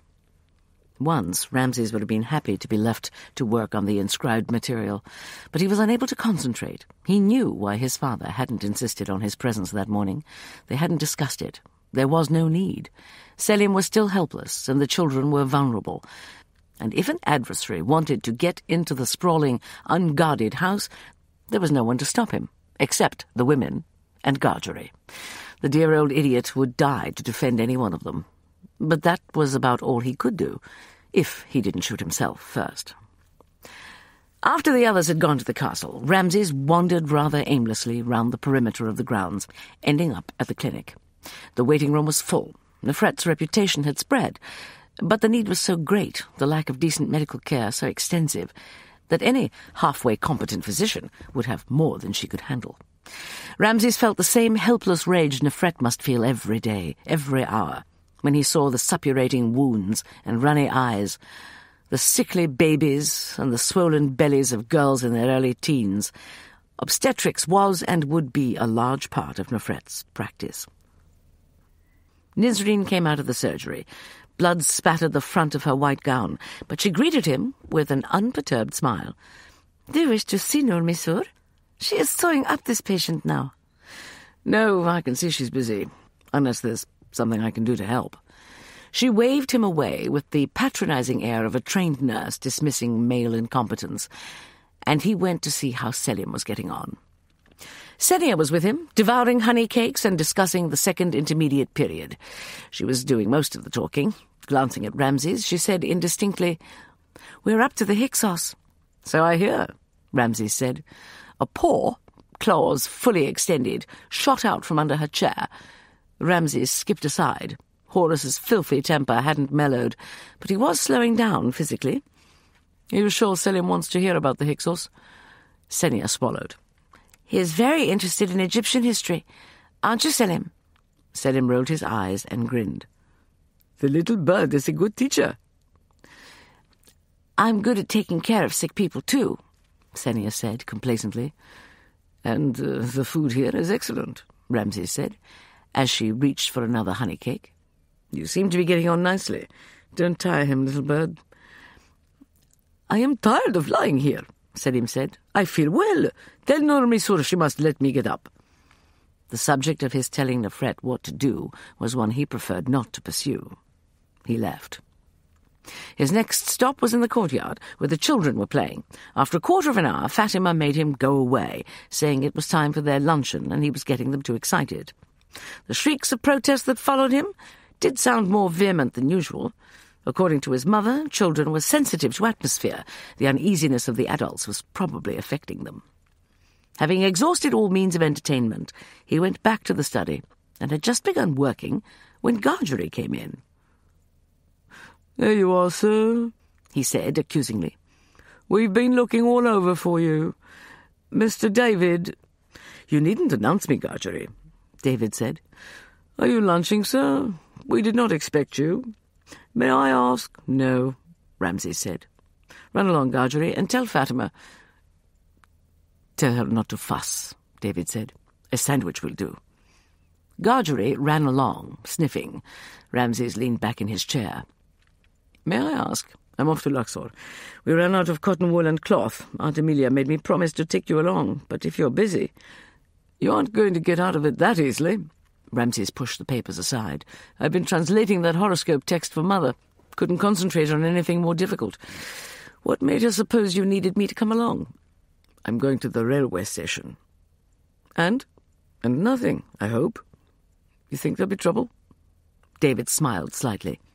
I have a foreboding. It was more than an idle premonition. It was the knowledge of how easily a group of idlers could turn into an angry mob. A crowd would certainly gather, inspired by curiosity and the hope of scavenging. Ramses blamed himself for failing to follow the current news, as David had. The situation was already volatile. The slightest provocation, real or fancied, could start a riot.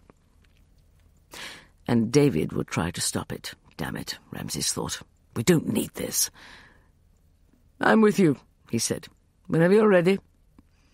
By the time they reached the station, it was early afternoon and the temperature was in the 90s. They heard the uproar some distance away.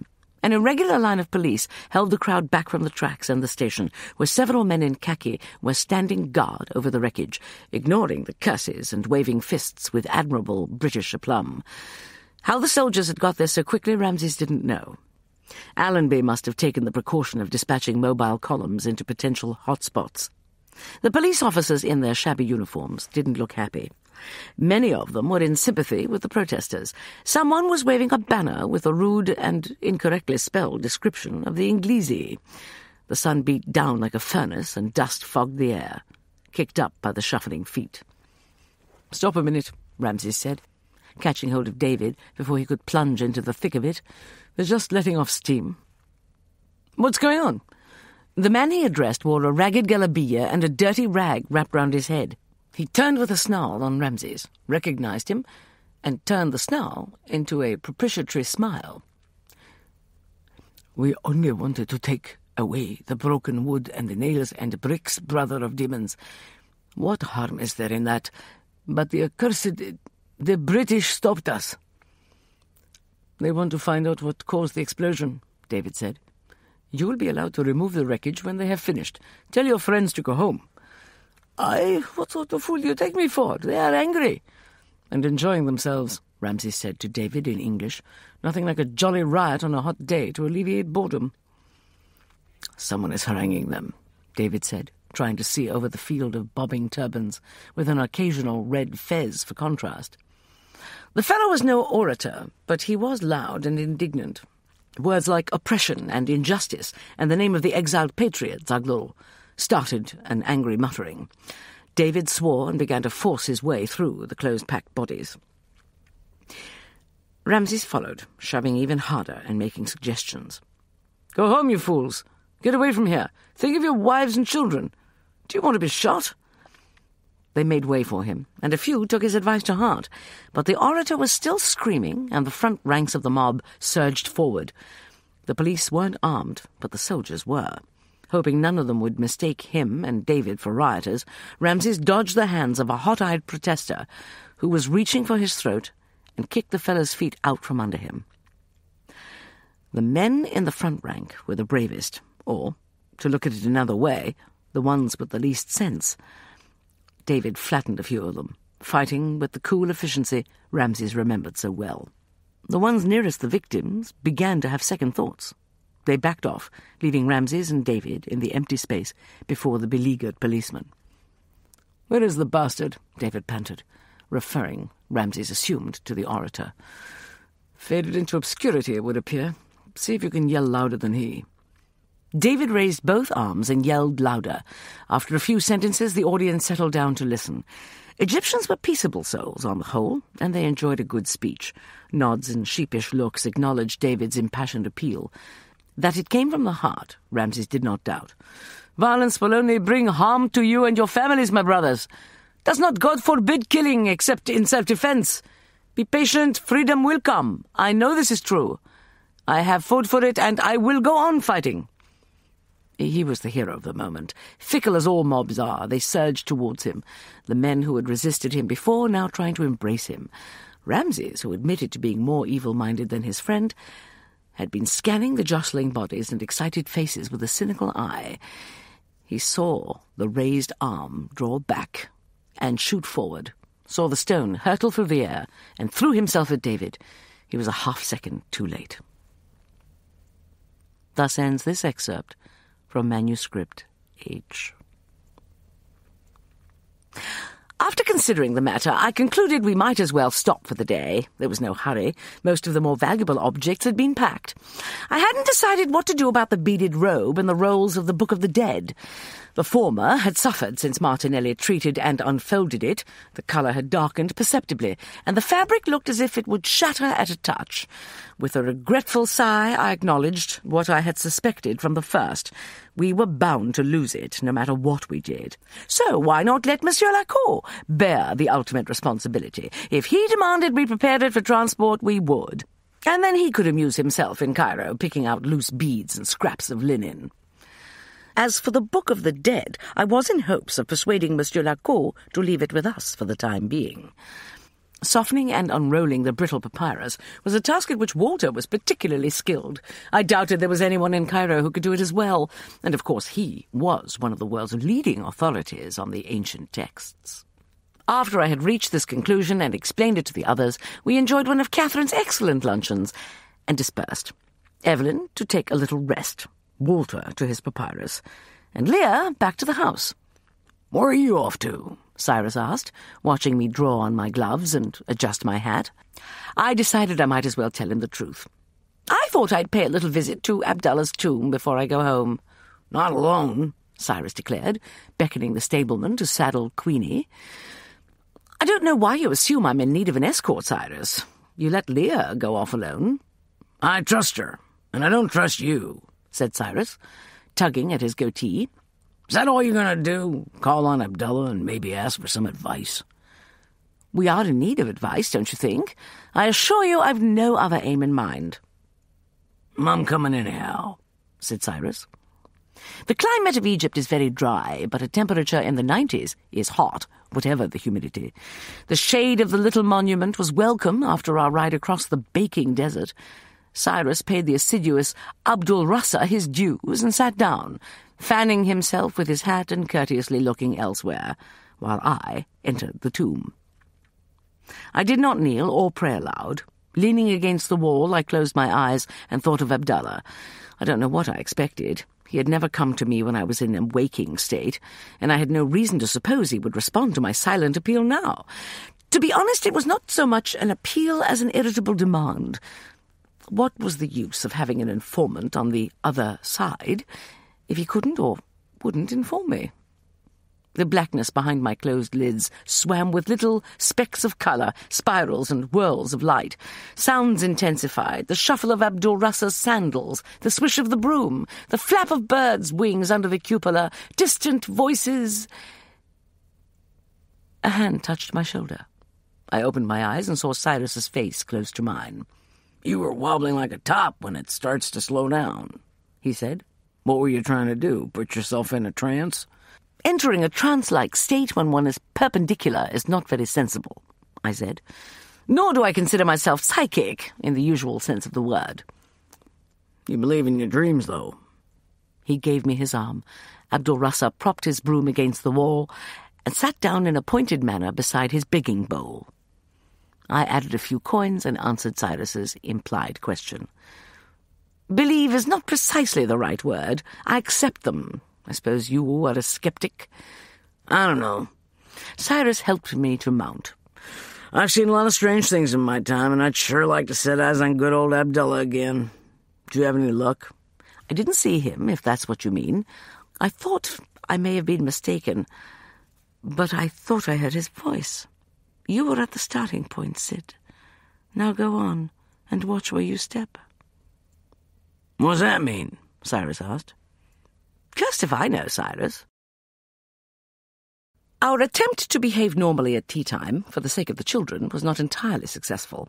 The patch of sticking plaster on David's brow could not be ignored. The other children accepted his assurances that it was the result of an unlucky accident, but David John kept pressing wet kisses on his nose and brow and ears until I finally lured all of them into their barricaded corner with handfuls of biscuits. Desperate times justify desperate measures. We were just beginning to settle down when Sethos appeared at the door, demanding entrance. He must have been lunching in Luxor, for he was rather foppishly attired in a greenish tweed suit, with a regimental tie to which I felt sure he was not entitled. Beard and hair were now iron grey, and his well-cut features had assumed their normal proportions. The only discordant note was a scowl, as formidable as one of Emerson's. Good afternoon, I said, admitting him. Instead of replying, he fixed the scowl on David. What the devil do you think you're doing? he demanded. You heard? David inquired mildly. Of course I heard. It's all over Luxor, and by tomorrow at the latest it'll be all over Cairo that you fermented a riot today. You bloody young fool. Please, I exclaimed. The children. He didn't ferment a riot, he prevented one, Ramses said, returning the glare with interest. There were British soldiers present. They heard. They heard a native talking Arabic. Sethos threw up his hands. They didn't understand a word. Nobody's going to believe what the Egyptians told them. He was already under suspicion. He was trying to save lives, Lia said. She was sitting up very straight, and her cheeks were bright pink. I don't give a damn what he was trying to do. I've done my best to lull official suspicions. But if he persists in putting his nose in, Several persons burst into indignant rebuttal. Emerson's voice was the loudest and the most incoherent. I smiled to myself and remained silent. I had seldom seen Sethos so angry. It was a touching demonstration of concern. In the lull after the verbal storm, a soft voice made itself heard. I beg your pardon, uh, Sethos. You agree with me, Walter? Somewhat surprised, but expecting support, Sethos turned to him. Tell your impetuous son-in-law to back off. No, I will not do that, Walter said. Having silenced us all by this surprising statement, he went on in the same gentle, hesitant voice. A man must follow his own conscience. I was wrong when I demanded that David do otherwise. His is a powerful voice for restraint and for peaceful means of protest. I uh, believe in his cause, and I will support him to the extent of my ability. Emerson exclaimed. Well said, Walter. Thank you, sir, David murmured. His eyes shone with tears. And so did those of Evelyn. Oh, father! Lia went to him and embraced him. Oh, blast. Sethos sat down and loosened his tie. I didn't intend to start a huge emotional orgy. If anyone cries, I shall walk out. No one is going to cry, I said, with a stern look at Mariam, who looked as if she was about to. I am well aware that your anger was caused by your affection for David, but it is somewhat alarming to those who are unaccustomed to the outbursts of temper that characterize the men of the family. Quite, said Ramses, still resentful of Sethos's criticism of his friend. It would be more helpful if you tried to ascertain what started the trouble. You claim to have connections in the highest levels of intelligence. Don't they have informants in the radical movement? Unfortunately, we lost our best agents when you and David retired, Sethos said.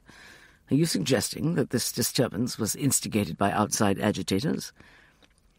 The compliment was wasted on Ramses. He was not proud of his expertise in deception. I am telling you that it was. I saw several strangers in the crowd.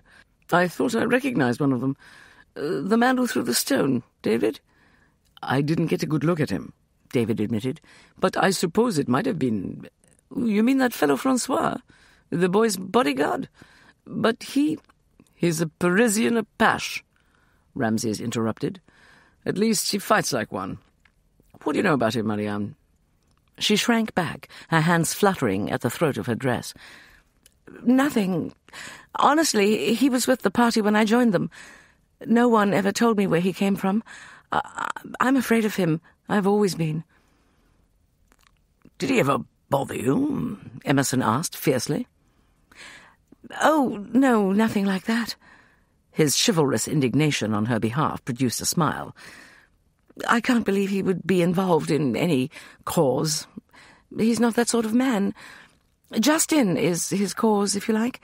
He is fanatically protective, but he does hold grudges. Are you sure? She hesitated. Are you sure he was aiming at David when he threw the stone? Her suggestion made a certain amount of sense, which the image of Francois as a revolutionary did not. If he had been drawn to the scene by curiosity, he might well have taken advantage of the opportunity to get back at someone who had injured him, and, even more infuriating to a person of his temperament, defeated him. Ramses admitted he had simply assumed the missile was aimed at David. This is unacceptable, I declared. I would rather have nothing to do with any of them, but if that vicious French person is going around throwing things at people he dislikes, he must be stopped. Good heavens, Emerson, you may be next. That would suit me admirably, said Emerson, his sapphirine orbs brightening.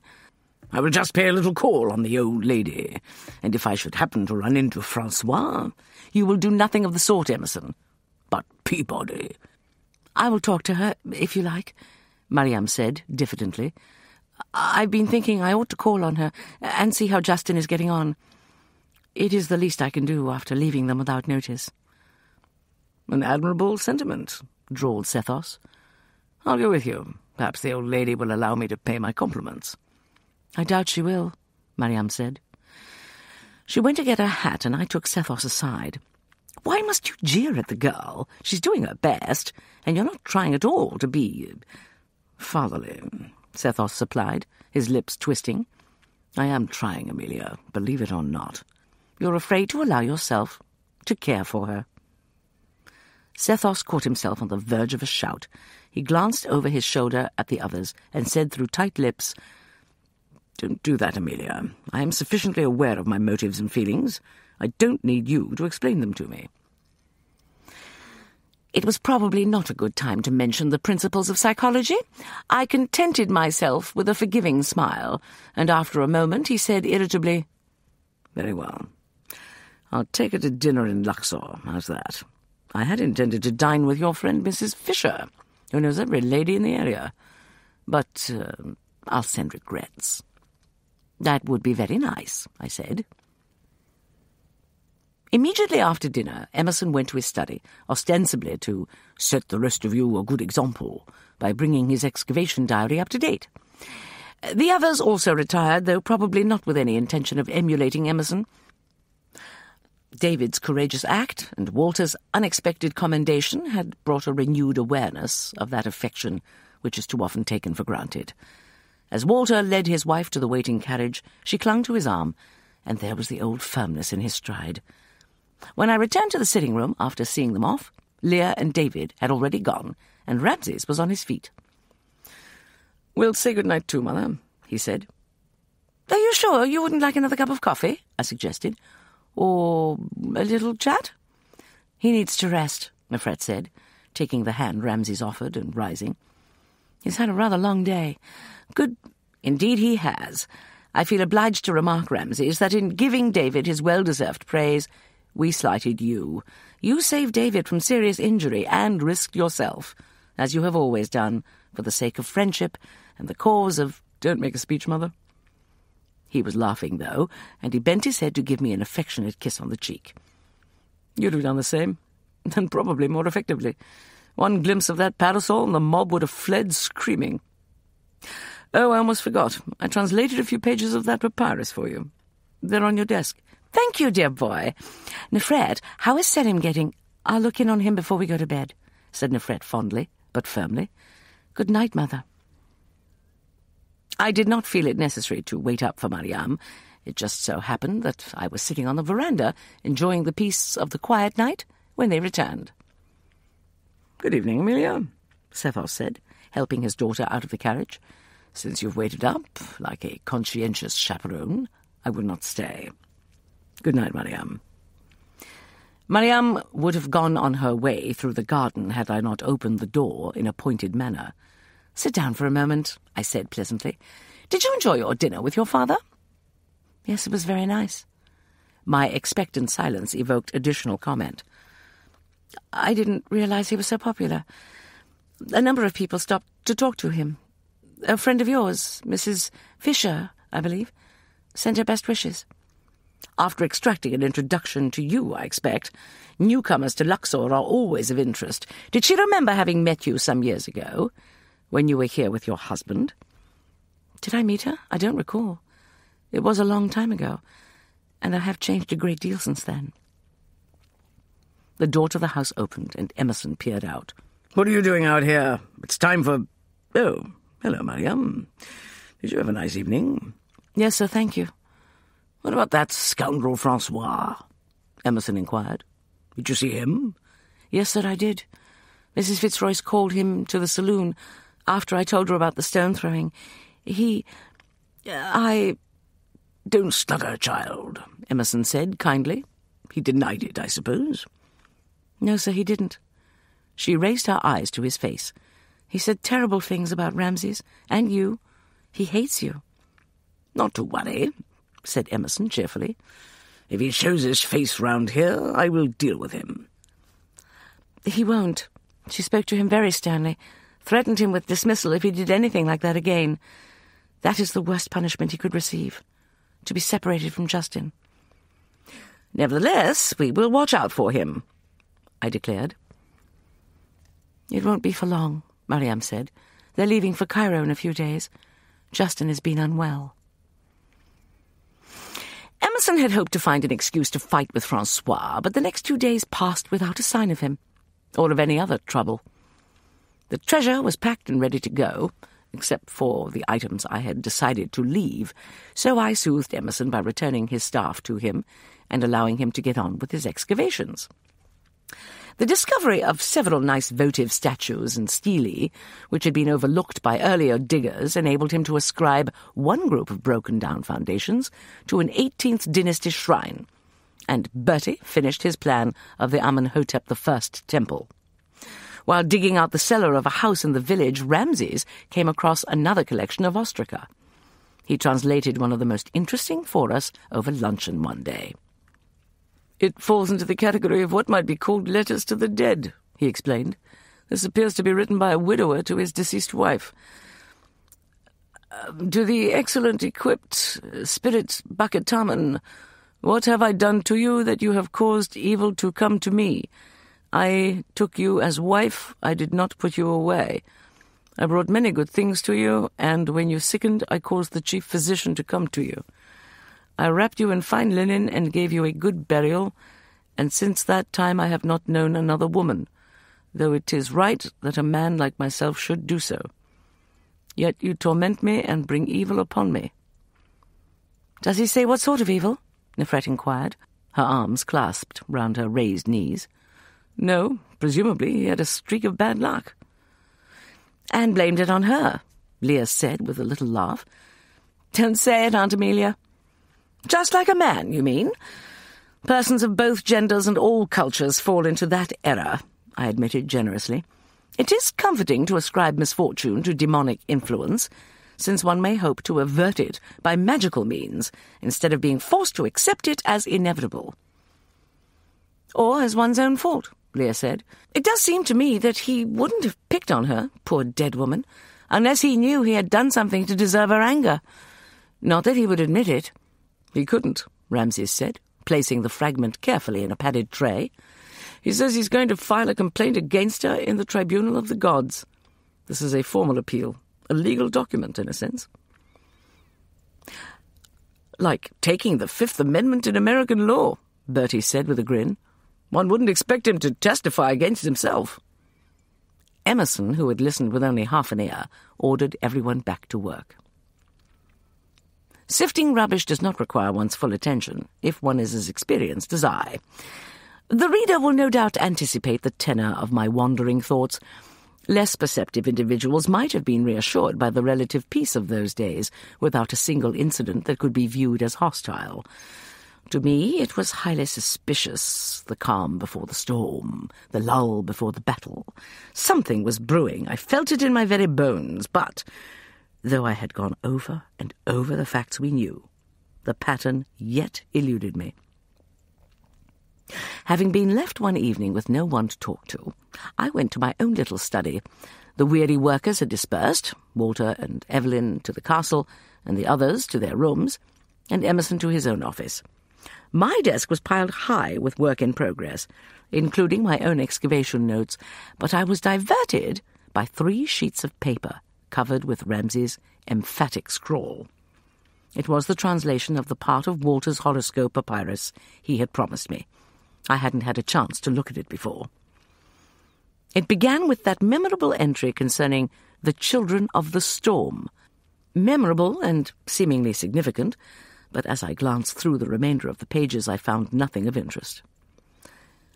It is the day of Horus fighting with Set, was followed by, It is the day of peace between Horus and Set. Not surprisingly, the first was designated as very unfavourable, and the second as very favourable. Neither could reasonably be said to have any bearing on our situation. After all, what had I expected? Deciphering Ramses' handwriting always gave me a headache. I put the pages aside. Under them was one of my lists, the names of the women with whom Ramses had been involved. Guiltily, I wondered if he had seen it. He had. At the bottom of the page was another entry in that same emphatic scrawl. Shame on you, Mother.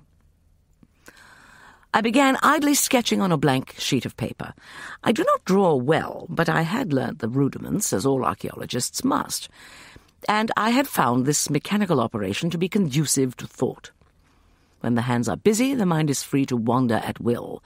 Never before had I been at such a loss to find a solution to a criminal case. I drew a rather nice little jar and added a few elements of decoration lotus blooms, a hieroglyphic bird or two, a winged scarab. They reminded me of the jewellery with which we had bedecked ourselves. Vanity is a sin, but I had enjoyed it as much as the others. I tried, without great success, to sketch the horned ram of Amun, which had rested with such heavy import on my breast. It was one of the simpler ornaments, despite the complexity of the beautifully sculpted animal. Much Egyptian jewellery is made up of many different elements, like the pectoral that had been stolen, with its central scarab and row of lotus blossoms below, and the two flanking cobras. I drew them and added nice little white crowns to their heads. And as my pencil moved randomly across the paper, my mind moved as randomly, mentally fingering the disparate elements of the pattern we had attempted to establish, arranging them and rearranging them. Had not Abdullah assured me the pattern was there? I was inclined to believe I had really heard his voice that day, for it was like Abdullah to throw out a tantalizing, equivocal statement instead of giving me a direct answer. You are at the beginning. My fingers clenched so tightly on the pencil that the point broke off. That too is part of the pattern, he had said once before, when we talked of his elevation to the road of Sheikh. And his tomb was the beginning. I stared at the uncompleted sketch of the pectoral, and I knew there was one pattern we hadn't considered, and one avenue of information we hadn't explored. Inspired and revived, I sprang to my feet and hastened out of the house. My peremptory knocking went unanswered for some time, but I persevered. Not until Ramses himself opened the door did I realize how late was the hour. No, dear, I said. Did I wake you? I wasn't asleep. He tied the belt of his robe and ran his hand over his tumbled curls. What's wrong? Come in and tell me. No, no, I'm sorry to have disturbed you. I have only a single question. When I asked it, his drowsy eyes opened wide and his jaw dropped. I don't remember. Why on earth? You had heard the name of the place, though. I may have done. Father might know. Have you asked him? I prefer not to mention the subject to your father. Try to remember. I could telegraph Thomas Russell, but time is of the essence. He shook his head. It's been several years, and I don't understand why. Oh, well, perhaps it'll come to you in the night, when your mind is on something else, I said helpfully. That is how memory works. Do not hesitate to come to me immediately, whatever the hour. He was wide awake now, but he'd learned not to persist in questions I had no intention of answering. His lips curved in an expression that might have betokened amusement, though I rather doubted it. I wouldn't want to wake you, Mother, or disturb you when your mind is on something else.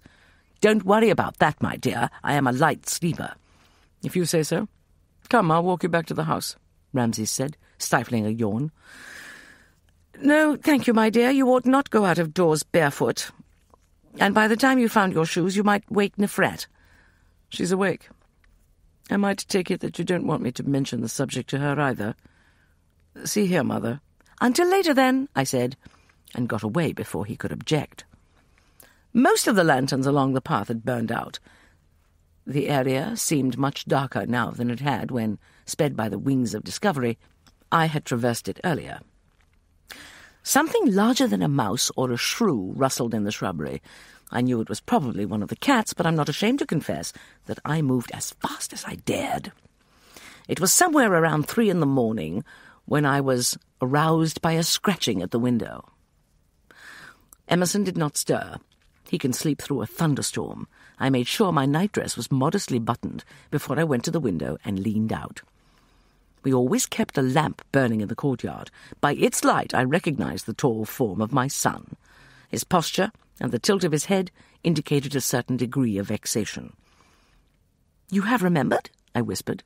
Yes, it came to me, Ramses added in an expressionless murmur, when I was thinking of something else. The place is about thirty miles south of here, on the west bank. I presume there's no point in asking you why. You will learn the answer tomorrow. I want you to come with me. And don't tell your father. Oh, no, Fred. No.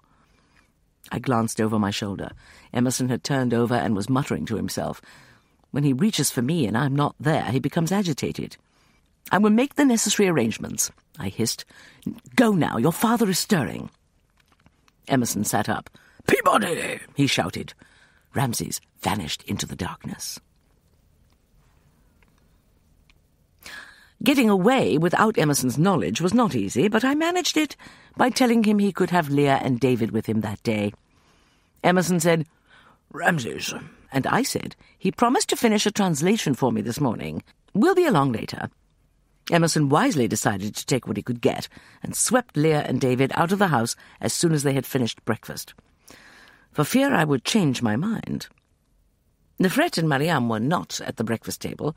I assumed the former was with a patient, and at that moment I didn't care where Mariam had got to. As long as she was not in my way. Like me, Ramses was as tired as he would have been for a day at the excavation, so we didn't have to delay to change. As we left the house, I selected a particularly sturdy parasol. I hadn't seen the train station since the explosion, and was surprised to find so little damage. Business was going on as usual. We were recognized, of course, and had to answer a number of friendly questions and listen to the latest gossip. The train was an hour late, which was not unusual. It was a local, with only second and third class carriages. As Ramses helped me into one of the former, I saw a familiar form on the platform. Catching my eye, Dr. Khattab swept off his fez, placed a fat hand on his embroidered waistcoat, and bowed. I concluded he must be meeting someone, since he didn't board the train. The aged carriage jolted and clanked along the rails, and a fine sandy dust blew in through the open window. Ramses put a steadying arm round me and offered me a handkerchief. You didn't bring your knife, I said. Are you expecting trouble? You might have mentioned it. I do not expect it, but I believe in being prepared. Never mind, I have my belt of tools and my parasol. That should suffice, Ramses agreed. You told everyone who asked where we were going. I also left a message for your father, should we fail to return. Damn it, mother! The train hit a bump. I bounced, and he tightened his grip. I beg your pardon? Are you going to confide in me now? In the cold light of morning, my brilliant inspiration did not shine as brightly. I rather regretted wasting an entire day on a far-fetched idea, and bouncing up and down on the hard seat was cursed uncomfortable. It will all be made clear to you at the proper time, I said, hoping it would be made clear to me as well. Ramses said another bad word. This time he did not apologize. From a distance, the village looked quite picturesque, set in a grove of palm trees, with a pretty little minaret poking up through the branches. Experience had taught me that close up the effect was less picturesque than nasty and as we approached, the village looked no different from dozens of others I'd seen. The same flat-roofed, plastered, mud-brick houses, the same chickens and pigeons pecking at the dirt under the trees, the same pack of children dashing toward us with outstretched hands, asking for bakshish, the same black-clad women pausing in their work of grinding grain or kneading bread to stare curiously at us. However, as the small predators gathered round, I noticed that their half-clad or unclad bodies were healthily rounded and their eyes free of infection. Even the dogs skulking behind us were not so lean as most. There were other signs of prosperity, rows of gracefully shaped water jars baking in the sun outside the potter's house. Several webs of woof threads stretched between the trunks of palm trees, with busy weavers at work, I left Ramses to deal with the predators, which he did by promising bakshish, much bakshish, if they would take us to the house of the man we sought. Before we had gone far along the narrow lane, we saw a man hurrying toward us, his hands outstretched, his face wearing a happy smile, as if he were coming to greet old friends. He was young and well set up, though running a trifle to fat. God's blessing be upon you, brother of demons, he cried, and threw his arms around Ramses. Welcome, how good it is to greet you again. Greetings to you, Musa, said Ramses, freeing himself with a rather peremptory shove. This is... Ah, but who would not know the Sitt Hakim? The fellow flopped down onto the ground and kissed my dusty boots. It is an honor. My lord has heard of your coming. He eagerly awaits you. He dismissed our youthful entourage with a few words, and, to my surprise, they dispersed without argument. The house to which he led us was built of stone, probably pilfered from ancient monuments, and surrounded by trees and a nice little garden.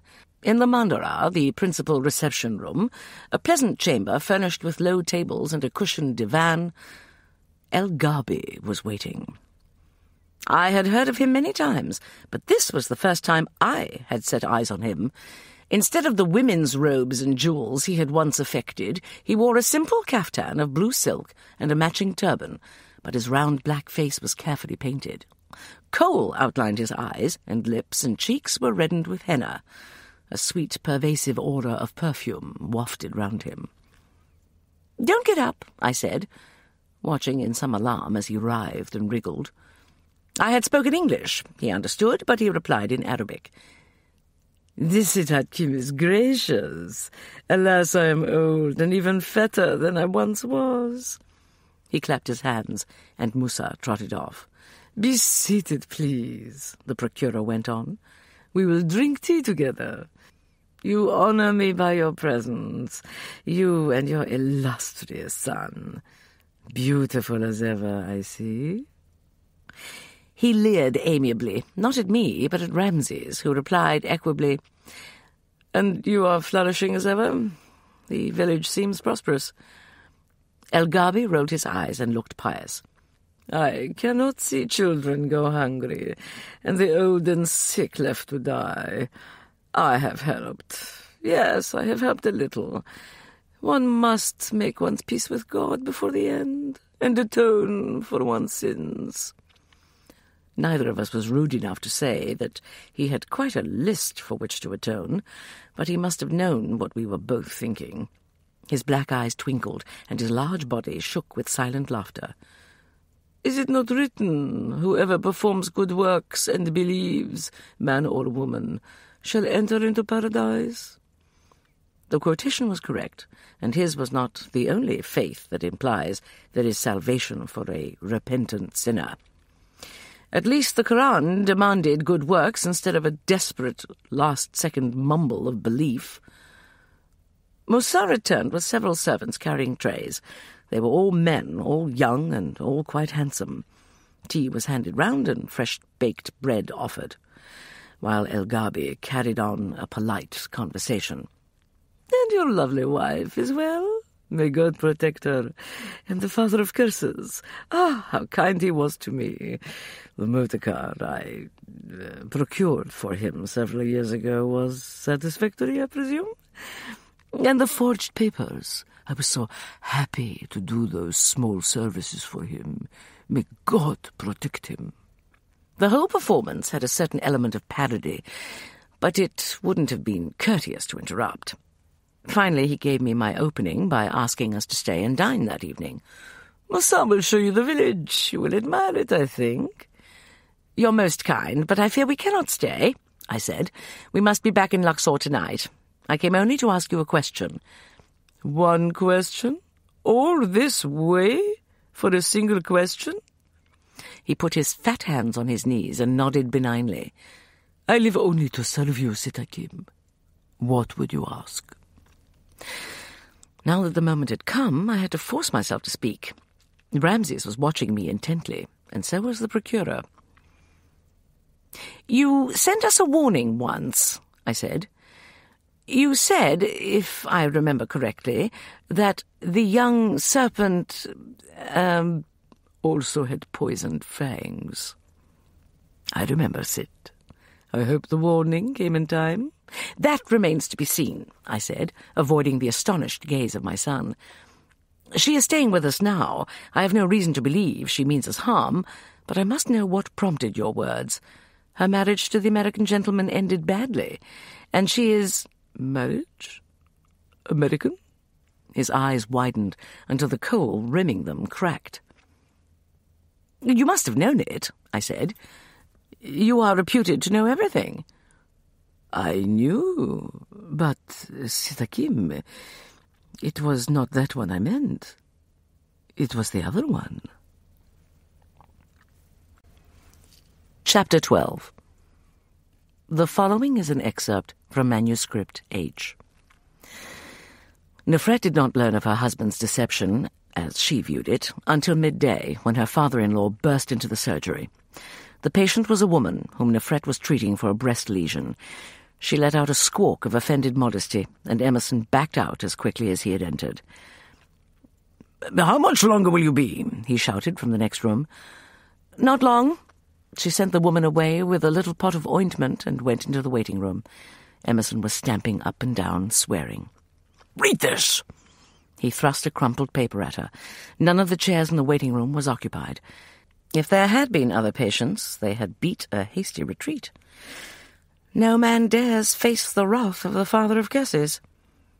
Wrathful he was, blue eyes snapping, teeth bared. Well, he demanded, do you know anything about this? Nefret's own anger rose as she read the brief message.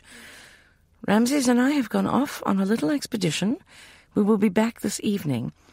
In the event that we have not returned by tomorrow morning, you may look for us at a village called El Hileh, approximately three miles south of Esna, on the west bank. I consider this contingency highly unlikely, however.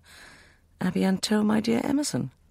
Damn him, Nefret said, closing her fist over the paper. Ah, said Emerson, in a less accusatory voice. They didn't tell you either. No. She considers it highly unlikely that they will fail to return, does she? What is this village? The name means nothing to me. Emerson took out his pipe, remembered that she didn't allow it in the clinic, and started for the door. Let us ask Selim. No. Nefret whipped off her gown and tossed it onto a chair. I won't have Selim worried. Come outside, father. A feathery tamarisk tree gave partial shade to a wooden bench which had been placed there for the accommodation of patients when the waiting room was full. Emerson sat down and filled his pipe. Now, now, my dear, don't be upset. She does this sort of thing all the time, you know. He doesn't. He swore to me he would never go off on his own again. Nefret tucked a stray lock of hair under her cap. Her fingers were shaking. He's not alone, Emerson pointed out. Don't blame Ramses. If I know my wife, and I believe I do, she insisted he keep it a secret. He could have refused. There are other loyalties. The knowledge that Ramses was with his mother did not give her the comfort Emerson had intended. She's as bad as he is, Nefret burst out. The two of them together? Hmm, well, hmm. Unable to refute this, Emerson smoked in silence for a few moments. They must have caught the southbound train. There isn't another until this evening. We could take the horses. How far is this place? Over thirty miles. It sounds as if they expect to catch the afternoon train back to Luxor. Hmm. That would give them only a few hours in the cursed place. I wonder what. He shook his head in exasperation. There is no sense in speculating or in following them. If the northbound train is on time, they will be on their way back by the time we get there. How can you be so complacent? Aren't you angry? I was briefly put out, Emerson admitted. However, I should be accustomed to Peabody's little tricks. We've played this game for years, each trying to be the first to solve a case. She cheats, you know. Then there's nothing we can do but wait, Nefret muttered. That's how I see it. I may as well go back to work for a few hours. Let me know if they turn up. Nizreen put a cautious head out the door. Emerson, who hadn't noticed her before, gave her an affable smile. Emboldened, she ventured out. Non, monsieur, there is a sick one who has come back. And this message. From Ramses? Emerson asked expectantly. No. The curving, ornate handwriting was unfamiliar. Nefret ripped the envelope open. It's from Dr. Khattab, Mrs. Fitzroyce's physician. Justin is ill. He asks if I will have a look at the boy. I'll go with you. That's silly, Nefret said impatiently. What possible harm could come to me in broad daylight, with hundreds of people around? I'll deal with my patient. It's probably that old hypochondriac Abdul Hamid wanting more sugar water, and be back in a few hours. By the time she set out for Luxor, she was in a calmer frame of mind. Ramses couldn't be in serious trouble. She would know, as she had always known if danger threatened him. She would have a few words to say to him when he got back, though, on the subject of promises broken and trust betrayed. But in a way she didn't blame him. His mother was an elemental force, as hard to resist as a sandstorm. As Nefret approached the Isis, she saw signs of unusual activity and deduced that the Dahabiya was preparing to get under way. The doctor was waiting for her at the head of the gangplank, his hat in his hand, his waistcoat was particularly resplendent, glittering with gold threads. My dear lady, how good of you to come. He grasped her hand and would have kissed it if she had not pulled it away. What's wrong with him? she asked. A fever. The broad smile with which he had greeted her was replaced by a worried frown.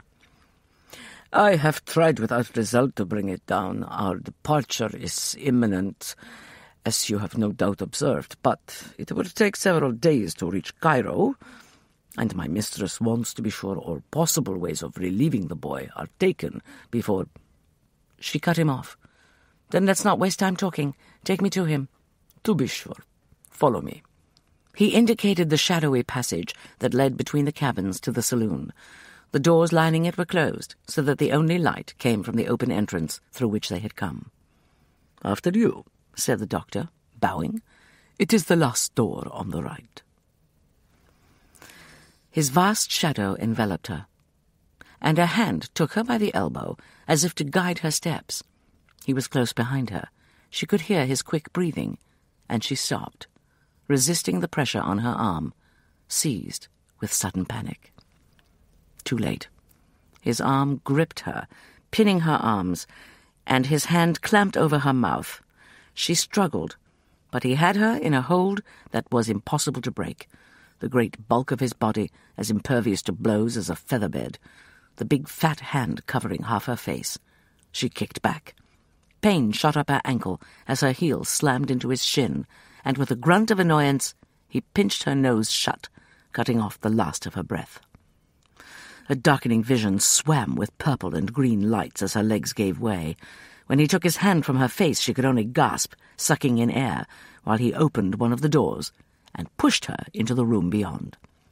She felt her hands and knees. The door slammed, leaving her in total darkness.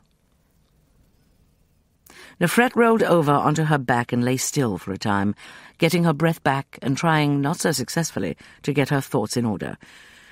She had made a bad mistake, but that didn't matter now. What mattered was what they meant to do with her, and how she could prevent it. A wry smile touched her bruised lips. She had found her mother-in-law's gang, and by the method favoured by that estimable lady, how many of them were involved? The entire crew, almost certainly. The doctor couldn't take her captive without their knowledge. It was possible that the boy and his grandmother were unwitting dupes used by a group of criminals for their own purpose. Neither of them was mentally competent. Mariam was not incompetent, though, and she was her mother's daughter. The floor under her vibrated more strongly as the beat of the engines increased. Khattab hadn't lied about that. The boat was getting under way. She started to stand up and then made herself remain on her knees. She had no idea how large the room was, how high the ceiling. The blackness was palpable. She could almost feel it pressing against her eyeballs, her face, her body. The air was hot and close, with a strange metallic tang. Fighting the temptation to close her eyes and curl up into a fetal position, she edged forward, arms extended. She had found a wall and was following it, trying to get some idea of the dimensions of her prison, when the door was flung open. Even that much light was welcome after the claustrophobic darkness, but she couldn't see much, for the opening was blocked by several bodies. The doctor's familiar, hateful voice said, A companion for you, my dear lady, and a patient as well. Justin was her first thought, but there were two men carrying the limp body. They dropped it unceremoniously onto the floor and backed away as Nefret flung herself down beside Emerson. Sinking her teeth into her lower lip to keep from crying out, his eyes were closed and one side of his face was smeared with blood. Bastards! she gasped. What have you done to him? Such language from a lady, the doctor said with a high-pitched giggle. I regret the necessity, but he is as hard to stop as a charging elephant. I don't believe he is seriously injured. Take care of him. Wait, Nefret said desperately. The door was closing. I need light. Uh, water. My medical bag. You surely don't expect me to hand over that bag with its nice little collection of scalpels and probes. Another giggle. God, she thought, the man is as mad as Justin. Madder. He's reveling in this. Please, she whispered. I suppose I could leave you a lamp, the doctor conceded. There is water here. You will have to manage with that until we can make other arrangements. We weren't expecting him, you see. He issued a low-voiced order in Arabic. One of the men put the lamp down on the floor. The door closed. Nefret looked wildly round the room. There was a jar, presumably containing water, in one of the corners she hadn't reached in her blind exploration, and a crude clay cup next to it. She didn't look for anything else. Splashing water into the cup, she wet her handkerchief and went back to Emerson. Father, father, please say something, she whispered. The blood came from a single cut, which had bled profusely, as scalp wounds do. Her fingers probed the spot, finding only a rising lump. Anxiety hardened her touch, and Emerson stirred. Hell and damnation, he remarked. It's me, father. She heard herself laugh, as insane a sound as the doctor's. Oh, father, are you all right? I am, said Emerson, flat on his back, scowling like a gargoyle. A bloody fool, rushing in where angels fear to tread. Peabody will never let me hear the end of this. Fret, my dear, are you crying? Don't cry. I can't stand it when you cry. Did they hurt you? No. I'm sorry, Father. I'm just so relieved that you aren't. Takes more than a bump on the head to kill me, said Emerson with satisfaction.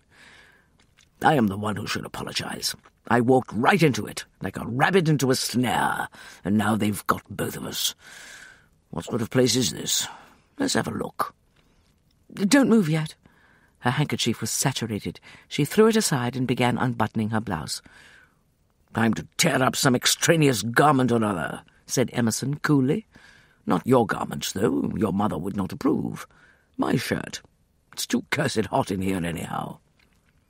She bandaged the cut, but Emerson refused a drink. Better not. It may be drugged. Let's see what we have here. He got to his feet, steadying himself with a hand on the wall as the boat dipped. They were prepared for you, he said, looking round. Or for someone. This isn't a stateroom, it's a prison. The small room had been stripped of all furnishings except a piece of matting, six feet long and several feet wide, the water jar, and another, larger vessel. The windows were covered with heavy boards. The nail heads, fresh and unrusted, shone in the light. They might have left an air hole, said Emerson, running his hands over the boards. Have you anything we could use to prise up these nails? Nefret shook her head. Emerson unfastened his belt. Not strong enough, he said, examining the buckle. We may as well give it a try. Tell me what happened. Did you see the boy or the old lady? No.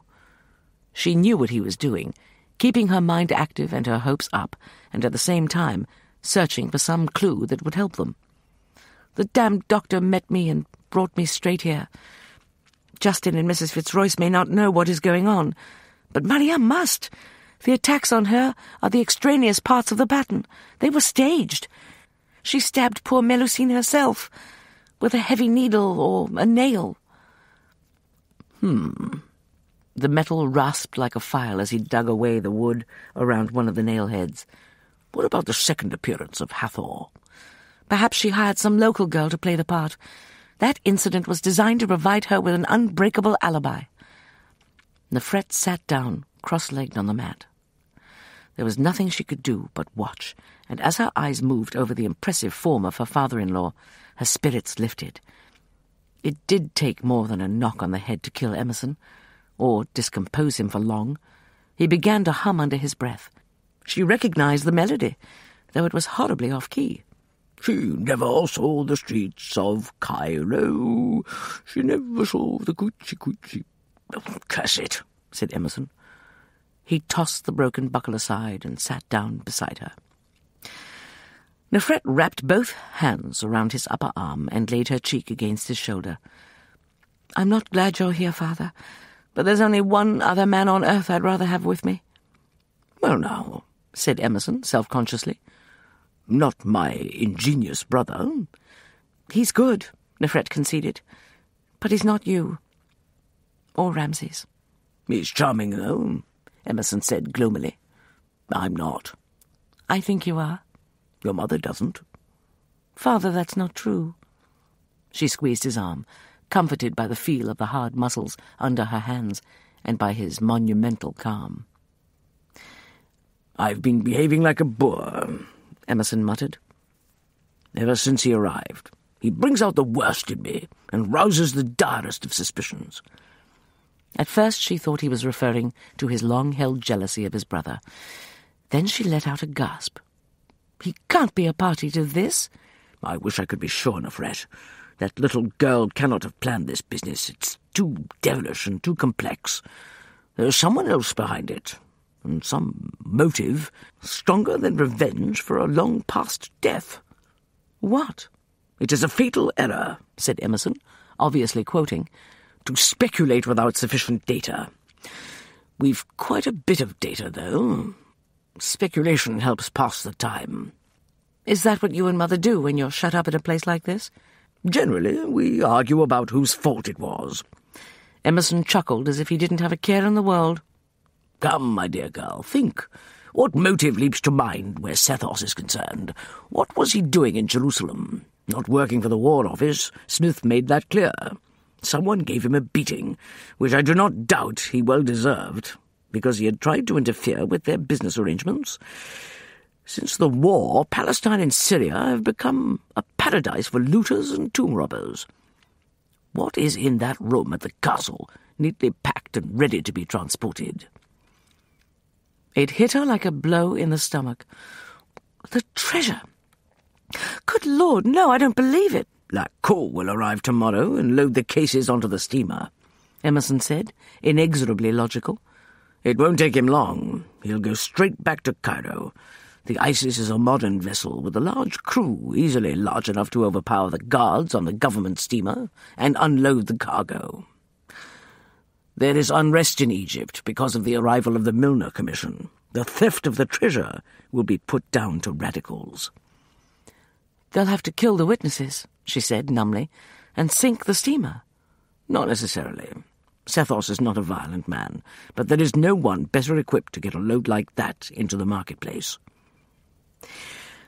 The lamplight flickered. Their shadows rushed back and forth as if frantic to escape. She felt his lips brush her hair, and then he gently detached his hands and got to his feet. If Sethos is the ringleader, you've nothing to fear. He wouldn't harm you. Better get hold of that lamp before it falls over. We're picking up speed. The motion of the ship was more pronounced. Emerson began going through his pockets. Went off without my coat, he said, removing a handful of motley objects and inspecting them. No pipe, no tobacco, no matches. No gun, no knife, said Nefret, trying to emulate his coolness. They overlooked these. Emerson picked half a dozen nails out of the mess and shoved the rest of it back in his trouser pocket. Do they search you? It came back to her then, the sensation of hands moving over her body. Big, fat hands. She grimaced. Superficially. He was looking for a weapon. I didn't have one. Take these. Emerson handed her three of the nails. And hide them, not in your pocket. They may decide to search you again. He went back to the window and began scraping. That fellow spoke of other arrangements, he said over his shoulder. If they separate us... Oh, no, Nefret whispered. If that happens, well, my dear, a nail isn't much of a weapon, but a sharp jab in the region of a man's kidneys, or elsewhere, will certainly give him pause. Not to worry. I'll get you out of this somehow. It's my fault. If I hadn't been such a bloody idiot, there would be help on the way now. Nefret took a deep breath and steadied herself and her voice. If you're a bloody idiot, so am I. I ought to have suspected something when he brought me here. Could you have done anything if you had? Emerson inquired reasonably. Maybe not. He's as strong as a bull, and even if I could have overpowered him, I'd have had to evade the crewmen. They must be in on this. No doubt about that. Three of the bastards jumped me as soon as I was on board. Admittedly, my demeanour was not that of a gentleman paying a social call. Nefret hugged her knees and laughed, picturing him charging up the gangplank, fists clenched, shouting out accusations. Stop blaming yourself. If you had delayed to get help, the boat would probably have sailed. Why did you come after me? Emerson went on chipping. Well, you see, it suddenly came to me when I was thinking of something else. I remembered who it was who lived in El Hile, and why it. Damnation! Shove those things out of sight and come here. There was only time to push the nails into the tops of her shoes before the key turned in the lock and the door opened a crack. Stand back, the doctor said. He sounded nervous. I have a gun. Very nice, Emerson said. He stood in front of Nefret, seemingly relaxed, but she had seen him and his son in that pose before. They could both move with the speed of a charging lion. We all have guns. Someone pulled the door back. The opening looked like the entrance to the infernal regions, blocked by hulking bodies and redly lit. Don't risk it, father, Nefret whispered, taking hold of his arm. She knew Emerson's temper only too well, and as her eyes adjusted to the light, she saw that there were at least three of them in addition to the doctor. Hmm. Emerson settled back on his heels. They're bound to hit something in this confined space. Might be you. The doctor took a step forward, and then thought better of it. Obeying his curt order, two of the men edged cautiously into the room. Both held pistols, and one carried a lantern. The doctor remained where he was. Leading your regiment from behind, I see, remarked Emerson. Now what? Move forward, slowly, one step at a time. Hold out your hands. No, madame, not you. Remain where you are. His voice shook, and so did the hand that held the pistol. There was nothing for it but to obey. The odds were too great, and they were both weaponless. Emerson shrugged. You should have done this before you tossed me in here, he pointed out, as one of the men fastened a pair of handcuffs over his wrists. Saved yourself all this fuss and worry. Poor planning. Who's in charge here, anyhow? I hate talk like that. The doctor's voice rose into falsetto. His lips drew back. I hate you damned British with your supercilious sneers and your superior airs. How dare you condescend to me? How dare you look at me that way? Don't look at me that way. His hand lashed out. The barrel of the gun caught Emerson across the face. He fell back against the wall, his knees buckling. Please, Nefret said, please don't hurt him again. Her hands were clenched, her nails digging into her palms. But if the man wanted her to beg, she would. You have better sense than he, the doctor muttered. You too, get him out of here. The men he indicated exchanged dubious looks. Coming within arm's reach of an angry father of curses, even when he was barely able to stay on his feet, was not a job a sensible man relished. One of them got up sufficient nerve to grip Emerson's left arm. The other jabbed the gun into his ribs. Go with them, father, Nefret said. There's no use resisting. Emerson raised his hands and wiped blood off his chin. I wasn't resisting, he said, in an injured voice. Meek as a lamb. Out! the doctor shrieked. Take him out of here! Emerson submitted without further comment to being led toward the door. I can't let him go like this, without a word, Nefret thought. I may never see him again. To hell with stiff upper lips. Father, I. Yes, my dear, I know. He gave her a quick glance over his shoulder and smiled. Eh a bientôt.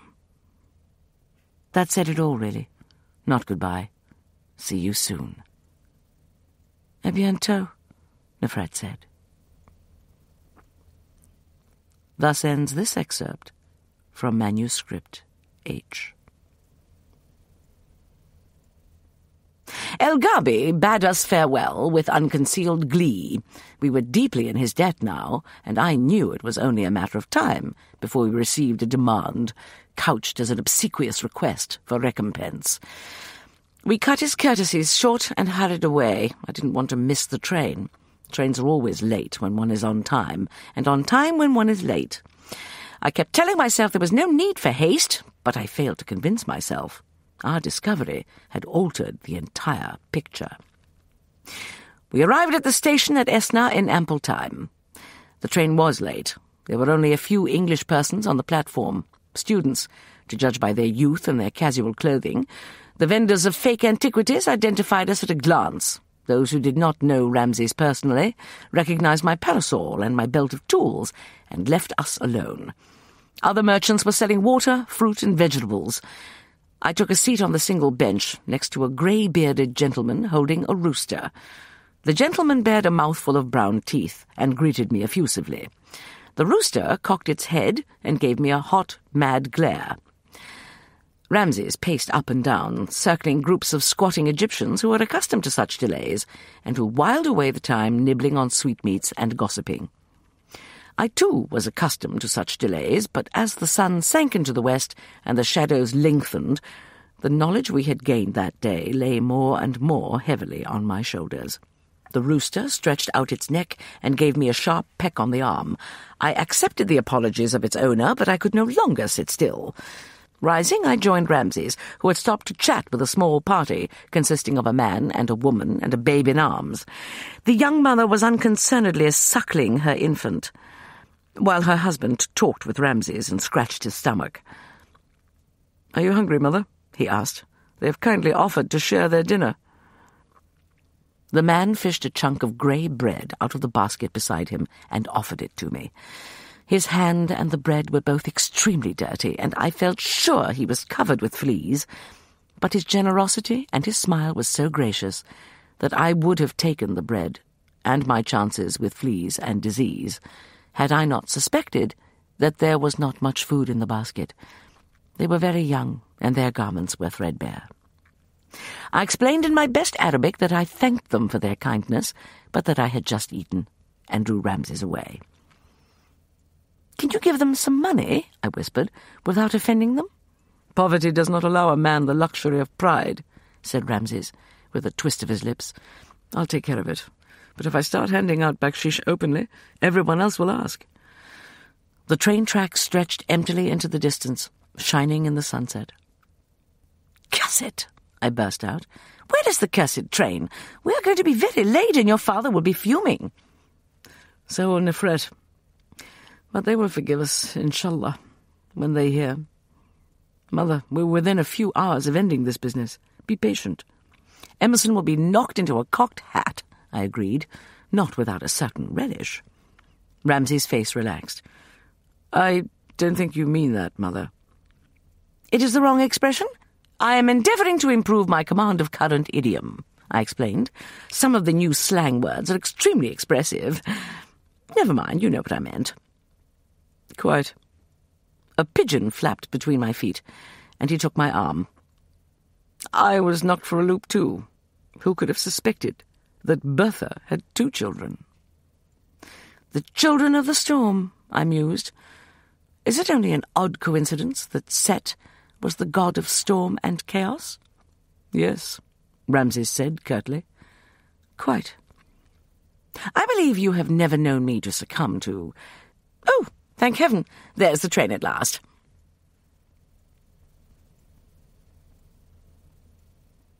The following is an excerpt from Manuscript H. Nefret had wrapped a bit of cloth round the head of the nail. It served as some protection, but her fingers kept cramping.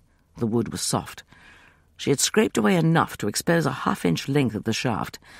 It moved a bit when she tried to wriggle it, but it was too deeply sunk to be pulled out with her fingers, and she had nothing to use as a lever.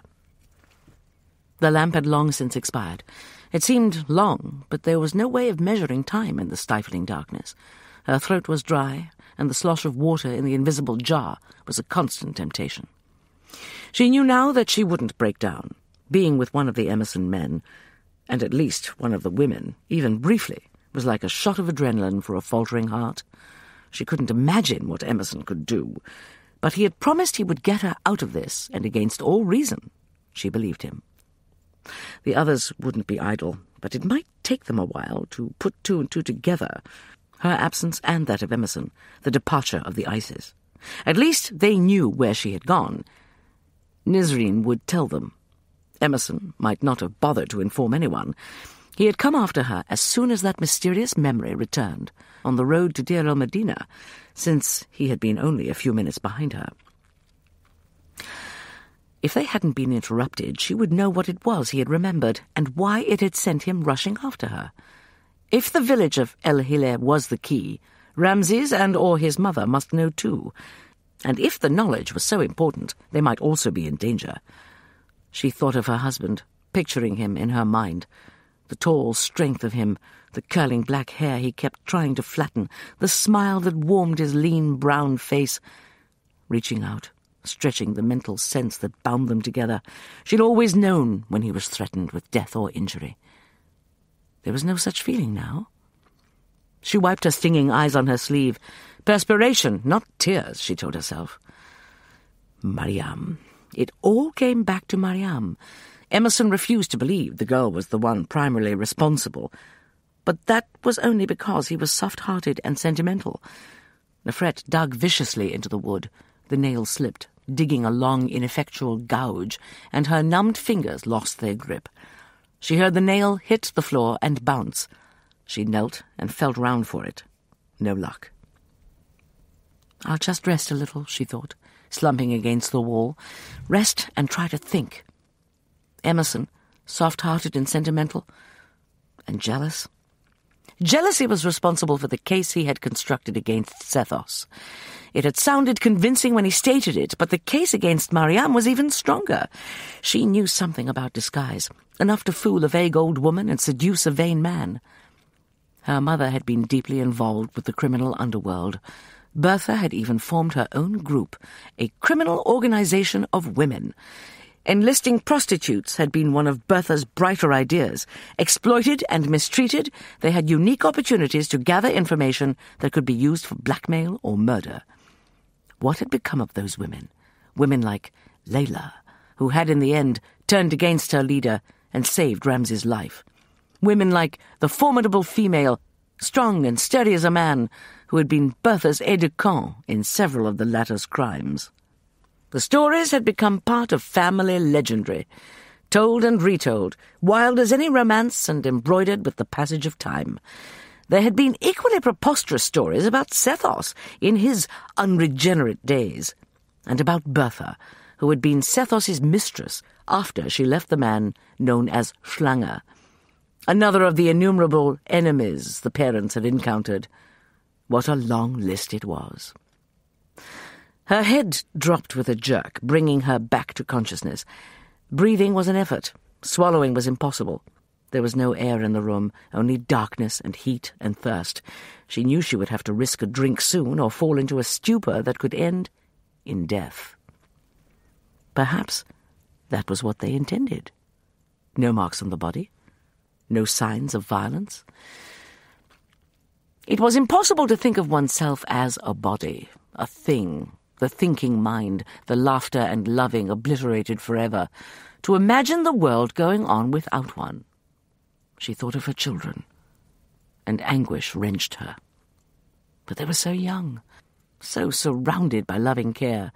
In a few years she would be nothing more to them than a face in a faded photograph. Ramses wouldn't forget any more than she could ever forget him. But there would be other women. She couldn't expect him to remain celibate forever. Not Ramses. He'd marry again, if only for the sake of the children. The thought of him holding another woman in his arms, kissing her upturned face, gave her energy to pull herself to her knees. If he does, I'll come back and haunt him, she thought. Like that woman whose husband wrote asking what he'd done to offend her, that she continued to torment him after death. Maybe she only wanted to make sure he wouldn't forget her. She crawled along the wall, feeling for the water jar. Her fumbling hands found it at last, lying on its side in a pool of water. It had cracked when it fell. She was lying flat, sucking up the tepid liquid, grit and all, when suddenly there was light. She raised herself on her elbows and turned her head. Even those few drops of water had helped, and so did the air, cool and fresh as a night wind, by comparison to the noxious mixture she'd been breathing.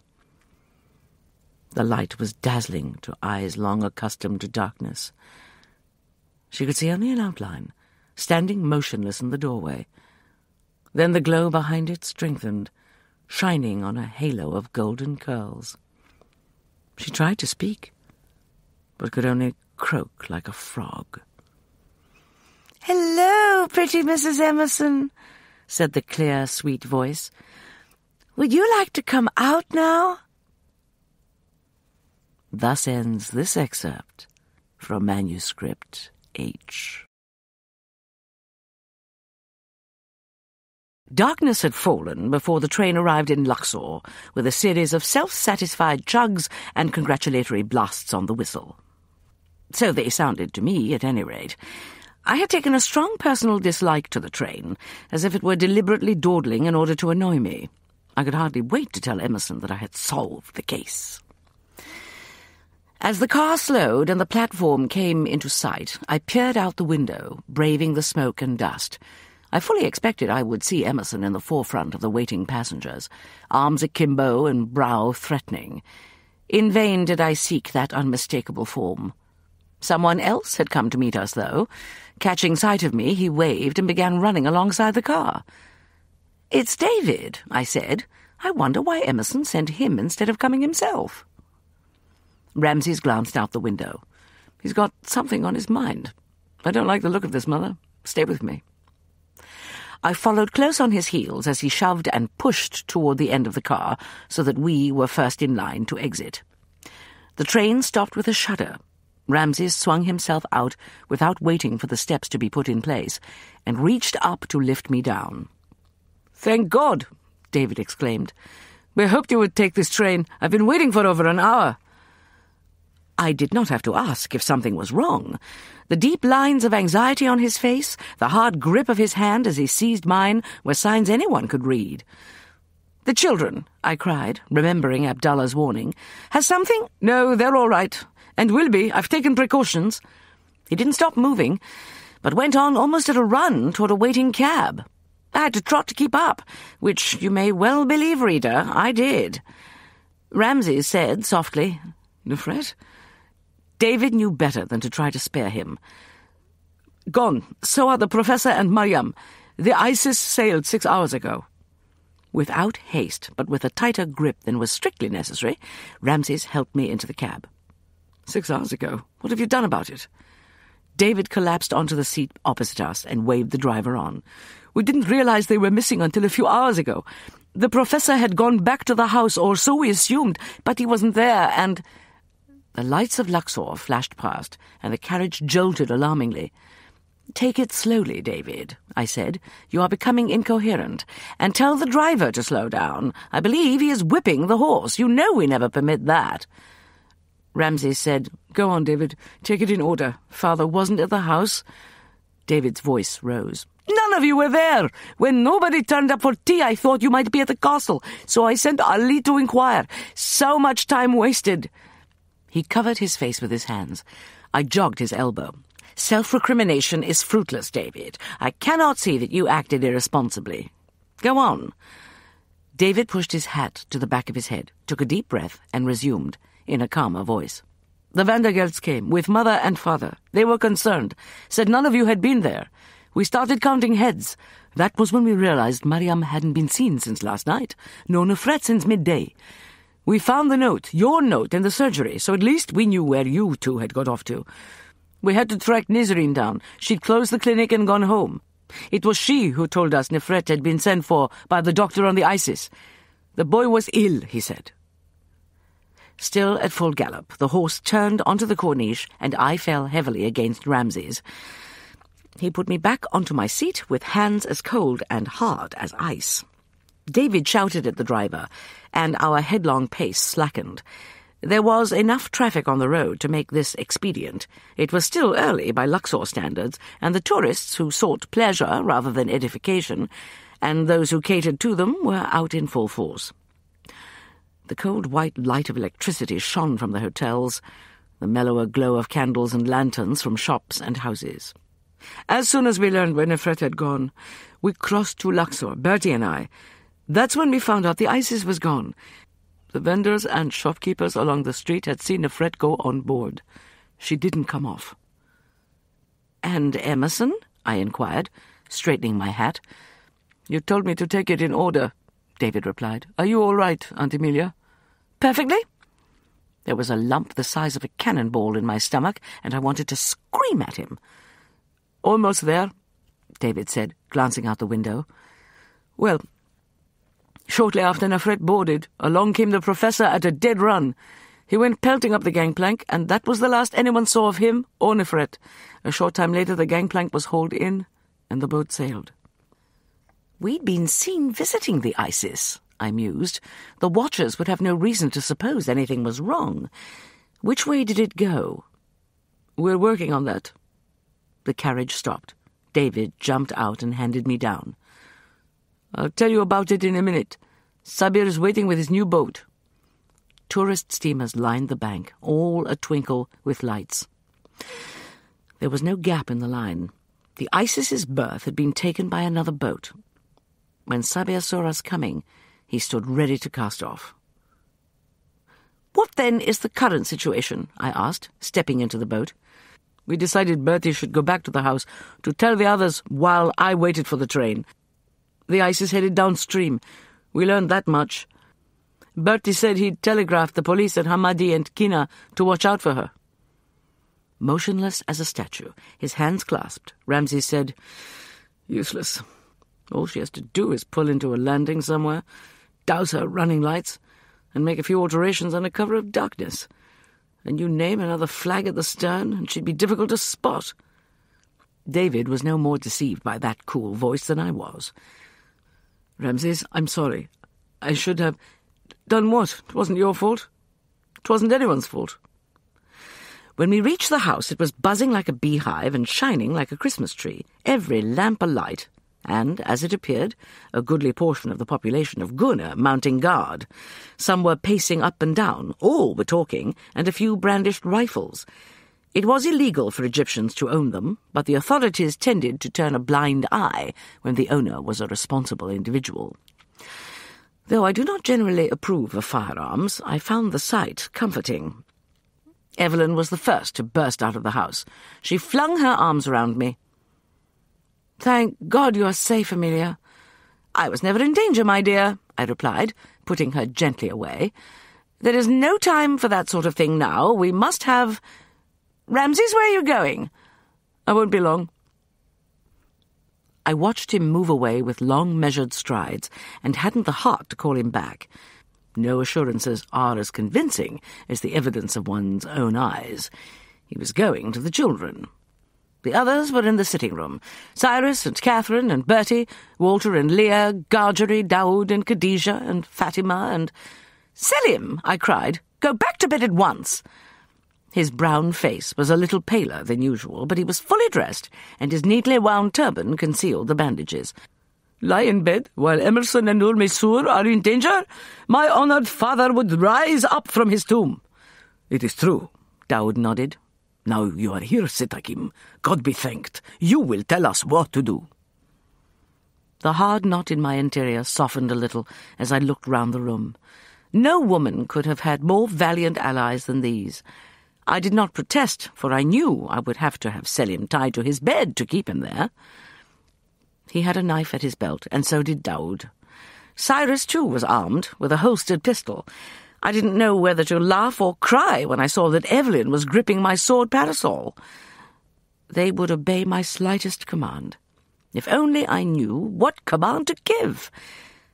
I had preserved my outward calm, but inwardly I was in such a confusion of rage and worry I couldn't think sensibly. Stalling for time, I took a chair and asked, Where is Sethos? Somewhere around, Cyrus replied. Said he couldn't sit still, and darned if I blame him. Ramses and Sethos must have met outside, for they came in together. Ah, there you are, said the latter, nodding at me. Hasn't anyone offered you a whisky and soda? Cyrus let out a multi-syllabled American exclamation. Jumping Jehoshaphat! I should have thought of that. How about you, Ramses? Ramses shook his head. What we need is one of Mother's famous councils of war. Everyone looked expectantly at me. First, I said, taking the glass from Cyrus, tell us what steps you have taken. You telegraphed, Bertie? Bertie nodded. He looked absolutely miserable. Sethos had helped himself to a whisky. I suspected it was not his first. That step was necessary, but it may not be of much use. I've taken the liberty of dispatching a number of your fellows to alert the villages between here and Nag Hammadi, and upstream as far as Esna. In case she changes course, the word will be passed on. A regular Pony Express, Cyrus said, with an approving nod. Donkey Express, Sethos corrected. And a few camels. That's all very well and good, said Walter peevishly, but I do not understand why we're sitting round drinking whisky and not acting. What else can we do? I asked. Walter banged his fist on the table. His mild countenance was no longer mild. His eyes glittered. Uh, go in pursuit. We have the Amelia, have we not? Sethos put his empty glass on the table, and the rest of us gaped at Walter. I wondered if you would think of that. You had, I suppose? Walter demanded. Selim had. That's why he's here. We will need him. There's only a skeleton crew on board, and it would take too long to get Rais Hassan and his engineer back. Hmm, said Walter, only slightly appeased and sounding as warlike as Emerson. Then why haven't we started? Because, said Sethos in his most irritating drawl, we cannot start before morning. Aside from the danger of navigation at night, we could go right past the Isis in the dark, and because we were waiting for Amelia and Ramses and most importantly, because we'd need to gather all the facts and plan our strategy before we charge ahead. Suppose we do catch her up. Then what? Board her, swords in hand? Walter jumped to his feet. He looked twice the man he had been when he arrived in Cairo, and for the first time I saw the resemblance between him and the man he confronted. He snatched his eyeglasses off and threw them across the room. Damn you, uh, Sethos! Are you making fun of me? If swords are required, I will use one. Sethos said in quite a different tone. I beg your pardon, brother. I know you would. We'd better pray it won't come to that. Sit down, I beg, and let us discuss the situation calmly. Amelia, would you like to take charge of the discussion? Before I could begin, Selim rose carefully to his feet. I am going to the Amelia to begin overhauling the engines. I will have her ready to sail at daybreak. I'll go with you, Walter declared. What the devil did I do with my glasses? Here. Evelyn handed them to him. Walter, dear. He knew what she was about to say. Adjusting the eyeglasses, he took her by the shoulders and smiled at her. Perhaps I can be Selim's hands or run errands for him, if I can do nothing more. I too, said Bertie. I know a little something about engines. Selim, I strictly forbid you to let that horse gallop, I called after them. Walter, make sure he obeys. Losing control of your subalterns? Sethos inquired. I am your willing slave, as always. What orders have you for me? Another whisky, perhaps? I am in no mood for humour, I informed him. Only trying to relieve the tension, my dear. The fact is, I believe we have matters under control here. The children are all in the main house, and it is surrounded, men every ten feet, all aroused and looking for trouble. The women and children will be safe. A united outcry from every female in the room silenced him. If you think I'm staying here, Lia began, or me, Evelyn cried, brandishing the parasol, you will both do what you are told, I said, by me. We must decide how our forces can best be employed. Someone must remain to deal with Monsieur Lacau. He is due tomorrow. He's here, Cyrus said. Got in this evening. How can you worry about him at such a time as this? For one thing, he may be persuaded to join in the hunt for Isis. Not very likely, Cyrus said. He'll be too worried about his consarn treasure. What about the other tourist boats? I could not in conscience ask a party of innocents to take an active part, we could ask the cruise boats to keep an eye out for the Isis, but I expect by morning she will have altered her appearance. Since our enemies have departed en masse, I doubt there is danger to anyone here. An assumption we dare not make, said Sethos. We believed the immediate family hadn't been targeted. That is what we were meant to believe. Now they've taken a threat. They didn't plan on Emerson, but now they've got him, they aren't likely to let him go. We know the motive now. It applies equally strongly to the rest of you, and to me. He went to the sideboard again and splashed whisky into his glass. I could have used another myself. We had skirted round the subject, but it could no longer be avoided. I am sorry, I said haltingly. I had hoped she was innocent. Sethos swung round to face me. She looks so innocent, doesn't she? Those childish freckles and wide hazel eyes. She took me in, too, Amelia, if that's any consolation. I saw the pain his controlled countenance endeavoured to conceal, and so did my dear Evelyn. Going to him, she embraced him like a sister. She may be a prisoner, dear. Uh, the tenderness of her manner and the stumble over his name were too much for him. Affection and laughter choked his voice. Dear Evelyn, would you like me to tell you my real name? You needn't tell me if you'd rather not. Seth. What? I cried. Not Gawain, or George, or Milton, or... Visibly amused, Sethos lifted his glass to me. What an imagination you have, Amelia. Where do you suppose I got my nom de guerre? My parents gave me a perfectly respectable biblical name. But when I realized how close it was to that of an ancient Egyptian pharaoh, I couldn't resist. And how appropriate. Sethos, the follower of Set, god of storm and chaos, deadly enemy of his noble brother. He broke off with a snap of his teeth. Ramses, will you, for God's sake, have a drink or say something, or at least sit down? You make me nervous, planted there like a bloody granite statue. We'll get her back. It might have been the thought of the other young woman, the loving daughter Sethos would never get back, that broke Ramses's stony control. I'm sorry, he began. Sethos snarled at him. I don't want your pity.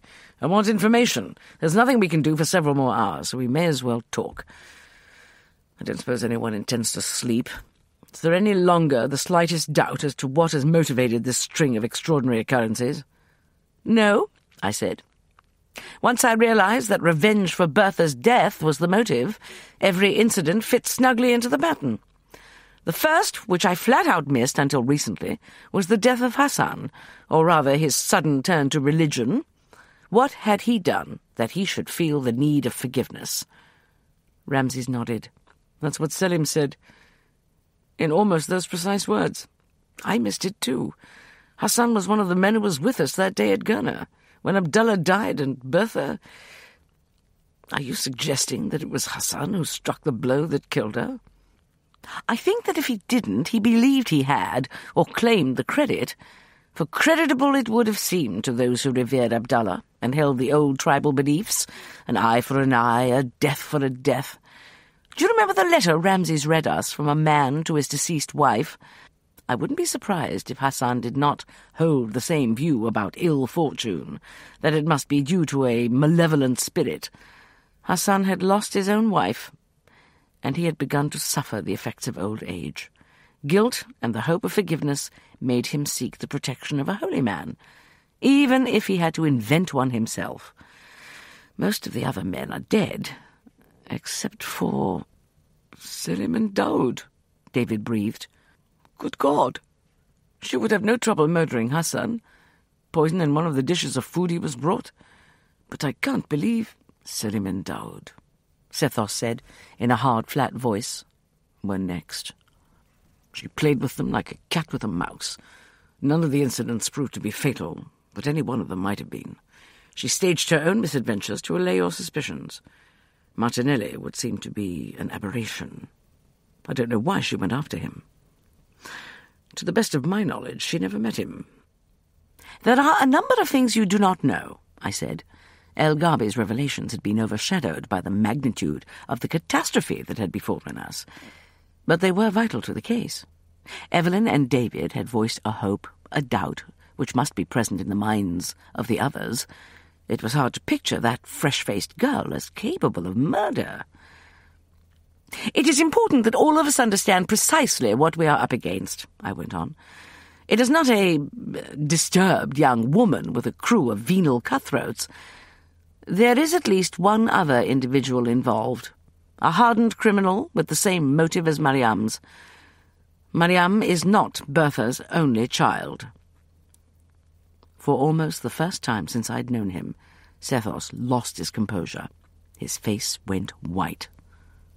No, he said hoarsely. No, not another of my... Who told you that? El Gharbi, Ramses said. That was where we went today, to his village, where he'd been exiled. Mother remembered something he had said about the young serpent also having poisoned fangs. Why she didn't see fit to mention this to anyone else, I forgot, I admitted.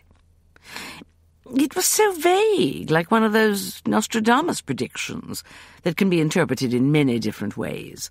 We were, at that time, involved with that vicious boy, Jamil, who could certainly have been described in those terms. Emerson also knew, but like myself, he forgot or dismissed the warning. Not until last night, when I finally began to see the pattern we'd been seeking, did I realize El Gharbi might have information we did not. You ought to have told us, Evelyn said accusingly. It is easy to see what one ought to have done after the event, David said quietly. I want to know more about this second child. Lia let out a cry. Justin? Is it Justin? But he's even younger than Mariam. He can't be more than fourteen. He... he, I said, is a young woman. The short stature, the beardless face, the high-pitched voice should have alerted us. She was in her late teens when El Gharbi knew her in Cairo. One of the more uh, exclusive, I suppose I should say, houses of prostitution was owned by an older woman, a European, who also had a hand in various illegal operations. She and El Gharbi were never in competition. They operated, so to speak, on different levels, but he was familiar with her activities. Her customers included the highest officials and the wealthiest, most fastidious tourists. Justin was her protege, and her able assistant in every criminal activity from drugs to murder. Not mine, then, Sethos said in a ragged whisper. Not mine. I understood his feelings. If the information gave him any comfort, I was ready to give it. According to El Gharbi's sources, her father was an Englishman named Vincey the man with whom Bertha lived for several years before we exterminated Vincey and Bertha went to you. No, you are not her father. She and Mariam are half-sisters. How they met and when, I do not know, but Justin is unquestionably the ringleader. She is the elder, and unlike Mariam, she has lived all her life with criminals. That doesn't absolve Mariam, Sethos said. Except for the perspiration that beaded his forehead, he might have been talking about a stranger. She was a willing participant from the start. The attack on her was staged. The result was that Ramses rescued her and brought her to you, with well-feigned reluctance that gained your sympathy and support. She's been spying on you and reporting back to the others. She may be under duress, Evelyn said. Give it up, Evelyn, Sethos said. She is a true child of her mother, and, God help us, of me.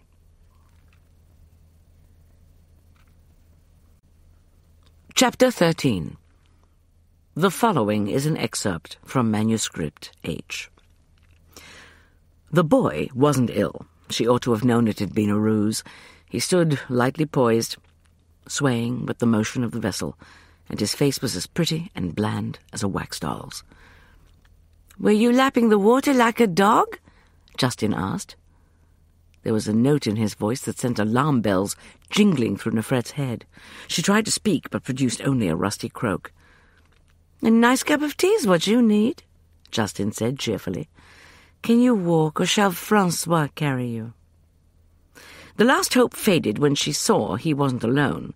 What part he played in this she couldn't yet determine, but at best he was useless, incapable of understanding, and too frail to resist. Francois had to be one of them, though. He reached for her, grinning unpleasantly. Nefret staggered to her feet, pushing his hand away. As you like, Justin said. Come with me. Nefret followed him along the passageway and into the saloon, with Francois close behind her. Smiling sweetly, Justin indicated a chair, and Nefret sank gratefully into it. Tea was set out on a table, a handsome service of silver, but there was no one in the room except herself and the boy and his attendant. Her eyes moved to the windows. It was dark outside, and the boat had stopped. Drink your tea, said Justin, pouring. You must be very thirsty. Something about the gesture, the turn of his wrist, caught Nefret's attention. She watched him as he lay back against the cushions of the divan, one hand behind his head, the other gracefully limp. Who are you? she demanded. The light peal of laughter, a tone higher than Justin's, was the final clue. My God, how could I have missed it? she wondered. His coat was open, and the thin shirt clung to the curves of a woman's breasts, now unconfined. My name, you mean? I've had a number of them. You may continue calling me Justin. It sounds a little like justice, and that is what I'm about to deal out. Nefret shook her head dazedly. Why are you doing this? What do you want of us? Justice? For a dead woman and her children? Come now, she said, impatiently, as Nefret stared open-mouthed.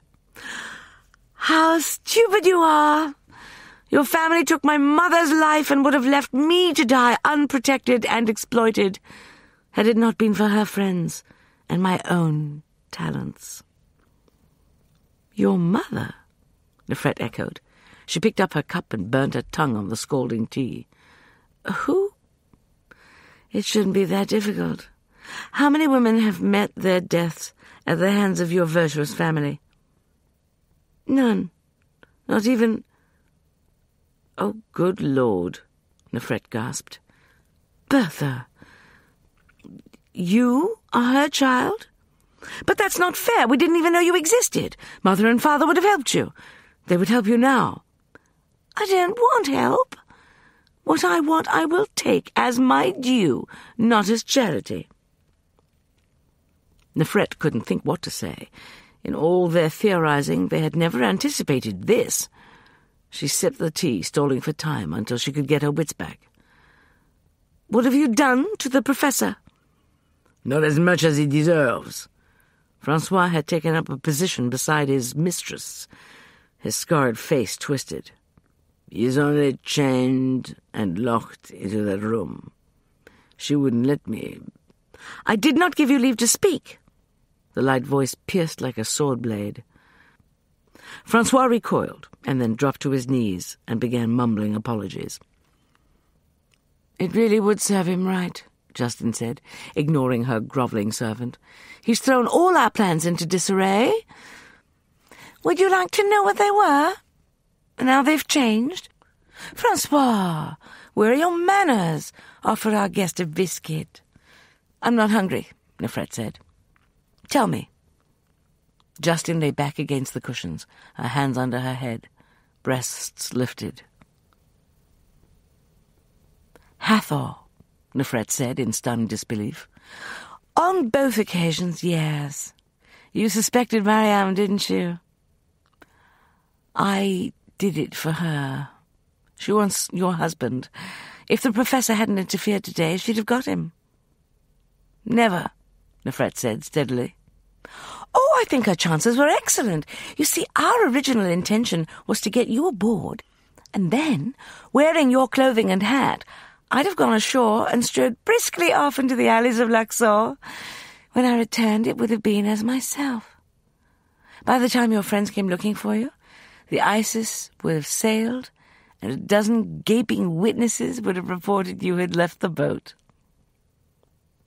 Watching her, Nefret was reminded of something Ramses had once said about the art of disguise. It wasn't so much a matter of physical change as of demeanor and gesture, speech and movement. She'd played a boy's role well, but she couldn't have pulled it off if they hadn't thought of Justin as not quite normal. No wonder she had reacted so vehemently to being touched.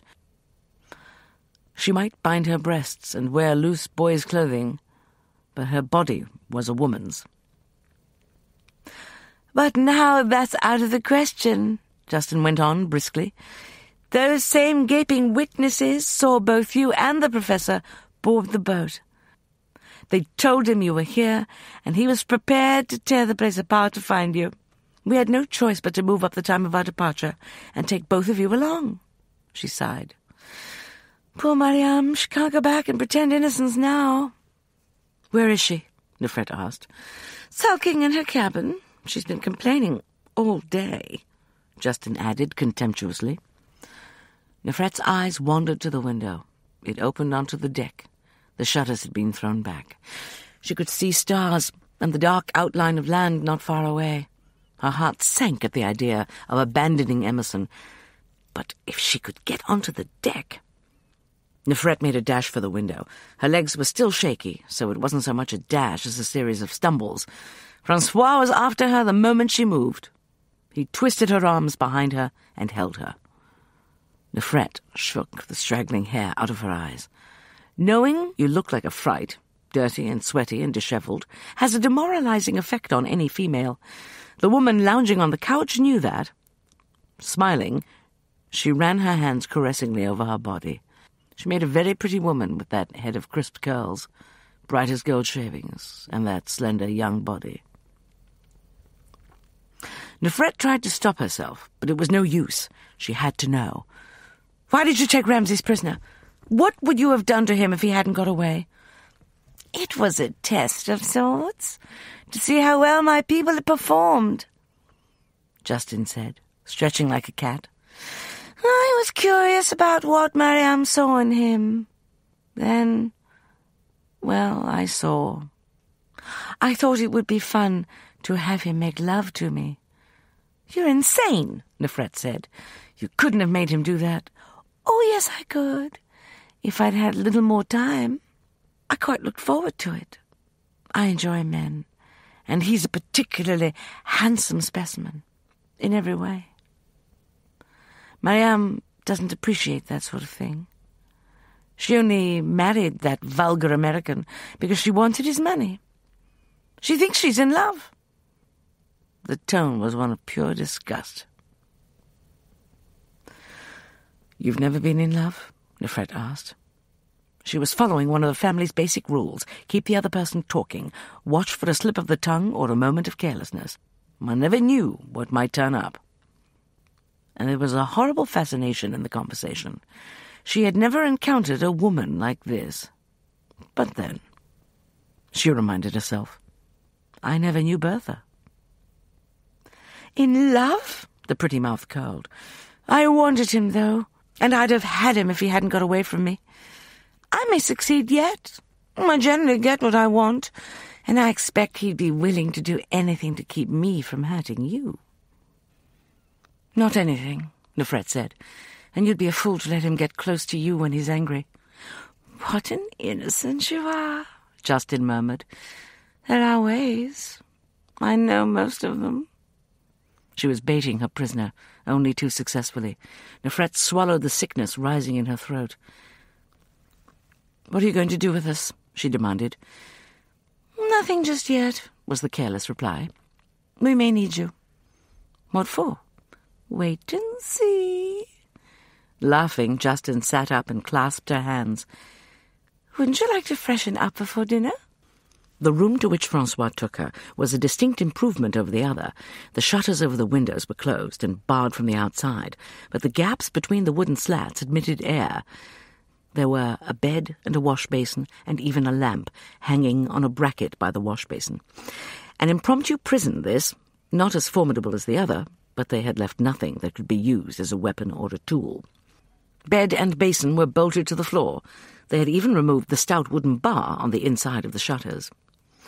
Nefret moved purposefully around the room, looking into the cupboard over the wash basin and under the bed. The water pitcher was not a heavy earthenware vessel, but a delicate bit of china, painted with pansies. It was part of the usual set. The other vessels were just as dainty. Hitting someone over the head with one would only irritate him. The soap dish held a bar of scented soap. Apparently, that diabolical woman really did want to tidy up before dinner. A towel and a washcloth had been provided too. Why not? She could at least wash face and arms. The tepid water felt wonderful against her hot cheeks. It would have been heavenly to take off her clothes and sponge the dried sweat off her body, but there was no way of locking the door from the inside. She compromised by removing her filthy shirt and washing her upper arms and throat. The chemise that had been so fresh and white that morning was just as grimy as the rest of her clothing. The thin cotton stuck to her breasts and ribs. In a moment of purely illogical, utterly feminine weakness, she compared her body to the graceful form on the divan and snatched up her shirt. How old was the damned woman? Younger than she by a good ten years. Mariam was even younger. Neither of them had borne two children. And neither of them had Ramses, she reminded herself. She began taking the pins out of her tangled hair, remembering how his hands had stroked it over her shoulders, She'd been a fool to let jealousy sour her mind and sharpen her tongue. He wouldn't rest until he had found her, and her formidable mother-in-law would be hot on Emerson's trail by now. She thought of Emerson, sweltering in the dark hold of her former prison, manacled and injured, and her jaw set. I'll ask if I can see him, she thought. I'll beg, on my knees if the bitch wants that. She looked for a comb without success. They were taking no chances. Sharp teeth, even of celluloid, could rake painfully across her face. Philosophically, she began running her hands through her long locks, smoothing them as best she could. She stood up and tucked her shirt in. When the door opened, she was behind it, the dainty pitcher raised. One must do one's best, whatever the odds.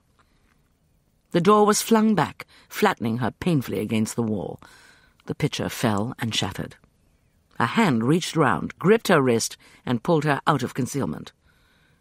You have spoiled the set, the doctor said, studying the pink and blue shards, his fingers squeezed like pincers.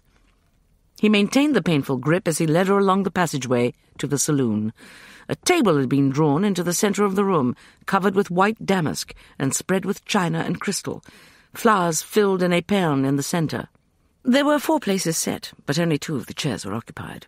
Nefret stopped, rubbing her aching wrist. The men who stood at attention behind the chairs didn't look much like waiters. Francois was one of them. She realized now what had been wrong with the room. It was as contrived and unreal as a stage setting, a recreation of stuffy respectability. Its artificiality was emphasized by the bizarre occupants, the heavily muscled, hard-eyed attendants, and the woman she knew only as Justin. The name was particularly inappropriate now. She wore the robes of Hathor, complete with black wig and artificial cow's ears. Mariam sat at her right. Her eyes were fixed on her plate. One of the companion's loose black dresses made her look almost as shabby as Nefret felt. But the stolen pectoral gleamed on her breast, deep lapis blue, framed by the gold curves of the two serpents. Where are the bracelets? Nefret asked steadily. My, my, what admirable sang-froid, Justin murmured. Show her, Mariam. Mariam raised her hands, but not her eyes. The bracelets were clasped round her wrists. Sit there, Justin directed, at my left. That will be all, Khattab. The good doctor isn't dining? Nefret asked, settling into the chair the waiter held for her. He's no doctor. He's a cheap abortionist who worked for me in Cairo, Justin replied with careless contempt. Hardly a social equal. Khattab's shoulder blades twitched. He left the room without replying and slammed the door. Not that you are a suitable dinner companion, Justin went on, inspecting Nefret critically. Was that the best you could do? Under the circumstances, yes. Nefret was past caring about the woman's taunts. If you find my presence so offensive, why am I here? Two reasons. We hadn't finished our little chat. I enjoyed watching your reactions. You have such an open, uncontrolled face. And there is still such a lot you don't know. And the other reason? She didn't turn her head to look at the windows. The draperies had been drawn, but she could hear sounds of activity outside on the deck. Do join us in our celebration, Justin said. She pulled off the heavy wig and tossed it to Francois.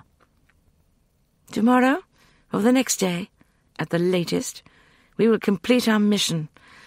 It's been a year in the making, but it'll be worth the wait. The only thing Nefret could think of was the family, her children, Ramses, her mother-in-law. All the others, friends and kin, caught up in the same web that had entangled Emerson and her.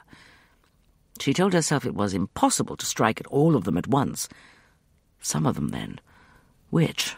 And how? Involuntarily, she looked toward the windows. Some heavy object had fallen, thudding onto the deck. A round Arabic curse burst out, followed by a hissing adjuration to silence. Justin laughed gleefully and clapped her hands. Plain as print, that face of yours. Why don't you just ask what they're doing? I don't mind telling you. What? Nefret asked. By morning, the Isis will be a different boat. Fresh paint, a new name, the stars and stripes waving bravely at the stern. Nefret nodded. Clever, but not good enough. Where are we? I don't mind telling you that either. We're at anchor near an island just south of Kina. Only a few hours downstream from Luxor. He was only a few hours away. She tried to imagine what he and the others might be doing, how long it had taken them to realize what had happened to her and Emerson. Then she remembered her mother-in-law's complacent statement. I do not expect that such an eventuality will occur. And icy fingers traced a path down her spine. If they'd been detained by force or accident at that obscure village, Ramses might not yet know she was missing. You are thinking of him, aren't you? Justin cooed. I can tell. So far as I know, he's in no danger, dear. And I feel certain he'll rush nobly to your rescue. But don't get your hopes up. They'll have to follow by water. And they can't have put two and two together before dark. We are far ahead, and they'll have to be very clever to find us before we've accomplished our aim. Even if they do, they won't dare interfere, so long as we hold two hostages. You are also hostages for each other. If you don't behave yourself, the punishment will fall on him. Is he hurt? Nefret asked. May I see him? Justin's lips curled into a tight-lipped smile, as enigmatic as that of an archaic statue. Say please. Please. Later, perhaps. He's not seriously injured, but he isn't very comfortable. Mariam hadn't moved a muscle or uttered a sound until then. The movement was slight, only a jerk of her slim shoulders. Then I take it he won't be joining us, Nefret said. She, too, had flinched at the gloating malice in Justin's voice, but she was trying to live up to Emerson's standards. Who's the fourth? Someone I know? Yes and no, Justin said. I wonder what's keeping her. Waiting to make a grand entrance, I suppose. Francois, go and tell... Ah, finally. The woman who entered was tall and thin. Her wrinkled face and white hair bore the uncompromising marks of time. But her step was firm and her shoulders were straight. She had abandoned her veils and widow's weeds. Her black dress was severely practical, with no concession to vanity, not even a ruffle of lace. Justin pushed her chair back and rose, followed more slowly by Mariam. Nefret had been taught to stand up when an older woman entered the room. She remained seated. A criminal organization of women, she said. At least you're not another of Bertha's get. The old woman, whose name was almost certainly not Fitzroyce, passed a caressing hand over Justin's bright curls. Then the same withered hand administered a sharp slap across Nefret's face, the sort of slap a governess might give an impertinent pupil. Your manners are not so pretty as your face. Stand up in the presence of your elders. With a slight shrug, Nefret obeyed. The old woman went to the head of the table and seated herself. Thank you for waiting, my dear, she said to Justin. Francois, you may open the wine now. What took you so long? Justin asked. A cork popped and foam bubbled up over the bottle. Clumsy oaf! the old lady snapped. Pour it and don't spill any more. Where was I? Paying a little call on the professor. It was hard to tear myself away. Is he all right? Nefret asked. Champagne slopped into her glass. No, he isn't all right. He has a vile temper and the strength of an ox, and I'm taking no chances on his getting away. Now, join me in a toast to our success. She raised her glass. You can hardly expect me to drink to that, Nefret said. She expected a reprimand, if not another slap, but the old woman only smiled. Her collection of wrinkles looked like a map of Cairo, with its curving lanes and intersecting alleys. They were the result, Nefret thought, of weight loss in a woman who had once been stout and strong. She was by no means feeble, though. Her hand was all bones and sinew. I could have Francois pinch your nose and pour it down your throat, her hostess said, but that would spoil the effect. Mariam, Justin. Ceremoniously they raised their glasses and drank. The first course was soup of some kind. It was tepid and over-flavoured with onion. Even the cook must be one of the gang, Nefret thought. The wine was excellent, a pale hock, and Nefret allowed herself a sip. The sounds of activity outside were more muted now. What was it I didn't drink to? she asked. And who the hell are you? Bertha's Avenger? Do you suppose I would go to so much trouble for the sake of revenge? The old woman leaned forward, withered hands planted on the table. Sentimentality is a weakness of the young. I had no objection to Justin arranging her cunning little accidents and epiphanies. She only succeeded in killing one of the men who had murdered Bertha, but some of the others were seriously inconvenienced, and she enjoyed your fear and confusion. I stopped caring about such things a long time ago. If it's money you want, Nefret began. I want it, and I intend to get it. This is an expensive operation, she went on, in a voice as practical as a banker's. It took every penny I had saved, and all the money Mariam inherited from her doting old husband. I believe it'll prove a worthwhile investment. The waiters removed the soup plates and replaced them with fish, white-eyed and dry as a mummy. Nefret was glad she'd forced herself to finish the soup. She didn't think she could deal with that dead fish, and she definitely needed to keep her wits about her. She said in the same matter-of-fact voice as the old woman's, Perhaps we can come to an agreement. I can match. Perhaps you could, though I doubt it. Mrs. Fitzroyce glared at the fish. Disgusting, take it away. Money isn't all I want. I am not, it appears, as impervious to emotion as I had believed. Three of you were primarily responsible for the death of the woman I loved like a daughter and admired as my leader. Not the poor fool who struck the actual blow, the ones who had tormented and foiled her. The satisfaction I felt when I beheld one of them in my power at last, helpless and suffering as she had suffered, took me by surprise. It would give me even greater pleasure to lay my hands on the others. A calloused brown hand slapped a plate of beef down in front of Nefret.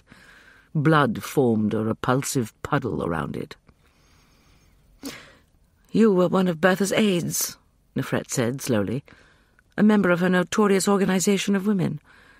You took it over after she died. You must be... I've forgotten your name. It was a nom de guerre. We never met formally, but you may remember the nurse who was in attendance on a pregnant lady. Pregnant with that one, she added, frowning at Mariam. Her eyebrows squirmed like blind white caterpillars. Sit up straight, girl. What are you sulking about? The failure of your romantic fantasy? I trust you aren't having second thoughts. It wasn't a fantasy, Mariam said sullenly. It would have worked. Her wide hazel eyes moved from the old woman to Nefret and back. Nonsense. In any case, it's too late now. Matilda, Nefret breathed. That was the name. Mother told us about you. It's she you want, Mother, and...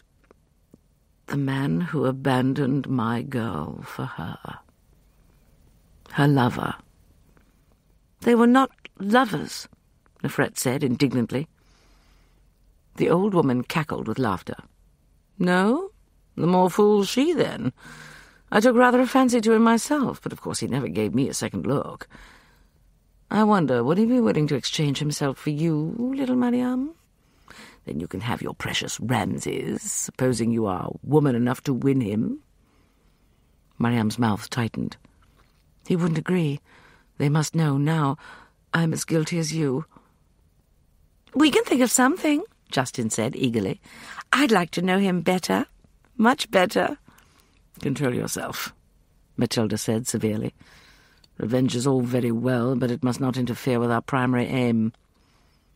Nefret didn't have to ask what that was. Emerson had been right. There was only one way they could recoup their investment by seizing the princess's treasure. How are you planning to capture the steamer? she asked casually. Matilda grinned at her. Clever girl. Since you're so clever, you figure it out. It'll give you something to occupy your mind for the remainder of your stay with us. Thus ends this excerpt from Manuscript H. We were on board before daybreak. I do not believe anyone had slept, despite my admonitions. I know Ramses hadn't. The dark stains under his eyes looked like smears of charcoal, waiting with forced patience for that moment when there was enough light to distinguish a black thread from a white. I stood at the railing, looking toward the outline of the western mountains and reviewing our preparations to make sure nothing had been overlooked. The messengers were on their way to villages down and upstream. Signals had been arranged so that any news could be immediately relayed to us. We had a crew of twenty, all thirsting for blood. We might have had fifty, had there been room for so many. Cyrus had brought his entire arsenal of pistols and rifles. The greatest difficulty had been persuading some members of the family to remain behind. My orders had less effect than Ramses's appeal. If something goes wrong, the children mustn't be left without all their parents and grandparents. Lia, Aunt Evelyn, promise you will look after them. At this point, Gargery burst into tears. You too, Gargery, Ramses said resignedly. With my life, sir, with my life, Gargery sobbed. But, sir, don't talk so discouraged like. You'll come back. Not without her, Ramses said. He turned away. I loved Nefret like a daughter, but it was of Emerson I thought in those last dark moments before sunrise. If I knew my spouse, and I did, they couldn't have taken him without a struggle, did he lie even now, wounded and suffering, in some hastily contrived and horribly uncomfortable prison? Or had they already... No. I would not think that. Our force consisted of Cyrus and Bertie, both of whom were good shots. Ramses, who was even better when he overcame his dislike of firearms. David, Selim, and Daoud, Sethos, our twenty loyal men, and, of course, myself. I was fully armed, with pistol, knife, belt of tools, and the sword parasol I had retrieved from Evelyn. My blood was up, and I hoped I would have a chance to use the last item. Only hand-to-hand combat would satisfy my righteous wrath. Ramses joined me at the rail. You're grinding your teeth, he remarked. My blood is up, I explained. I'm going to tell Selim we are ready to push off. You don't have to tell Selim anything. The breeze freshened, blowing the hair back from his brow. We were in motion, gliding gently away from the dock. I only wish we had a helmsman. Bertie and David know a bit, and so do I, but you'd better pray we don't go aground. The sun peeped over the eastern hills, blood red, as suited my mood. Gradually, the temples of Luxor faded into the morning mist. If the reader has a map before her, or as it may be, him, she will see that the Nile does not run directly northward from Luxor, but in a gentle curve to the northeast. After approximately sixty miles, it swings westward in a sharper curve. What the reader may not see are the innumerable smaller bends, curves, and bays, or the islands and sandbanks that interrupt the smooth flow of the river. A feature that looks small on a map occupies hundreds of yards on the ground. The vessel we sought might be concealed anywhere, or it might be miles ahead, steaming at full speed toward some unknown destination. The wind tugged at my garments. The Amelia was capable of a fair turn of speed, especially downstream. How satisfying it would have been to race in pursuit. The rapidity of our progress keeping pace with our raging anxiety. It was a luxury we could not afford. We had to watch for signals from our scouts along the bank, and for the missing dahabeeyah. After a time, Sethos came to stand beside me. Nasir has made coffee. Shall he bring you a cup? Yes. No. Nasir should not be here. He is no fighter. He is only a steward, and not a very good one. Fatima sent him, along with enough food to nourish a regiment for a week. Each of us serves in her own way, I murmured gratefully. Quite. Now, Amelia, gripping the rail in that white-knuckled fashion isn't going to help. I'll be right back. When he returned, Nasir was with him, trying to balance a tray. I rescued the cup before it slid off and thanked him, and observed with alarm that the boy had strapped to his narrow waist a knife as long as my forearm. Oh dear, I said to Sethos as Nasir staggered off. We must keep him from engaging in combat. Be honest, Amelia. Sethos leaned forward, arms resting on the rail. You would sacrifice Nasir or anyone else if it were necessary to save Emerson. Yes, I said. Neither of us looked at the other. Our eyes were fixed on the shoreline. Nestled in the shelter of palm groves, amid the green of growing crops, were the whitewashed houses of a village. Above the rooftops rose the minaret of the mosque. Two black-robed women bearing jars on their heads descended the bank toward the river. Are we slowing down? I demanded. Looking for our first signal, Sethos replied. That insignificant hamlet is too. The channel is close to the west bank here, and when a vessel is spotted, all the local entrepreneurs take to their boats, hoping to sell some piece of junk to the tourists. We all crowded to the left side of the boat. It is properly termed starboard, I believe. Or perhaps port. A water buffalo wallowed in the shallows, and above it, on the bank, were several figures capering up and down, waving a banner. It was bright green. They saw her, I cried. She passed this way, but when? Green means yesterday, Sethos said coolly. Not much help, I muttered, waving away the platter of bread Nasir shoved under my nose. We're two hours down from Luxor, Sethos said. That means she passed here late in the afternoon. And we know we're going in the right direction. There was always a chance she'd turn and go upstream. But they are at least six hours ahead of us, even if they stopped last night. They must have done, Sethos said impatiently. Don't be such a pessimist, Amelia. It isn't like you. No captain would risk his boat trying to navigate this river after dark. Then she would have to put in last night. Where? Somewhere around Qena, Ramses replied. Three hours away, at our present speed. We don't go faster. None of us knows the river well enough. Eat something, Mother. I took a piece of bread, since Nasir would not leave me alone, and went back to my post on the other side of the boat. Sunlight sparkled on the water. Our speed had increased once we were in mid-channel. I could not take my eyes from the passing scene, and I wished I had another pair of them in the back of my head. We had men stationed at the prow and the stern, and along both sides, watching as keenly as I, but that wasn't enough for me. I felt I could trust no eyes but my own. The water, which looked so clear and sparkling at a distance, was a muddy brown and as littered as a Cairo alley. The river constantly shifts, eating away at one bank or the other. We passed a once flourishing grove of palm trees, some precariously balanced on less than half their root base, others already fallen, their leaves trailing in the water. Withered palm fronds and dead branches floated past, with an occasional dead animal for interest. I am sure I need not tell the reader that my eyes followed each such object with morbid dread, and each time I held my breath until I had identified it. The river was not the populous thoroughfare it had been during my early years in Egypt, when it had been the only means of travel and transport.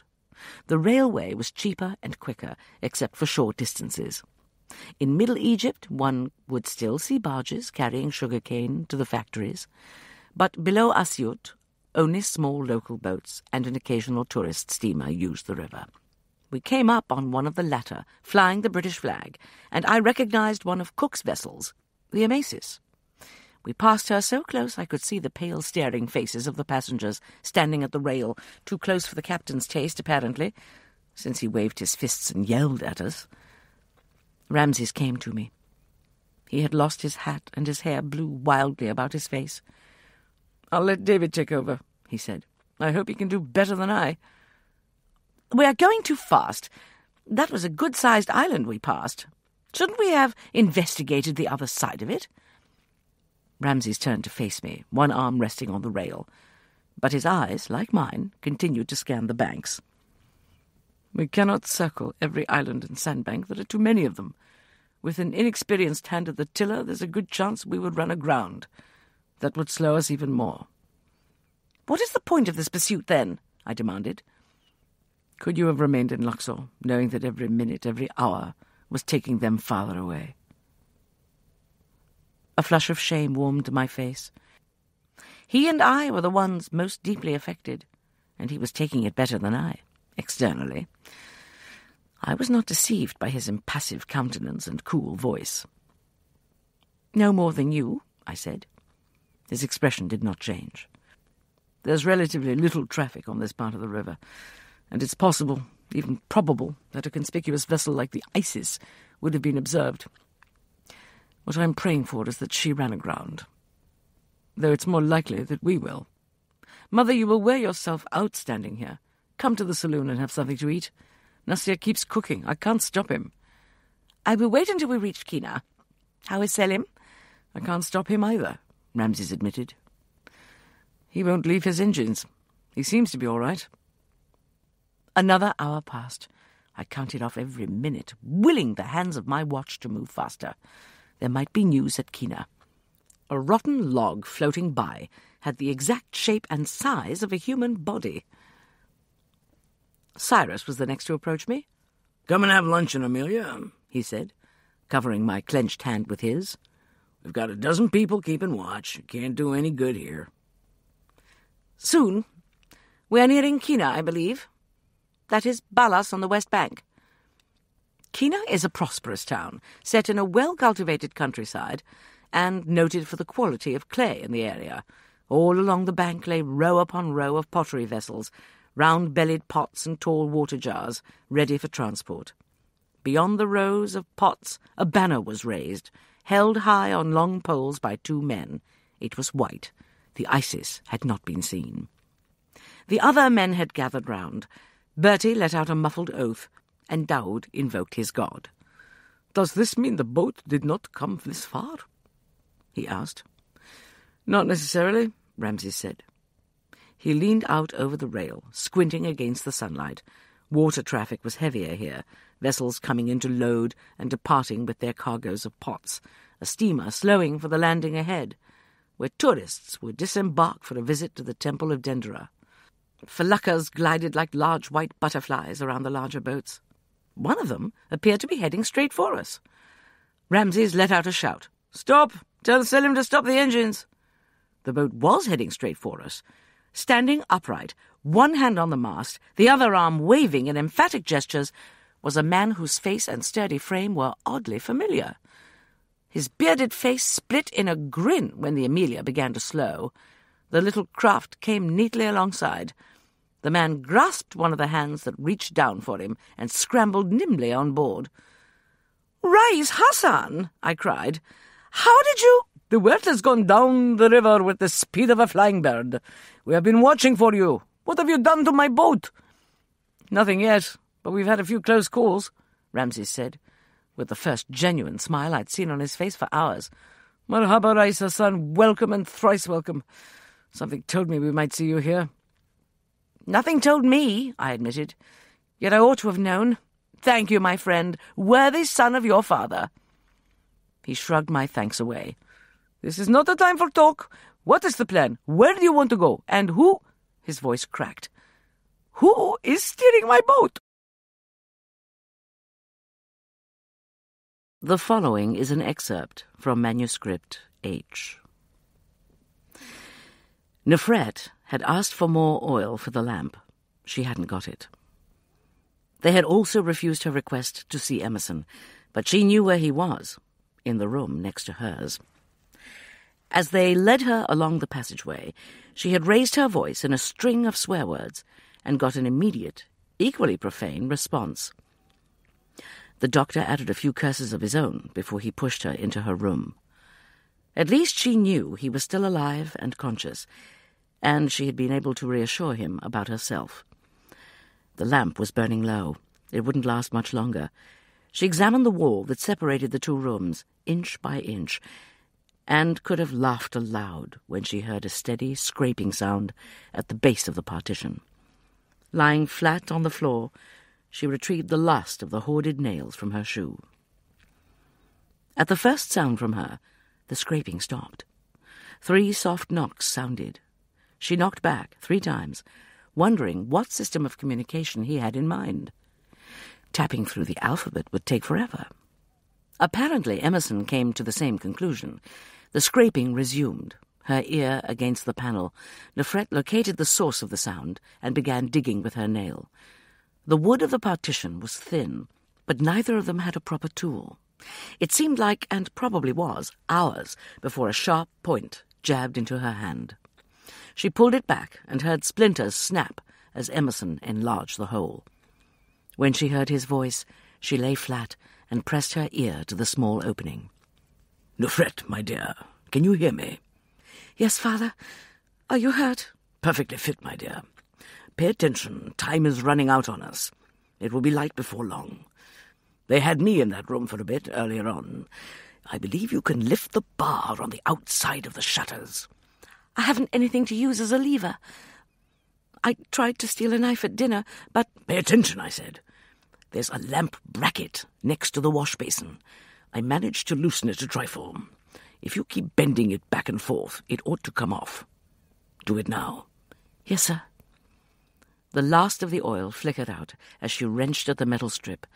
It came away from the wall so suddenly she staggered. She had to feel her way back to the hole. I've got it, she reported. As soon as I get out of here, I'll come to your window and. As soon as you get out of there, you will go over the side. I don't know how far we are from land. Are you willing to risk it? Risk be damned. I won't leave you here. Their faces were close together. She felt his breath warm on her cheek. You can't get me out. Even if you could, I would find it a trifle difficult to swim with fifty pounds of ironmongery attached to me. Are you crying? Don't cry, curse it. Do you know what they're planning? Yes, that horrible old woman told me at dinner. But I can't. She knew he was right, though. She couldn't free him, and she was no good to him as a fellow prisoner. She told me too, or rather, said Emerson complacently, she confirmed my deductions. I could have dropped if I hadn't already been recumbent when she told me who she was. It just goes to show that one should never leave old enemies lying carelessly about. Go on now. Um, A bientôt, father. Uh, yes, my dear. She was afraid to speak again, for she knew her voice would betray her. The faint slits of light at the shutters guided her, it took all her strength to force the blunt end of the bracket into the crack between shutter and window frame, and for a while she didn't think she could exert enough pressure to force the bar up. It gave all at once, and Nefret's heart stopped as it swung free, striking the shutter with a sound that seemed to her as loud as a pistol shot. Emerson heard it. He began to yell and bang on the door, making enough racket to drown out louder sounds than the ones she made, climbing out the window. There was no one in sight on the narrow stretch of deck. She felt as if some other entity had taken control of her body, blocking off emotions she couldn't afford to feel. Smoothly and quickly, she closed the shutters and replaced the bar before she climbed over the rail and lowered herself into the water. The shock of immersion took her breath away. Clinging to the side, she looked round, trying to get her bearings. The moon was on the wane, a thin sliver of silver, but the stars were the bright stars of Egypt. Behind her, not far away, a low dark bulk blotted out a section of sky. An island, and not a very big one, just long enough to hide the Isis from one direction. Bare feet thumped on the deck, only a few inches over her head. Emerson's outburst must have drawn some of them away from their posts temporarily. They had silenced him now. Nefret drew in a deep breath and pushed herself away from the boat in a long glide. When she was forced to come up for air, she turned onto her back and paddled gently with her hands. Now she could see the ghostly outlines of the cliffs of the high plateau. They looked awfully far away. West bank or east? She floated, letting the current carry her for a few yards downstream. The cliffs were those of the west bank, then. Maybe the eastern shore was closer. Something bumped into her. Something squashy and vile-smelling. Nefret fended it off, fighting revulsion. There were always dead animals in the Nile. She didn't want to see what this one was. Turning over again, onto her front, she started swimming toward the island. It was only a sandbank, less than sixty feet long and a few yards wide, but reeds had rooted themselves and weedy plants struggled for sustenance. Nefret pulled herself out of the water and looked round. The eastern shore looked just as far distant. If there was a village on either bank, it showed no lights. The villagers couldn't afford to waste oil. She looked in vain for a familiar landmark. Emerson would have found one. He knew every foot of the river. But to her the cliffs looked all alike. To her left, north, downstream, she could see what appeared to be other small islands. One thing was certain, she couldn't stay here. Once her absence was discovered, they would look for her, and the reeds offered no concealment. She sat down and began struggling with the wet laces of her boots. It cost her a fingernail before she got them off. Hastily, she stripped off her wet shirt and trousers, flattened them into a bundle, and used her belt to strap them onto her back. Silly, perhaps, but if she was fortunate enough to reach shore, she didn't relish the idea of showing herself to a group of conservative villagers in wet, skimpy underclothing. The sky over the eastern cliffs had paled. Dawn was near. She waded through the weeds, slid into the water, and started swimming toward the eastern shore, downstream, with the current and across it. She had known everyone used the Nile as a trash depository, but it was one thing to know, and quite another to be in the middle of the mess, nose to nose with rotting vegetation and dead branches and other things she preferred not to think about. Organic objects that had sunk rose when the gases of decomposition swelled them, she had heard her first lecture on that interesting subject from her mother in law years ago. Emerson had been absolutely scandalized. The thing came at her from behind, floating downstream. It struck her upraised arm a numbing blow and caught her again on the shin as she went under, her mouth filling with water. She fought her way back to the surface, her lungs heaving. The thing was beside her, turning idly in a little eddy, a section of palm trunk with a few fronds still attached. Dizzy with pain and half drowned, Nefret caught hold of a handful, and with the last of her strength pulled herself far enough forward to throw one arm over the rounded trunk. Swimming was out of the question. Her right arm hurt, and her stomach was in knots, and she was tired. So tired. She hung on, letting the impromptu raft draw her along with it, saving what was left of her strength, expending only as much energy as was necessary to keep her head above water. The sky began to brighten. Her left arm ached. Everything ached. Ankle, leg, right arm, back. A sudden jar broke her numbed hold. Her head went under water, and her feet jolted against a solid surface. She stood up, wobbling on one leg, and pushed the streaming hair out of her eyes. The log that had been both disaster and saviour had run up against a muddy bank. It was not either of the river banks, just another damned island. A wave lapped her ankles.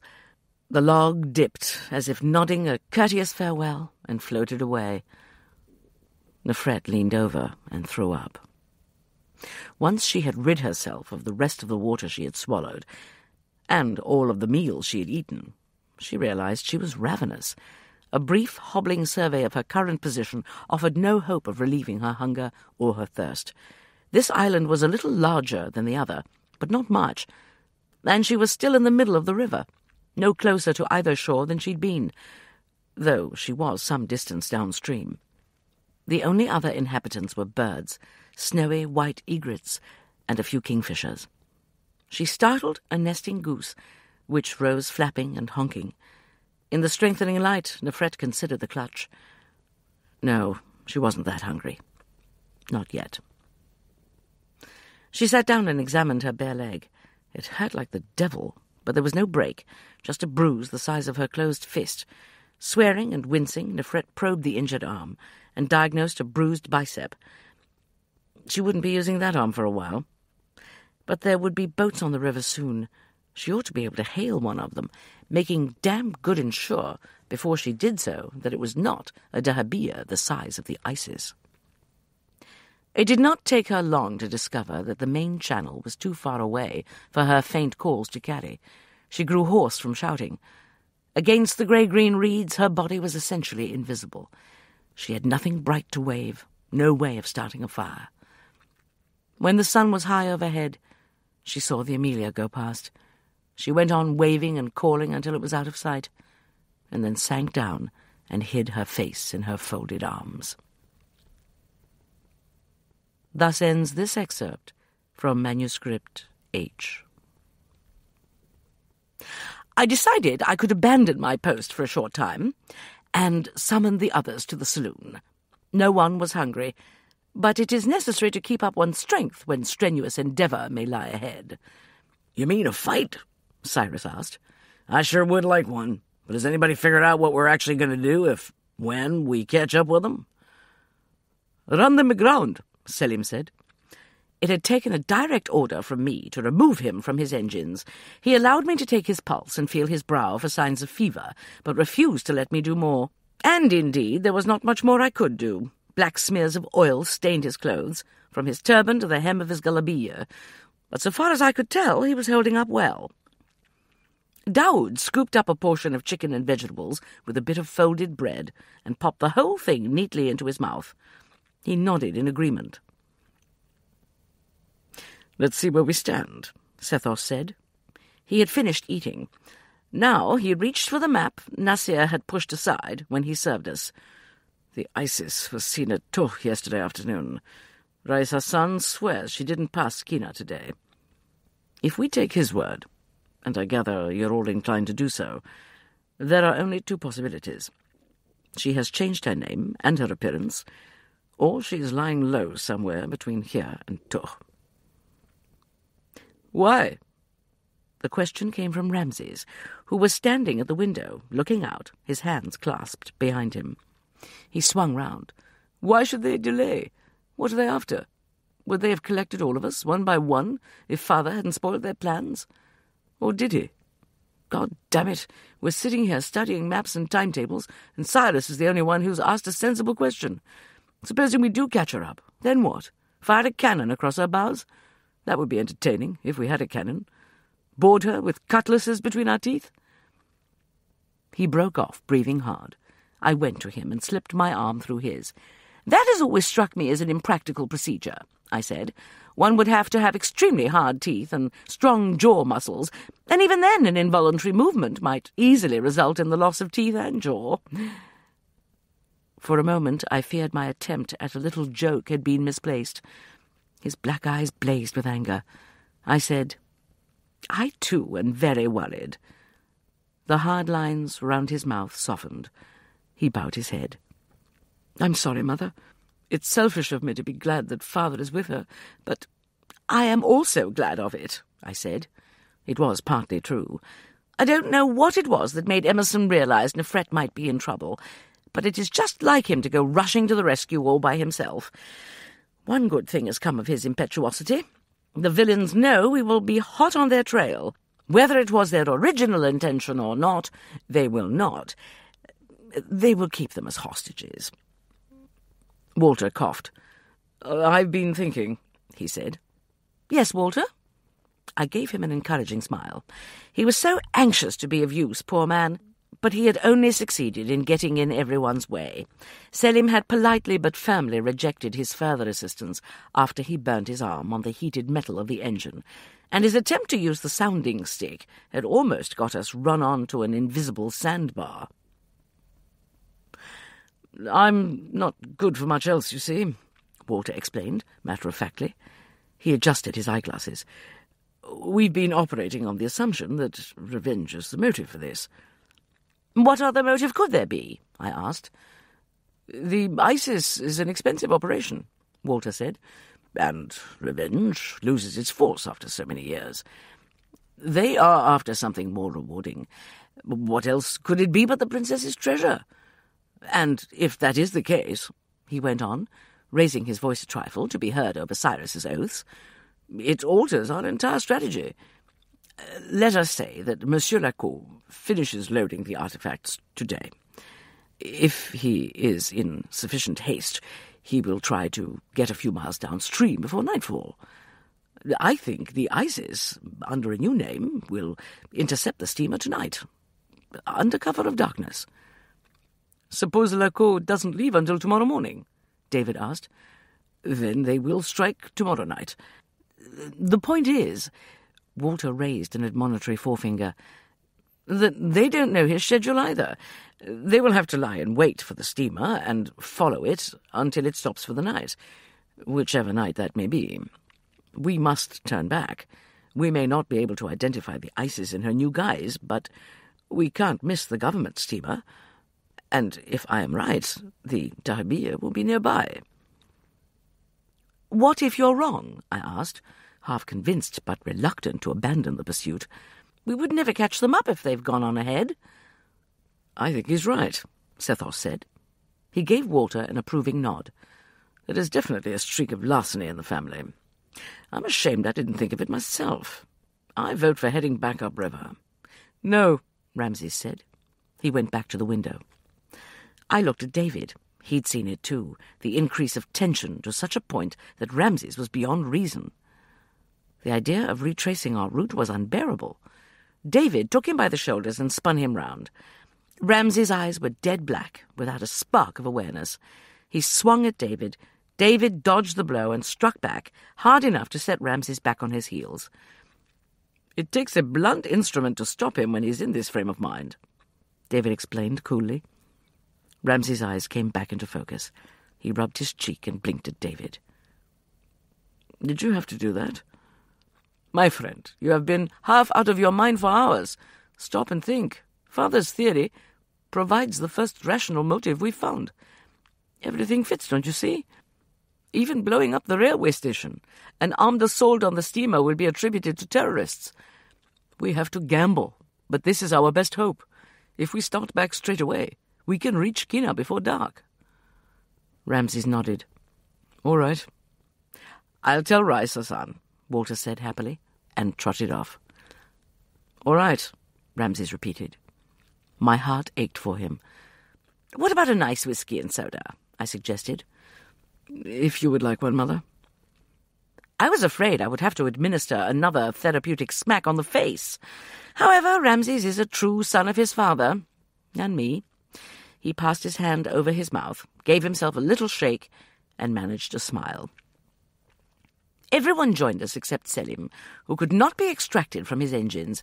Rais Hassan got us turned round in a series of manoeuvres that inspired several breathtaking close calls and a lot of bad language from the persons thus inconvenienced. The white sail of a felucca passed so close it filled the entire window aperture. But finally, we were headed south again. It was late in the afternoon, and the sun was setting, when Bertie came into the saloon to report that someone was hailing us. Looks like a local fishing boat. Probably hope to sell us something, Cyrus grumbled. We'd better see what they want, I said. They may have news. We followed Bertie onto the deck. The sun was low in the west. A flotilla of small boats raced toward us, their white sails flapping like the wings of a flock of birds. The occupants were all shouting at once. It was impossible to make out words. Good heavens, I said. It is a miniature armada. Every boat in that small village, by the looks of it. Tell Selim to stop the engines. They must have news for us. In my understandable agitation, I caught the arm of Ramses, who stood next to me. He shook me off with absent-minded force and raised both hands to shield his eyes against the glare of the sunset. Then his rigid body sagged forward across the rail, and his breath came out in a long, shuddering sigh. My vision is not the equal of his, but I believe I was the next to see her, standing in the nearest boat, supported by one of the men. The coronet of golden hair was unmistakable, but so unbelievable and so welcome was the sight I refused to credit the evidence of my own eyes until the little boat came alongside and the grinning crewman lifted her up into Ramses's outstretched arms. It's a miracle, Walter said reverently. He removed his eyeglasses and wiped them on his shirt tail. Miracle be damned, said my other brother-in-law. Nefret, I am unspeakably relieved to see you, but... Give them a minute, I said. Ramses's arms held her close, and his face was hidden against her hair.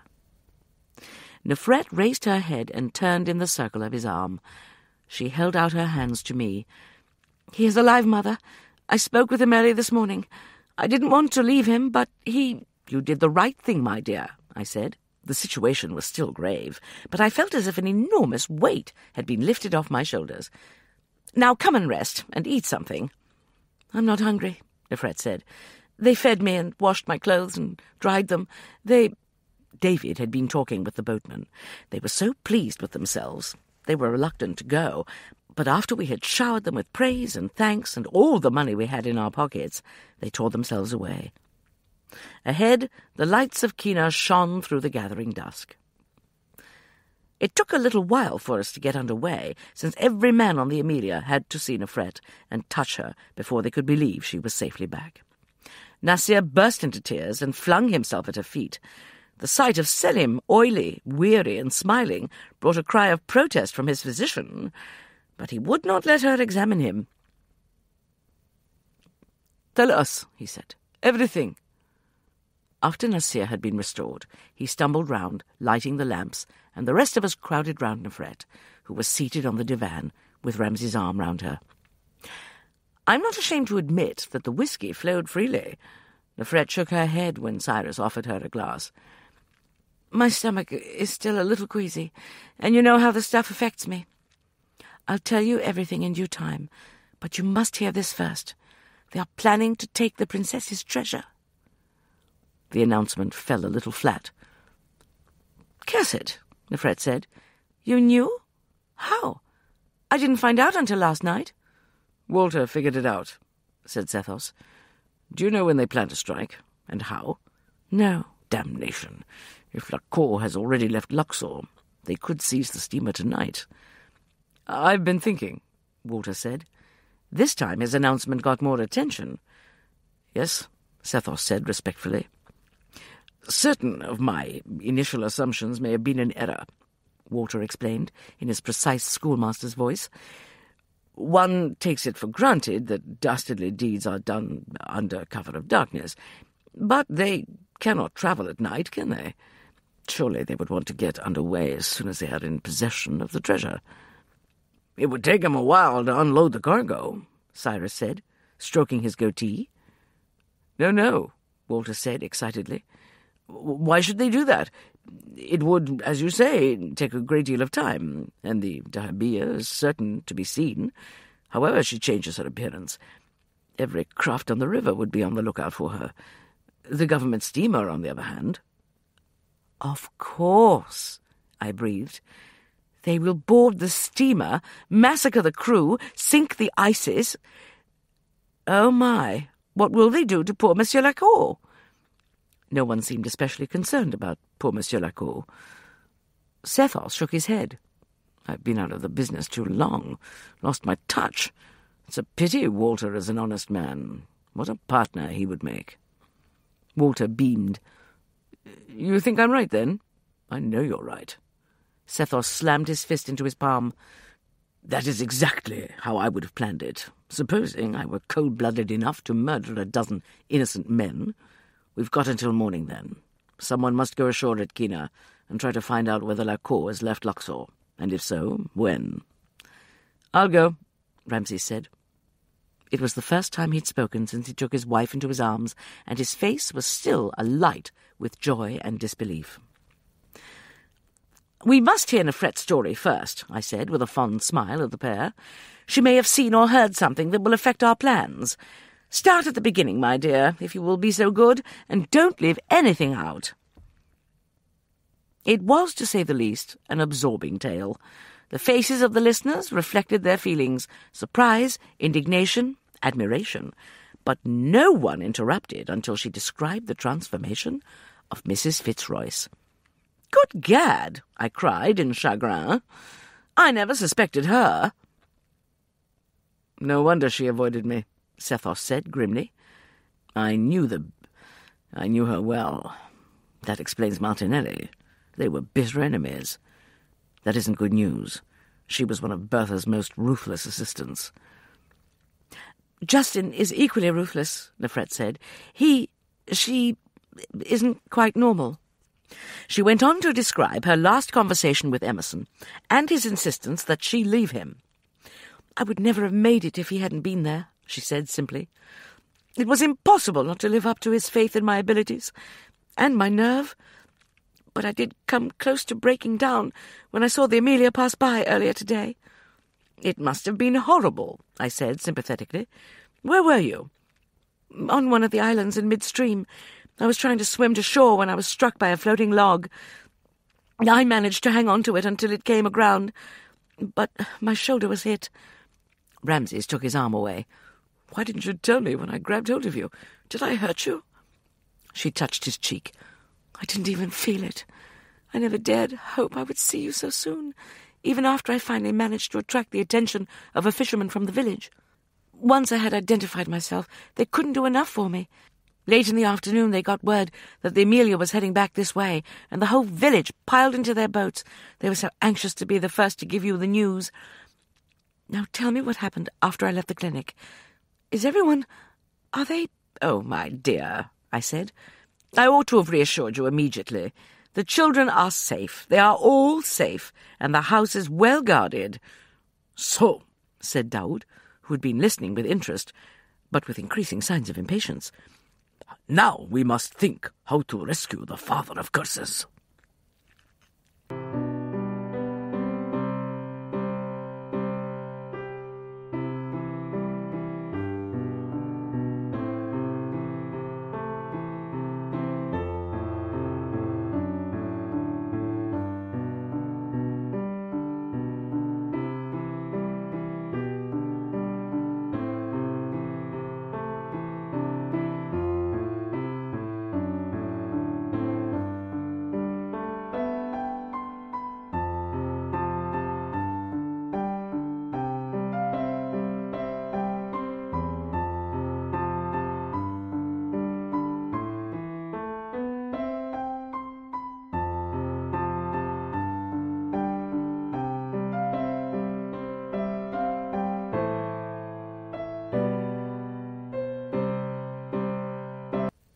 Chapter 14 After Ramses had gone ashore, accompanied by Rais Hassan, I persuaded Nefret to rest for a while. She declared she was too keyed up to sleep, but as soon as her head touched the pillow, her weary eyes closed. I stood looking down at her, watching the lines of pain and worry smoothed by the benevolent hand of Hypnos, and thanking heaven for her preservation. She had made light of her own suffering and struggle, but I knew what she must have gone through. I dared not think of what Emerson was still enduring. The rest of us sat talking in low voices, so as not to awaken her. Daoud had, with the acumen that sometimes marked him, hit the nail square on the head. We might be able to find the Isis before she waylaid the steamer, but while Emerson was a prisoner, we were powerless to prevent an attack. I'd give up the whole gold-earned treasure rather than see him come to harm, Cyrus declared. That is very noble of you, Cyrus, considering that the treasure isn't yours to dispose of, I retorted, and immediately repented my rudeness when I saw his hurt expression. Forgive me, Cyrus. I did not express myself well. What I meant to say was that Monsieur Lacau may not share your sentiments. That's okay, Amelia. I understand. We cannot allow them to take the steamer, I went on, and we cannot attack the Isis openly until Emerson has been freed. Attack? Bertie echoed. What with? A few rifles? When they're probably armed to the teeth? I don't like the odds, Mrs. Amelia. Cyrus is right. Let them take the confounded treasure. They won't get away with it. We'll track them down. Tisn't the treasure I'm thinking of, but the lives of the men on the steamer. Bertie's brow furrowed. Oh, Lord, they wouldn't really kill all those people, would they? I am convinced of it. I remember Matilda well. She was a worthy disciple of her mistress. In my opinion, the young woman is even more dangerous. She has exhibited evidence of severe mental disturbance. Then there's my dear little daughter, said Sethos. He reached for a cigarette. His hand was steady. What a pretty trio they make. An uncomfortable silence followed. Cyrus looked away, and Bertie bit his lip. I had observed his increasing interest in Mariam. It is painful for a young fellow to think that a young lady's interest in him may have an ulterior motive. In fact, I considered the girl less culpable than the others, but to say so would not have comforted her father. Guilty she unquestionably was, and what we were to do with her if we succeeded in capturing her, I could not imagine. And at that moment, she was the least of my concerns. We will have to get on board the Isis, I said, unseen and undetected. That is right, said Daoud, nodding approvingly. The others reserved their commendations. What a good plan, said Sethos. How do you propose we go about it? I have a few ideas. Ramses did not return until close to midnight. He had had to wait at the telegraph office for replies to his urgent telegrams. He did not explain how he had persuaded the clerk to remain on duty past his usual hour, and I did not ask. Lacau was still in Luxor, but he had finished loading the treasure and was expected to depart in the morning. That was not all he and Rais Hassan had accomplished. Ramses had had a few ideas of his own. Runners, donkey riders to be more precise, had been dispatched south from Qena and northward from Luxor. Scouts would be in position by morning, and the same signal system would be used. Any private dahabeeyah would be reported. You seem to have thought of everything, Sethos said grudgingly. Except how we can get to Emerson without being seen. The Amelia is somewhat conspicuous. My warning shake of the head stopped Ramses on the verge of a hot retort. He swallowed and looked at Nefret. She had awoken instantly when he entered, and was curled up on the divan, watching him as he paced to and fro. I have thought of that too, sir. We're taking a small boat in tow. She's a miserable-looking craft, so the crew of the Isis won't be surprised when we appear with our sail trailing. While the rest of you entertain the observers by screaming poignant appeals for rescue, which you are not likely to get, I'll swim to the Isis. And I with you, said Sethos. How far can you swim under water? Ramses inquired gently. Far enough. No, I, said Ramses in the same quiet voice, am running this show. Anyone who won't accept that can damn well stay here. The boat will hold four. It will be the job of the others to distract the crew while David and I get to the dahabeeyah. After that, well, it'll depend on what transpires, and that is likely to be unpleasant. Naturally, they all wanted to go. Daoud rumbled hopefully. Ramses smiled and shook his head. Impossible to disguise you, Daoud, or you, Cyrus. Selim isn't fit enough. The rest of us will wear the usual rags. Myself, David, Bertie, and you, Sethos, if you promise to follow my orders. I sat very quietly in the corner, my hands folded in my lap. Ramses said, without looking in my direction, No, mother, not a chance. Did you hear what I said? Certainly, my dear. I heard every word. There she is, riding at anchor near the west bank. Ramses raised one arm and gave the signal to Rais Hassan. The sun was still low over the eastern cliffs, and the lovely flush of sunrise hadn't completely faded. We were south of Qena, approaching the stretch where, according to Rais Hassan's deductions, the Isis was most likely to be lurking.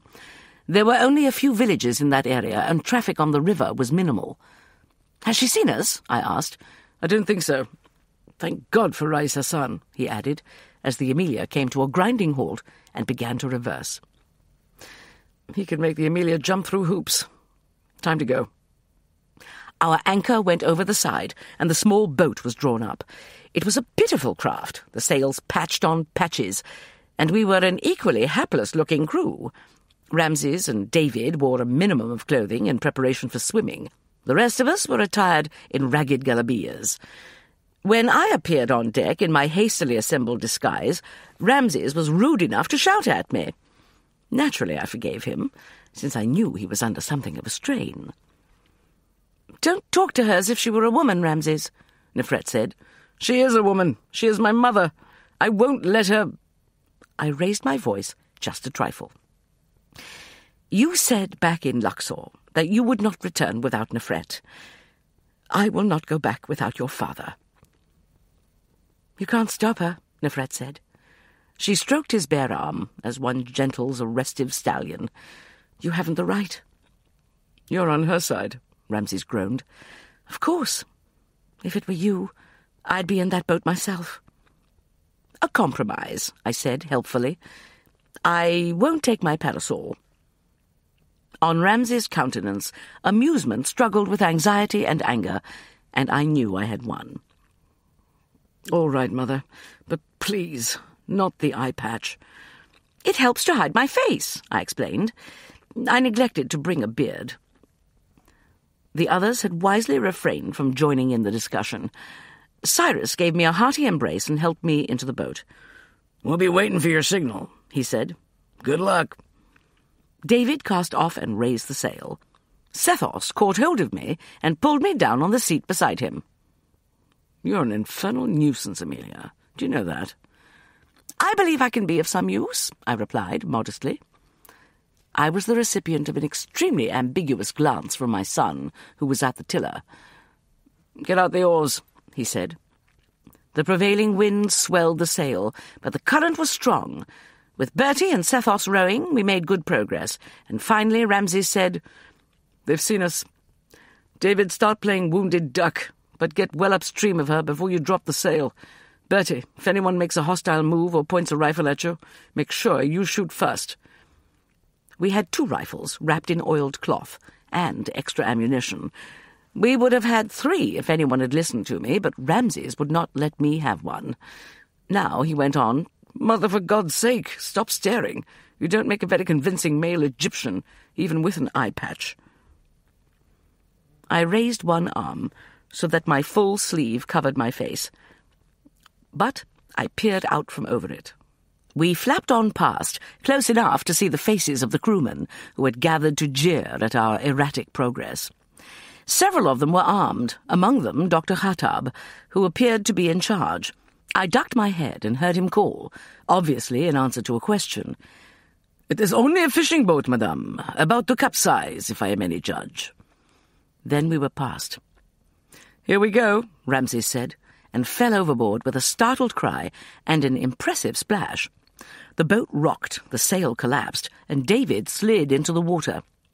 The rest of us were making as much noise as possible. Sethos cupped his hands round his mouth. Throw us a rope, he shrieked. Help, we will all drown, for the mercy of God. There was no mercy on those hard faces. Laughing, one of them pointed at a pair of arms and a distorted face that rose above the water between us and the dahabeeyah. The arms waved pathetically and disappeared. Bertie was paddling wildly in circles. The audience found this even more amusing. They began offering advice, all of it rude, some of it quite vulgar.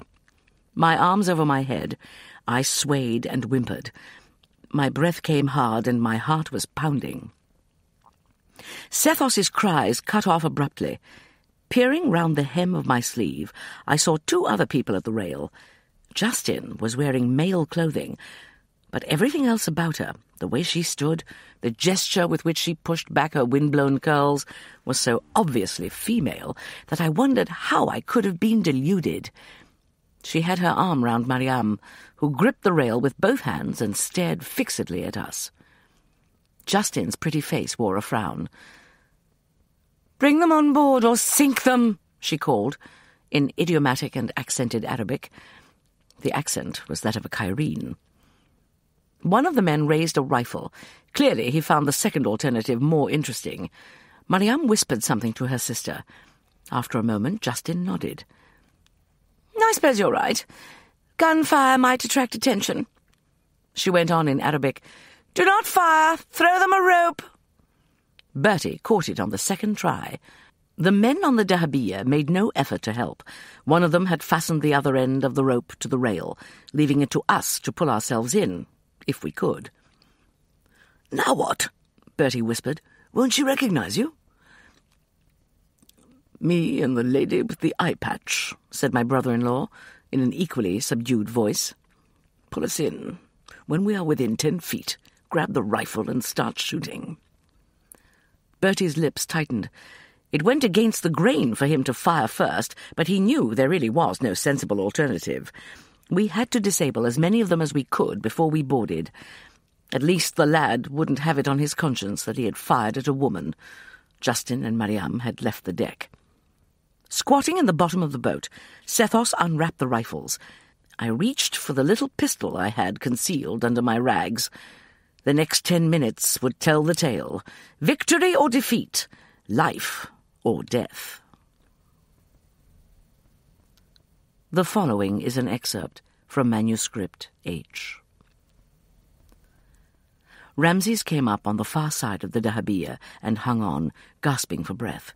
He looked wildly around for David and could have shouted with relief when David's head popped up a few feet away. He reached out a hand and pulled his wheezing friend to his side. David had lost his turban.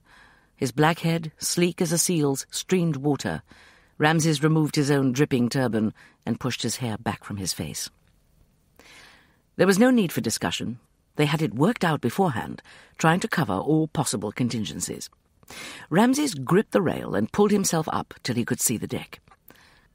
There were three windows on this side, all open or ajar. None was the window to his father's cell. According to the plan Nefret had drawn, it was on the opposite side of the dahabeeyah. The deck was deserted.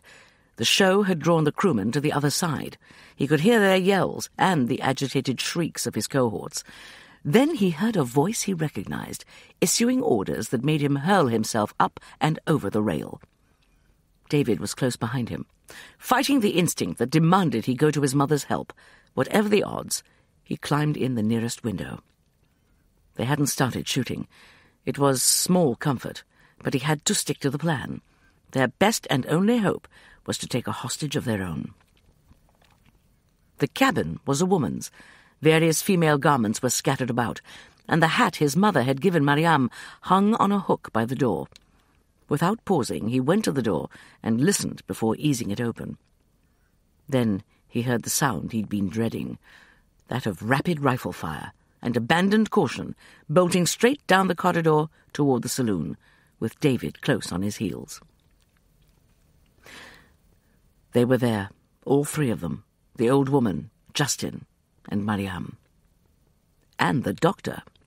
Ramses left him to David, heard a grunt and a thump, and caught Justin by the throat. Order them to stop firing, he panted. Mariam, tell them I'll kill her if they don't surrender. Without a word or a look, Mariam darted out. After a moment, the firing stopped. Ramses loosened his hold, feeling like a brute. She stood quiet in his grasp. Her throat was soft and slender, and her blue eyes were reproachful. You wouldn't hurt me, would you? Your pretty little Hathor? You've lost, Ramses said. It's over. She laughed at him, showing even white teeth. David was standing by the old woman, who hadn't moved from her chair. She looked contemptuously at the knife David held to her throat. Put that away, boy. Neither of you would harm a woman, and we hold the ace in this little game. If you want the Professor back in one piece, you will surrender to us. Once we have what we are after, we will set you ashore unharmed. You're lying, Ramses said. Give me the keys to his room. They're in the drawer there. He started toward the bureau, and Justin laughed again. They won't do you any good. The Professor is not alone, you see. Francois is with him, and if anyone opens that door without giving the agreed upon signal, he will cut your father's throat. He can't defend himself, she added brightly, because he is chained hand and foot. Ramses couldn't think.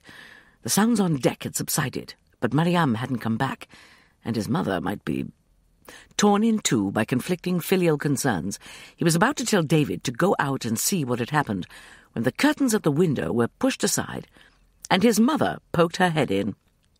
She had lost her turban, her hair was straggling round her shoulders, and there was blood on her face. But the eye patch was still firmly in place. Ah, there you are, she said, brandishing her pistol. I presume everything is under control? Well, no, not exactly, Ramses said, struggling for breath. Mother, are you. Sethos and Bertie? Both wounded, but not seriously. They have subdued the crew. His mother climbed nimbly through the window. This isn't my blood, she added. My dear boy, you're as white as a sheet. You weren't worried about me, were you? Worried? About you? He ran out of breath again. Thank God, David exclaimed. But the professor is. The pound of feet along the passageway stopped him. Emerson burst through the door. I heard gunfire. Where? Damnation, Peabody, I knew it was you. Why are you wearing that idiotic eye patch? She dropped the pistol, and Ramses, dizzy with relief, was treated to the spectacle of his eminent parents, both of whom resembled survivors of a small war, rushing into each other's arms. Their incoherent remarks were, he realized, completely in character.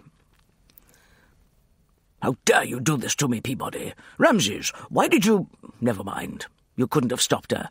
My darling Peabody. Are you injured? Interspersed were her own comments.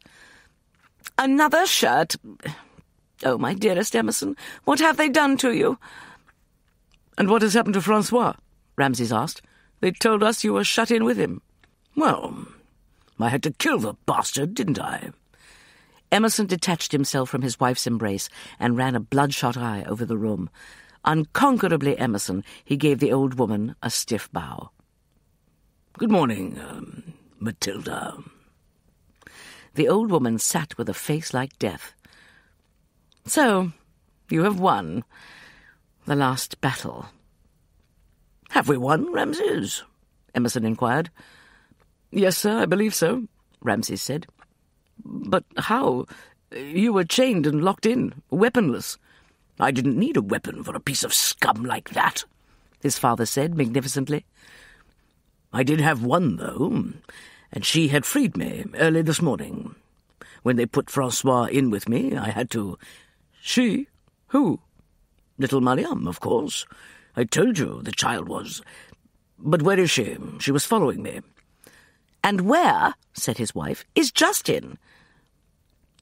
She had taken advantage of their distraction to slip away, and so had Khattab. They found Mariam lying in the corridor. She had been struck unconscious. It wasn't hard to guess by whom, but she was beginning to come round, and when Emerson lifted her, she caught hold of him and tried to speak. Quick, you must go. She has lit the fuse. Thus ends this excerpt from Manuscript H. Matilda jumped up and ran for the door. She was quite agile for an elderly person. The prospect of imminent death, I have observed, lends wings to the feet. Ramses was quicker. He took her by the shoulders and shook her, none too gently. Where's she gone? She tried to twist away from him. It's in her room. She loves dynamite. You can waste time trying to break the door down if you like, but let me go. God knows how much time we have. If she has shortened the fuse. She's right, I cried. This is no time for bravado or chivalry. Hurry! Bertie and Sethos were holding the disgruntled thugs at gunpoint. Several bodies lay sprawled on the deck. Sethos's eyes moved from Emerson to Mariam, but before he could speak, Emerson bellowed, Abandon ship, everyone! She's about to blow! Thugs rained into the river like beetles shaken from a branch. Sethos limped toward us. He had taken a bullet in the leg, and a trail of blood spots followed him. The boat, he said. Get the women into it. The little craft was tied to the side. Matilda was the first to reach it. She scrambled into it and started to untie the rope. Hands off, Matilda, or I will shoot you where you sit, Sethos said. She backed off, cursing him. Emerson shoved me in and handed Mariam down to me. Now you, said Emerson, turning to his brother, and Bertie, get in and row like hell. Ramses, David, over the side with you. I will say this for the members of my family, that they know when argument is inexpedient. Everyone moved as quickly as if they had rehearsed the procedure.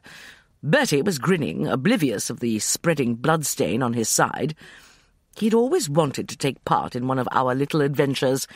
I sincerely hoped that he would survive this one. I pushed Matilda out of my way and sat down, holding Mariam, who appeared to be in a state of shock. Her eyes were blank and unfocused, her body limp. Bertie and Sethos snatched up the oars, and Emerson untied the rope. As we moved away from the doomed vessel, aided by the current, I saw Ramses and David treading water and looking back at Emerson, who was leaning over the rail. Who the devil do you think you are, the captain? I shrieked. Get off there this minute. Emerson climbed up on the rail and dived. The boys converged on him, but he was not in need of their assistance, as his vigorous strokes made evident. Ten feet. Twenty. My eyes were glued on the Isis. She looked so peaceful riding there at anchor, her decks deserted. Thirty feet. Swimming strongly, the men had almost caught us. Bertie held out an oar and was royally cursed by both Sethos and Emerson. Keep rowing, the latter bellowed. Forty feet. The Isis blew. The roar of the explosion deafened me. Bits of wood and rail, metal fittings, and miscellaneous debris were hurled into the air. The boat rocked wildly as the shock waves reached us. When they finally subsided, I realized we were still afloat, and that the dahabeeyah was ablaze. She burned quietly and beautifully, the bright flames swaying above her like a curtain. We sat transfixed, and, in my case at least, filled with profound and humbling thoughts. I believe I was the only one to have seen, among the floating debris, a mutilated but recognizable shape. If she had meant to escape the boat before the dynamite exploded, she had waited too long.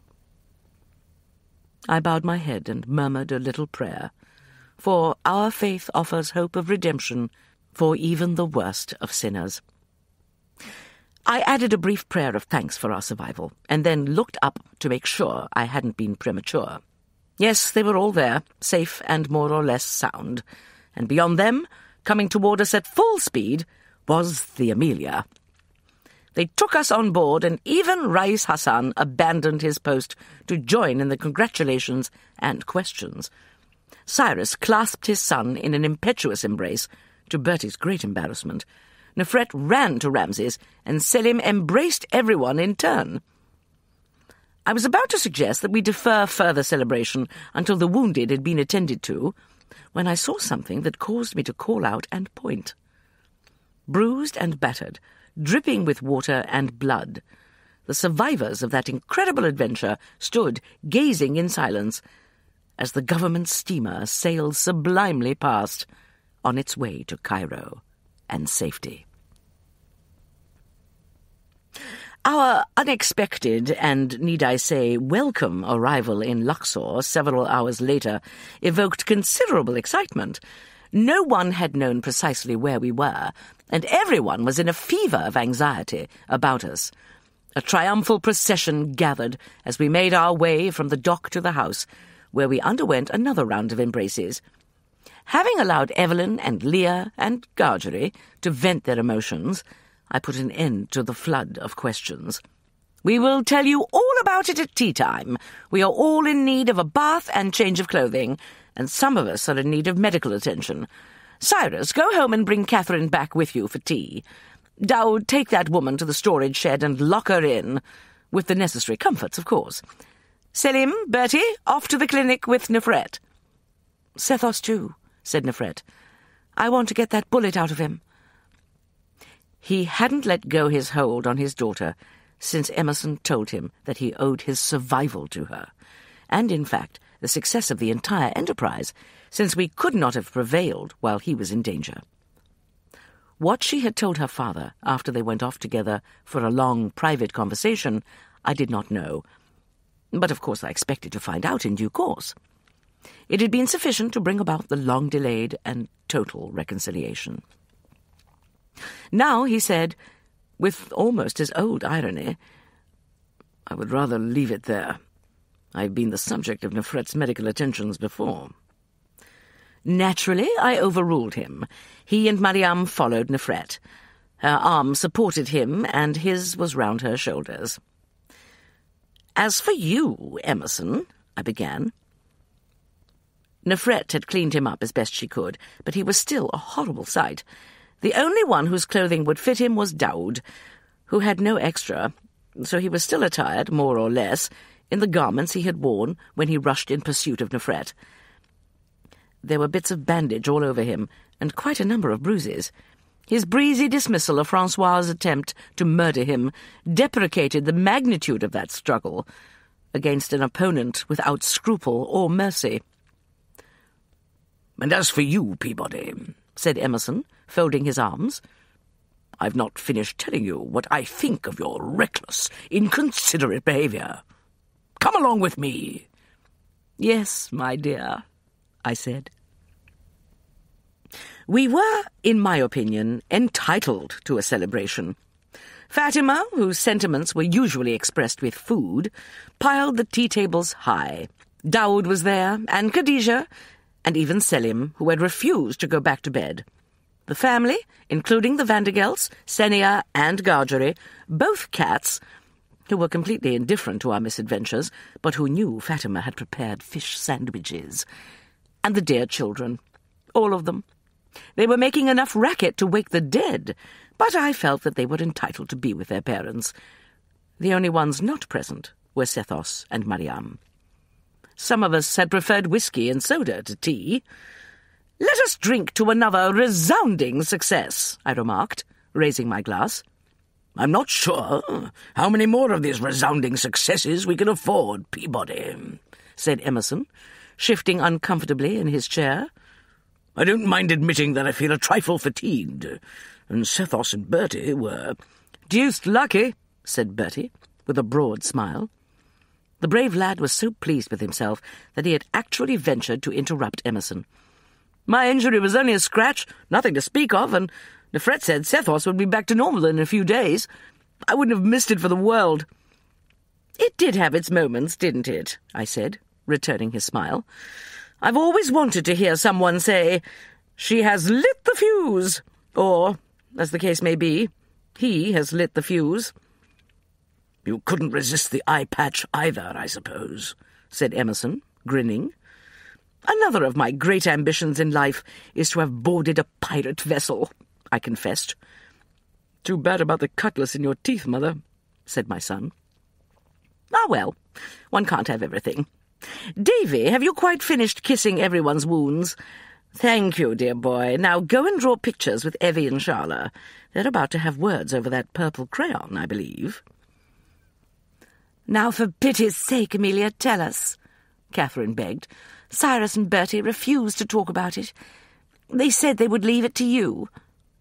We are only waiting for Sethos and Mariam, I said. When Sethos joined us, he was alone. I persuaded her to rest, he said. He looked us over and smiled slightly. She hasn't yet acquired the family resilience. Perhaps that's just as well, I said. Sit down and put that leg up, Emerson, will you? Oh, thank you, Walter. He had already pressed a glass into his half-brother's hand. We're waiting, Amelia, Evelyn said. Where to begin? I took another sip. It is a complicated story. Like most of them, Cyrus said. I suppose that's true. Perhaps I should begin by going over my list of extraordinary incidents, which I happen to have with me, and explain how each event fits inexorably into the pattern our adversaries attempted to establish in order to deceive us as to their true motive. I think we've all worked that out, Mother, Nefret said. Confirmation came in the form of nods from the others. Oh, I said. Including Justin's masquerade as Hathor? The second incident was designed to clear Mariam of suspicion, and it was rather cleverly arranged. Justin was wearing her boy's clothing under that clumsy robe. All she had to do was slip out of it while Mariam and the others distracted you four. The scrap of fabric Emerson found was planted. Ramses interrupted. Excuse me, Mother, but we've worked that out too. Oh. Hmm. The plot began to take shape when Matilda learned of the princess's treasure. She was, at that time, running a house of... Uh, in Cairo, and engaging in various other illicit activities. It was Matilda who had, several years earlier, told Mariam a pack of lies about her mother and induced her to run away. Mariam was young and rebellious. The two are practically synonymous, and she was thrilled to discover that she had a sister and a motherly protector. Matilda arranged Mariam's marriage to a wealthy man, and, I suspect, disposed of poor Mr. Throgmorton once he had made a will leaving everything to Mariam. I am sure Mariam had no hand in his demise. He was good to her, Sethos said. She was fond of him. Not until some time after his death, when she had returned to Matilda, did she begin to suspect foul play. What I don't understand, Cyrus said, is how they intended to get the artifacts unloaded. They couldn't have gone on to Cairo with them. All eyes, even those of Emerson, turned to none other than Walter.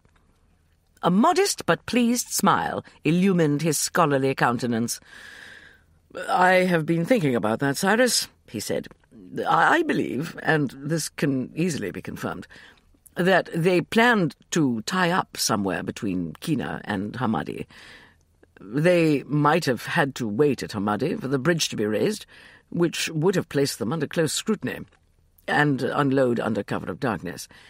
The heavier objects could be temporarily concealed in an empty tomb or cave, to be retrieved later, when the. Uh, I believe the expression is. Uh, when the heat was off.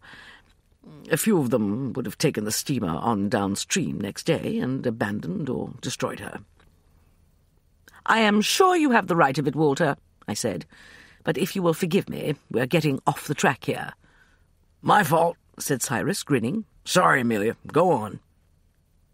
The story of our visit to El Gharbi was new to some of them, and if I may say so, I told it well. I saw Daoud, lips moving and eyes abstracted, and knew he was memorizing everything I said, to be repeated with embellishments. It came as a complete shock to me, I admitted handsomely. I went to El Gharbi because I had deduced that Mariam's misadventures were, so to speak, the pieces that did not fit into the puzzle. But all I expected to learn was more about her past history. She overheard me talking to Ramses. She had got in the habit of walking in the garden at night. Her reasons do not concern us, I added, with a little cough. Nefret glanced at Ramses, who was studiously not looking at anyone, and moved closer to him. She looked weary but very beautiful, her face shining with a new contentment. She had learned one important lesson, that the marriage of true hearts does not alter when it alteration finds, and that love is not time's fool, as Shakespeare so nicely puts it. I nodded affectionately at her and went on. Mariam realized when she heard me mention El Gharbi's village that he would tell me about Justin, and that that information would put the entire party on the Dahabeeyah under suspicion. I believe I may confidently assert that my explanation of the true facts surrounding her mother's death, as well as the kindly reception she received, had altered her feelings for us. At first light, she went to Luxor and attempted to dissuade Justin and Matilda from carrying out their plans. At least the part of those plans that depended on the abduction of Nefret. She swore she would not betray them. But apparently her agitation was so great that they decided they could not trust her. So they locked her in her room and sent Khattab to the railway station to see whether Ramses and I actually took the train. Exposure was imminent. However, they knew we could not return before evening, so they had only to move up the time of their departure by a few hours. When Mariam was forced to attend that incredible dinner party, at which Nefret was also an unwilling guest, she put on a show of submission and acquiescence. She certainly deceived me, Nefret admitted. It was necessary that she deceive them, so that she might remain at liberty. Upon hearing of Emerson's capture and Matilda's vindictive intentions, she realized that she was the only one who could save him. With great courage and at considerable risk to herself, she stole the keys last night, crept into his room, and freed him from his shackles. She tried to persuade him to escape that same night, but he refused. Like the confounded fool he is, I added. I had some hope of preventing the attack on the steamer, said Emerson, smoking placidly. Single-handedly? I inquired with raised brows. I rather expected Matilda to pay me another call, Emerson explained. She so enjoyed the first. Then, you see, I would have taken her hostage and forced the others to surrender to me. An excellent plan, said Sethos, with excessive politeness. Well, curse it, I didn't expect them to shove Francois in with me. When I heard them at the door, I rearranged my shackles so that I appeared to be still confined and put on a show of weakness. I hoped to get more specific information from him about the timing and method, but all the bast the fellow did was sit glowering at me and fingering his knife. I had about decided there was no point in waiting any longer when I heard gunfire. I had just finished dealing with Francois when Mariam came back to let me out. She is a brave little girl, and risked a great deal for us. More than you know, Sethos said. He rose stiffly to his feet. Look after her, will you, Amelia? I must catch the night train to Cairo. Out of the question, I exclaimed. You should not be using that leg. And anyhow, your first duty is to your daughter. Tell Mr. Smith to go to blazes. I am perfectly fit, said Sethos, sounding alarmingly like Emerson. And this duty takes precedence over all others. You are on the wrong track, Amelia. Evelyn had the right idea after all. She was under duress, Evelyn exclaimed. I knew it. What hold did they have over her? The most powerful hold you can possibly imagine. He smiled at me with something of his old mockery, but there was a light in his eyes. Some might declare there are enough small children in this adventure already. Could never have enough of them, declared Emerson sentimentally. Then his jaw dropped. What do you mean? Oh, good gad! Do you mean... I have just been informed that I'm a grandfather, said Sethos. The child is a boy. He is a year old, and Matilda has had him in her hands since shortly after he was born. Good heavens! I cried, leaping to my feet. In the hands of that vicious, unprincipled, we must go at once. Uh, where? I know where, Sethos said. I had a little chat with Matilda just now. Sit down, Amelia, and have another whisky. You won't be needed. I must catch that train, though. I promised I would bring him back to her as soon as is humanly possible. Of course, I murmured. How she must have suffered. Emerson knocked out his pipe. I'm going with you. You aren't fit to travel. Neither was he. Ramses looked from him to Nefret, whose hand rested in his. No, sir. I'll go. What about me? Bertie asked. You've done enough, I said affectionately. No, ma'am, not really. The rest of you chaps. His kind brown eyes moved from Ramses to David to Emerson to Walter. The rest of you want to be with your wives. I. I'd like to go, if Sethos will have me. Just to uh, lean on now and then, you know. They had formed a bond, I believe, during those last desperate minutes, when Bertie, firing as coolly and accurately as Sethos, had eliminated four of the armed men who stood at the rail before they realized what was happening. While he and Sethos fought their way onto the deck, I paused only long enough to tie the rope to our little boat before joining them. The struggle did not last long.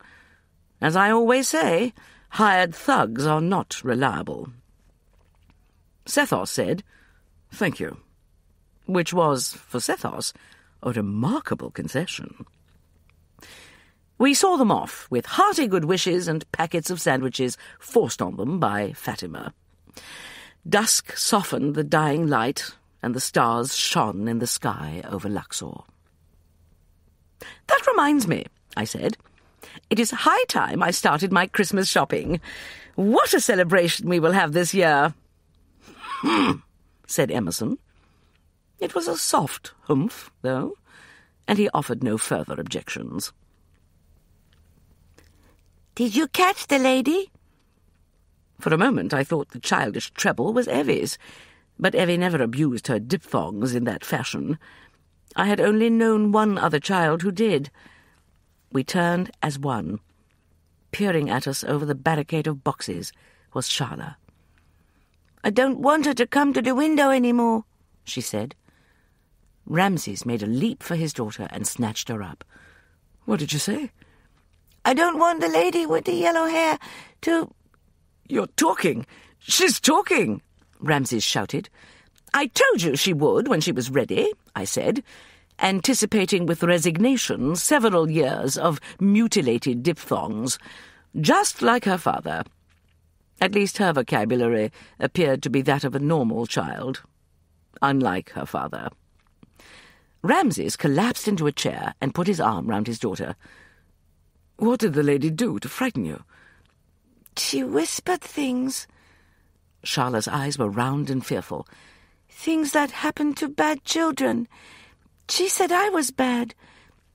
Once she tried to put a, a snake in the window, but you came and she ran away. Oh, my God, Ramses whispered, holding her close and bowing his head over hers. You aren't bad, sweetheart. You're good and wonderful and brave. The. the lady is gone. She'll never come back. Charla was pleased, but not entirely convinced. Is she dead? Yes, I said firmly. She is dead. The dead do not come back. It was Justin, wasn't it? Nefret said, her voice unsteady. Another of her little games. To torment a child like that. Your premonitions were correct, you see, I said. She was a threat to them. Nefret ran her hand caressingly over the two curly black heads. Then she sauntered, with seeming casualness, toward the barricade. Davy, she said tentatively. The little boy looked up and showed his four teeth. Nefret held out her arms. Will you come and talk to Mamma? If you don't mind, Mamma, I would prefer to be called by my full name from now on, said David John, articulating with hideous precision. What subject would you like to discuss? I sank into the nearest chair. Emerson, I said faintly. Emerson, another whiskey, please. You've been listening to Children of the Storm by Elizabeth Peters, narrated by Barbara Rosenblatt.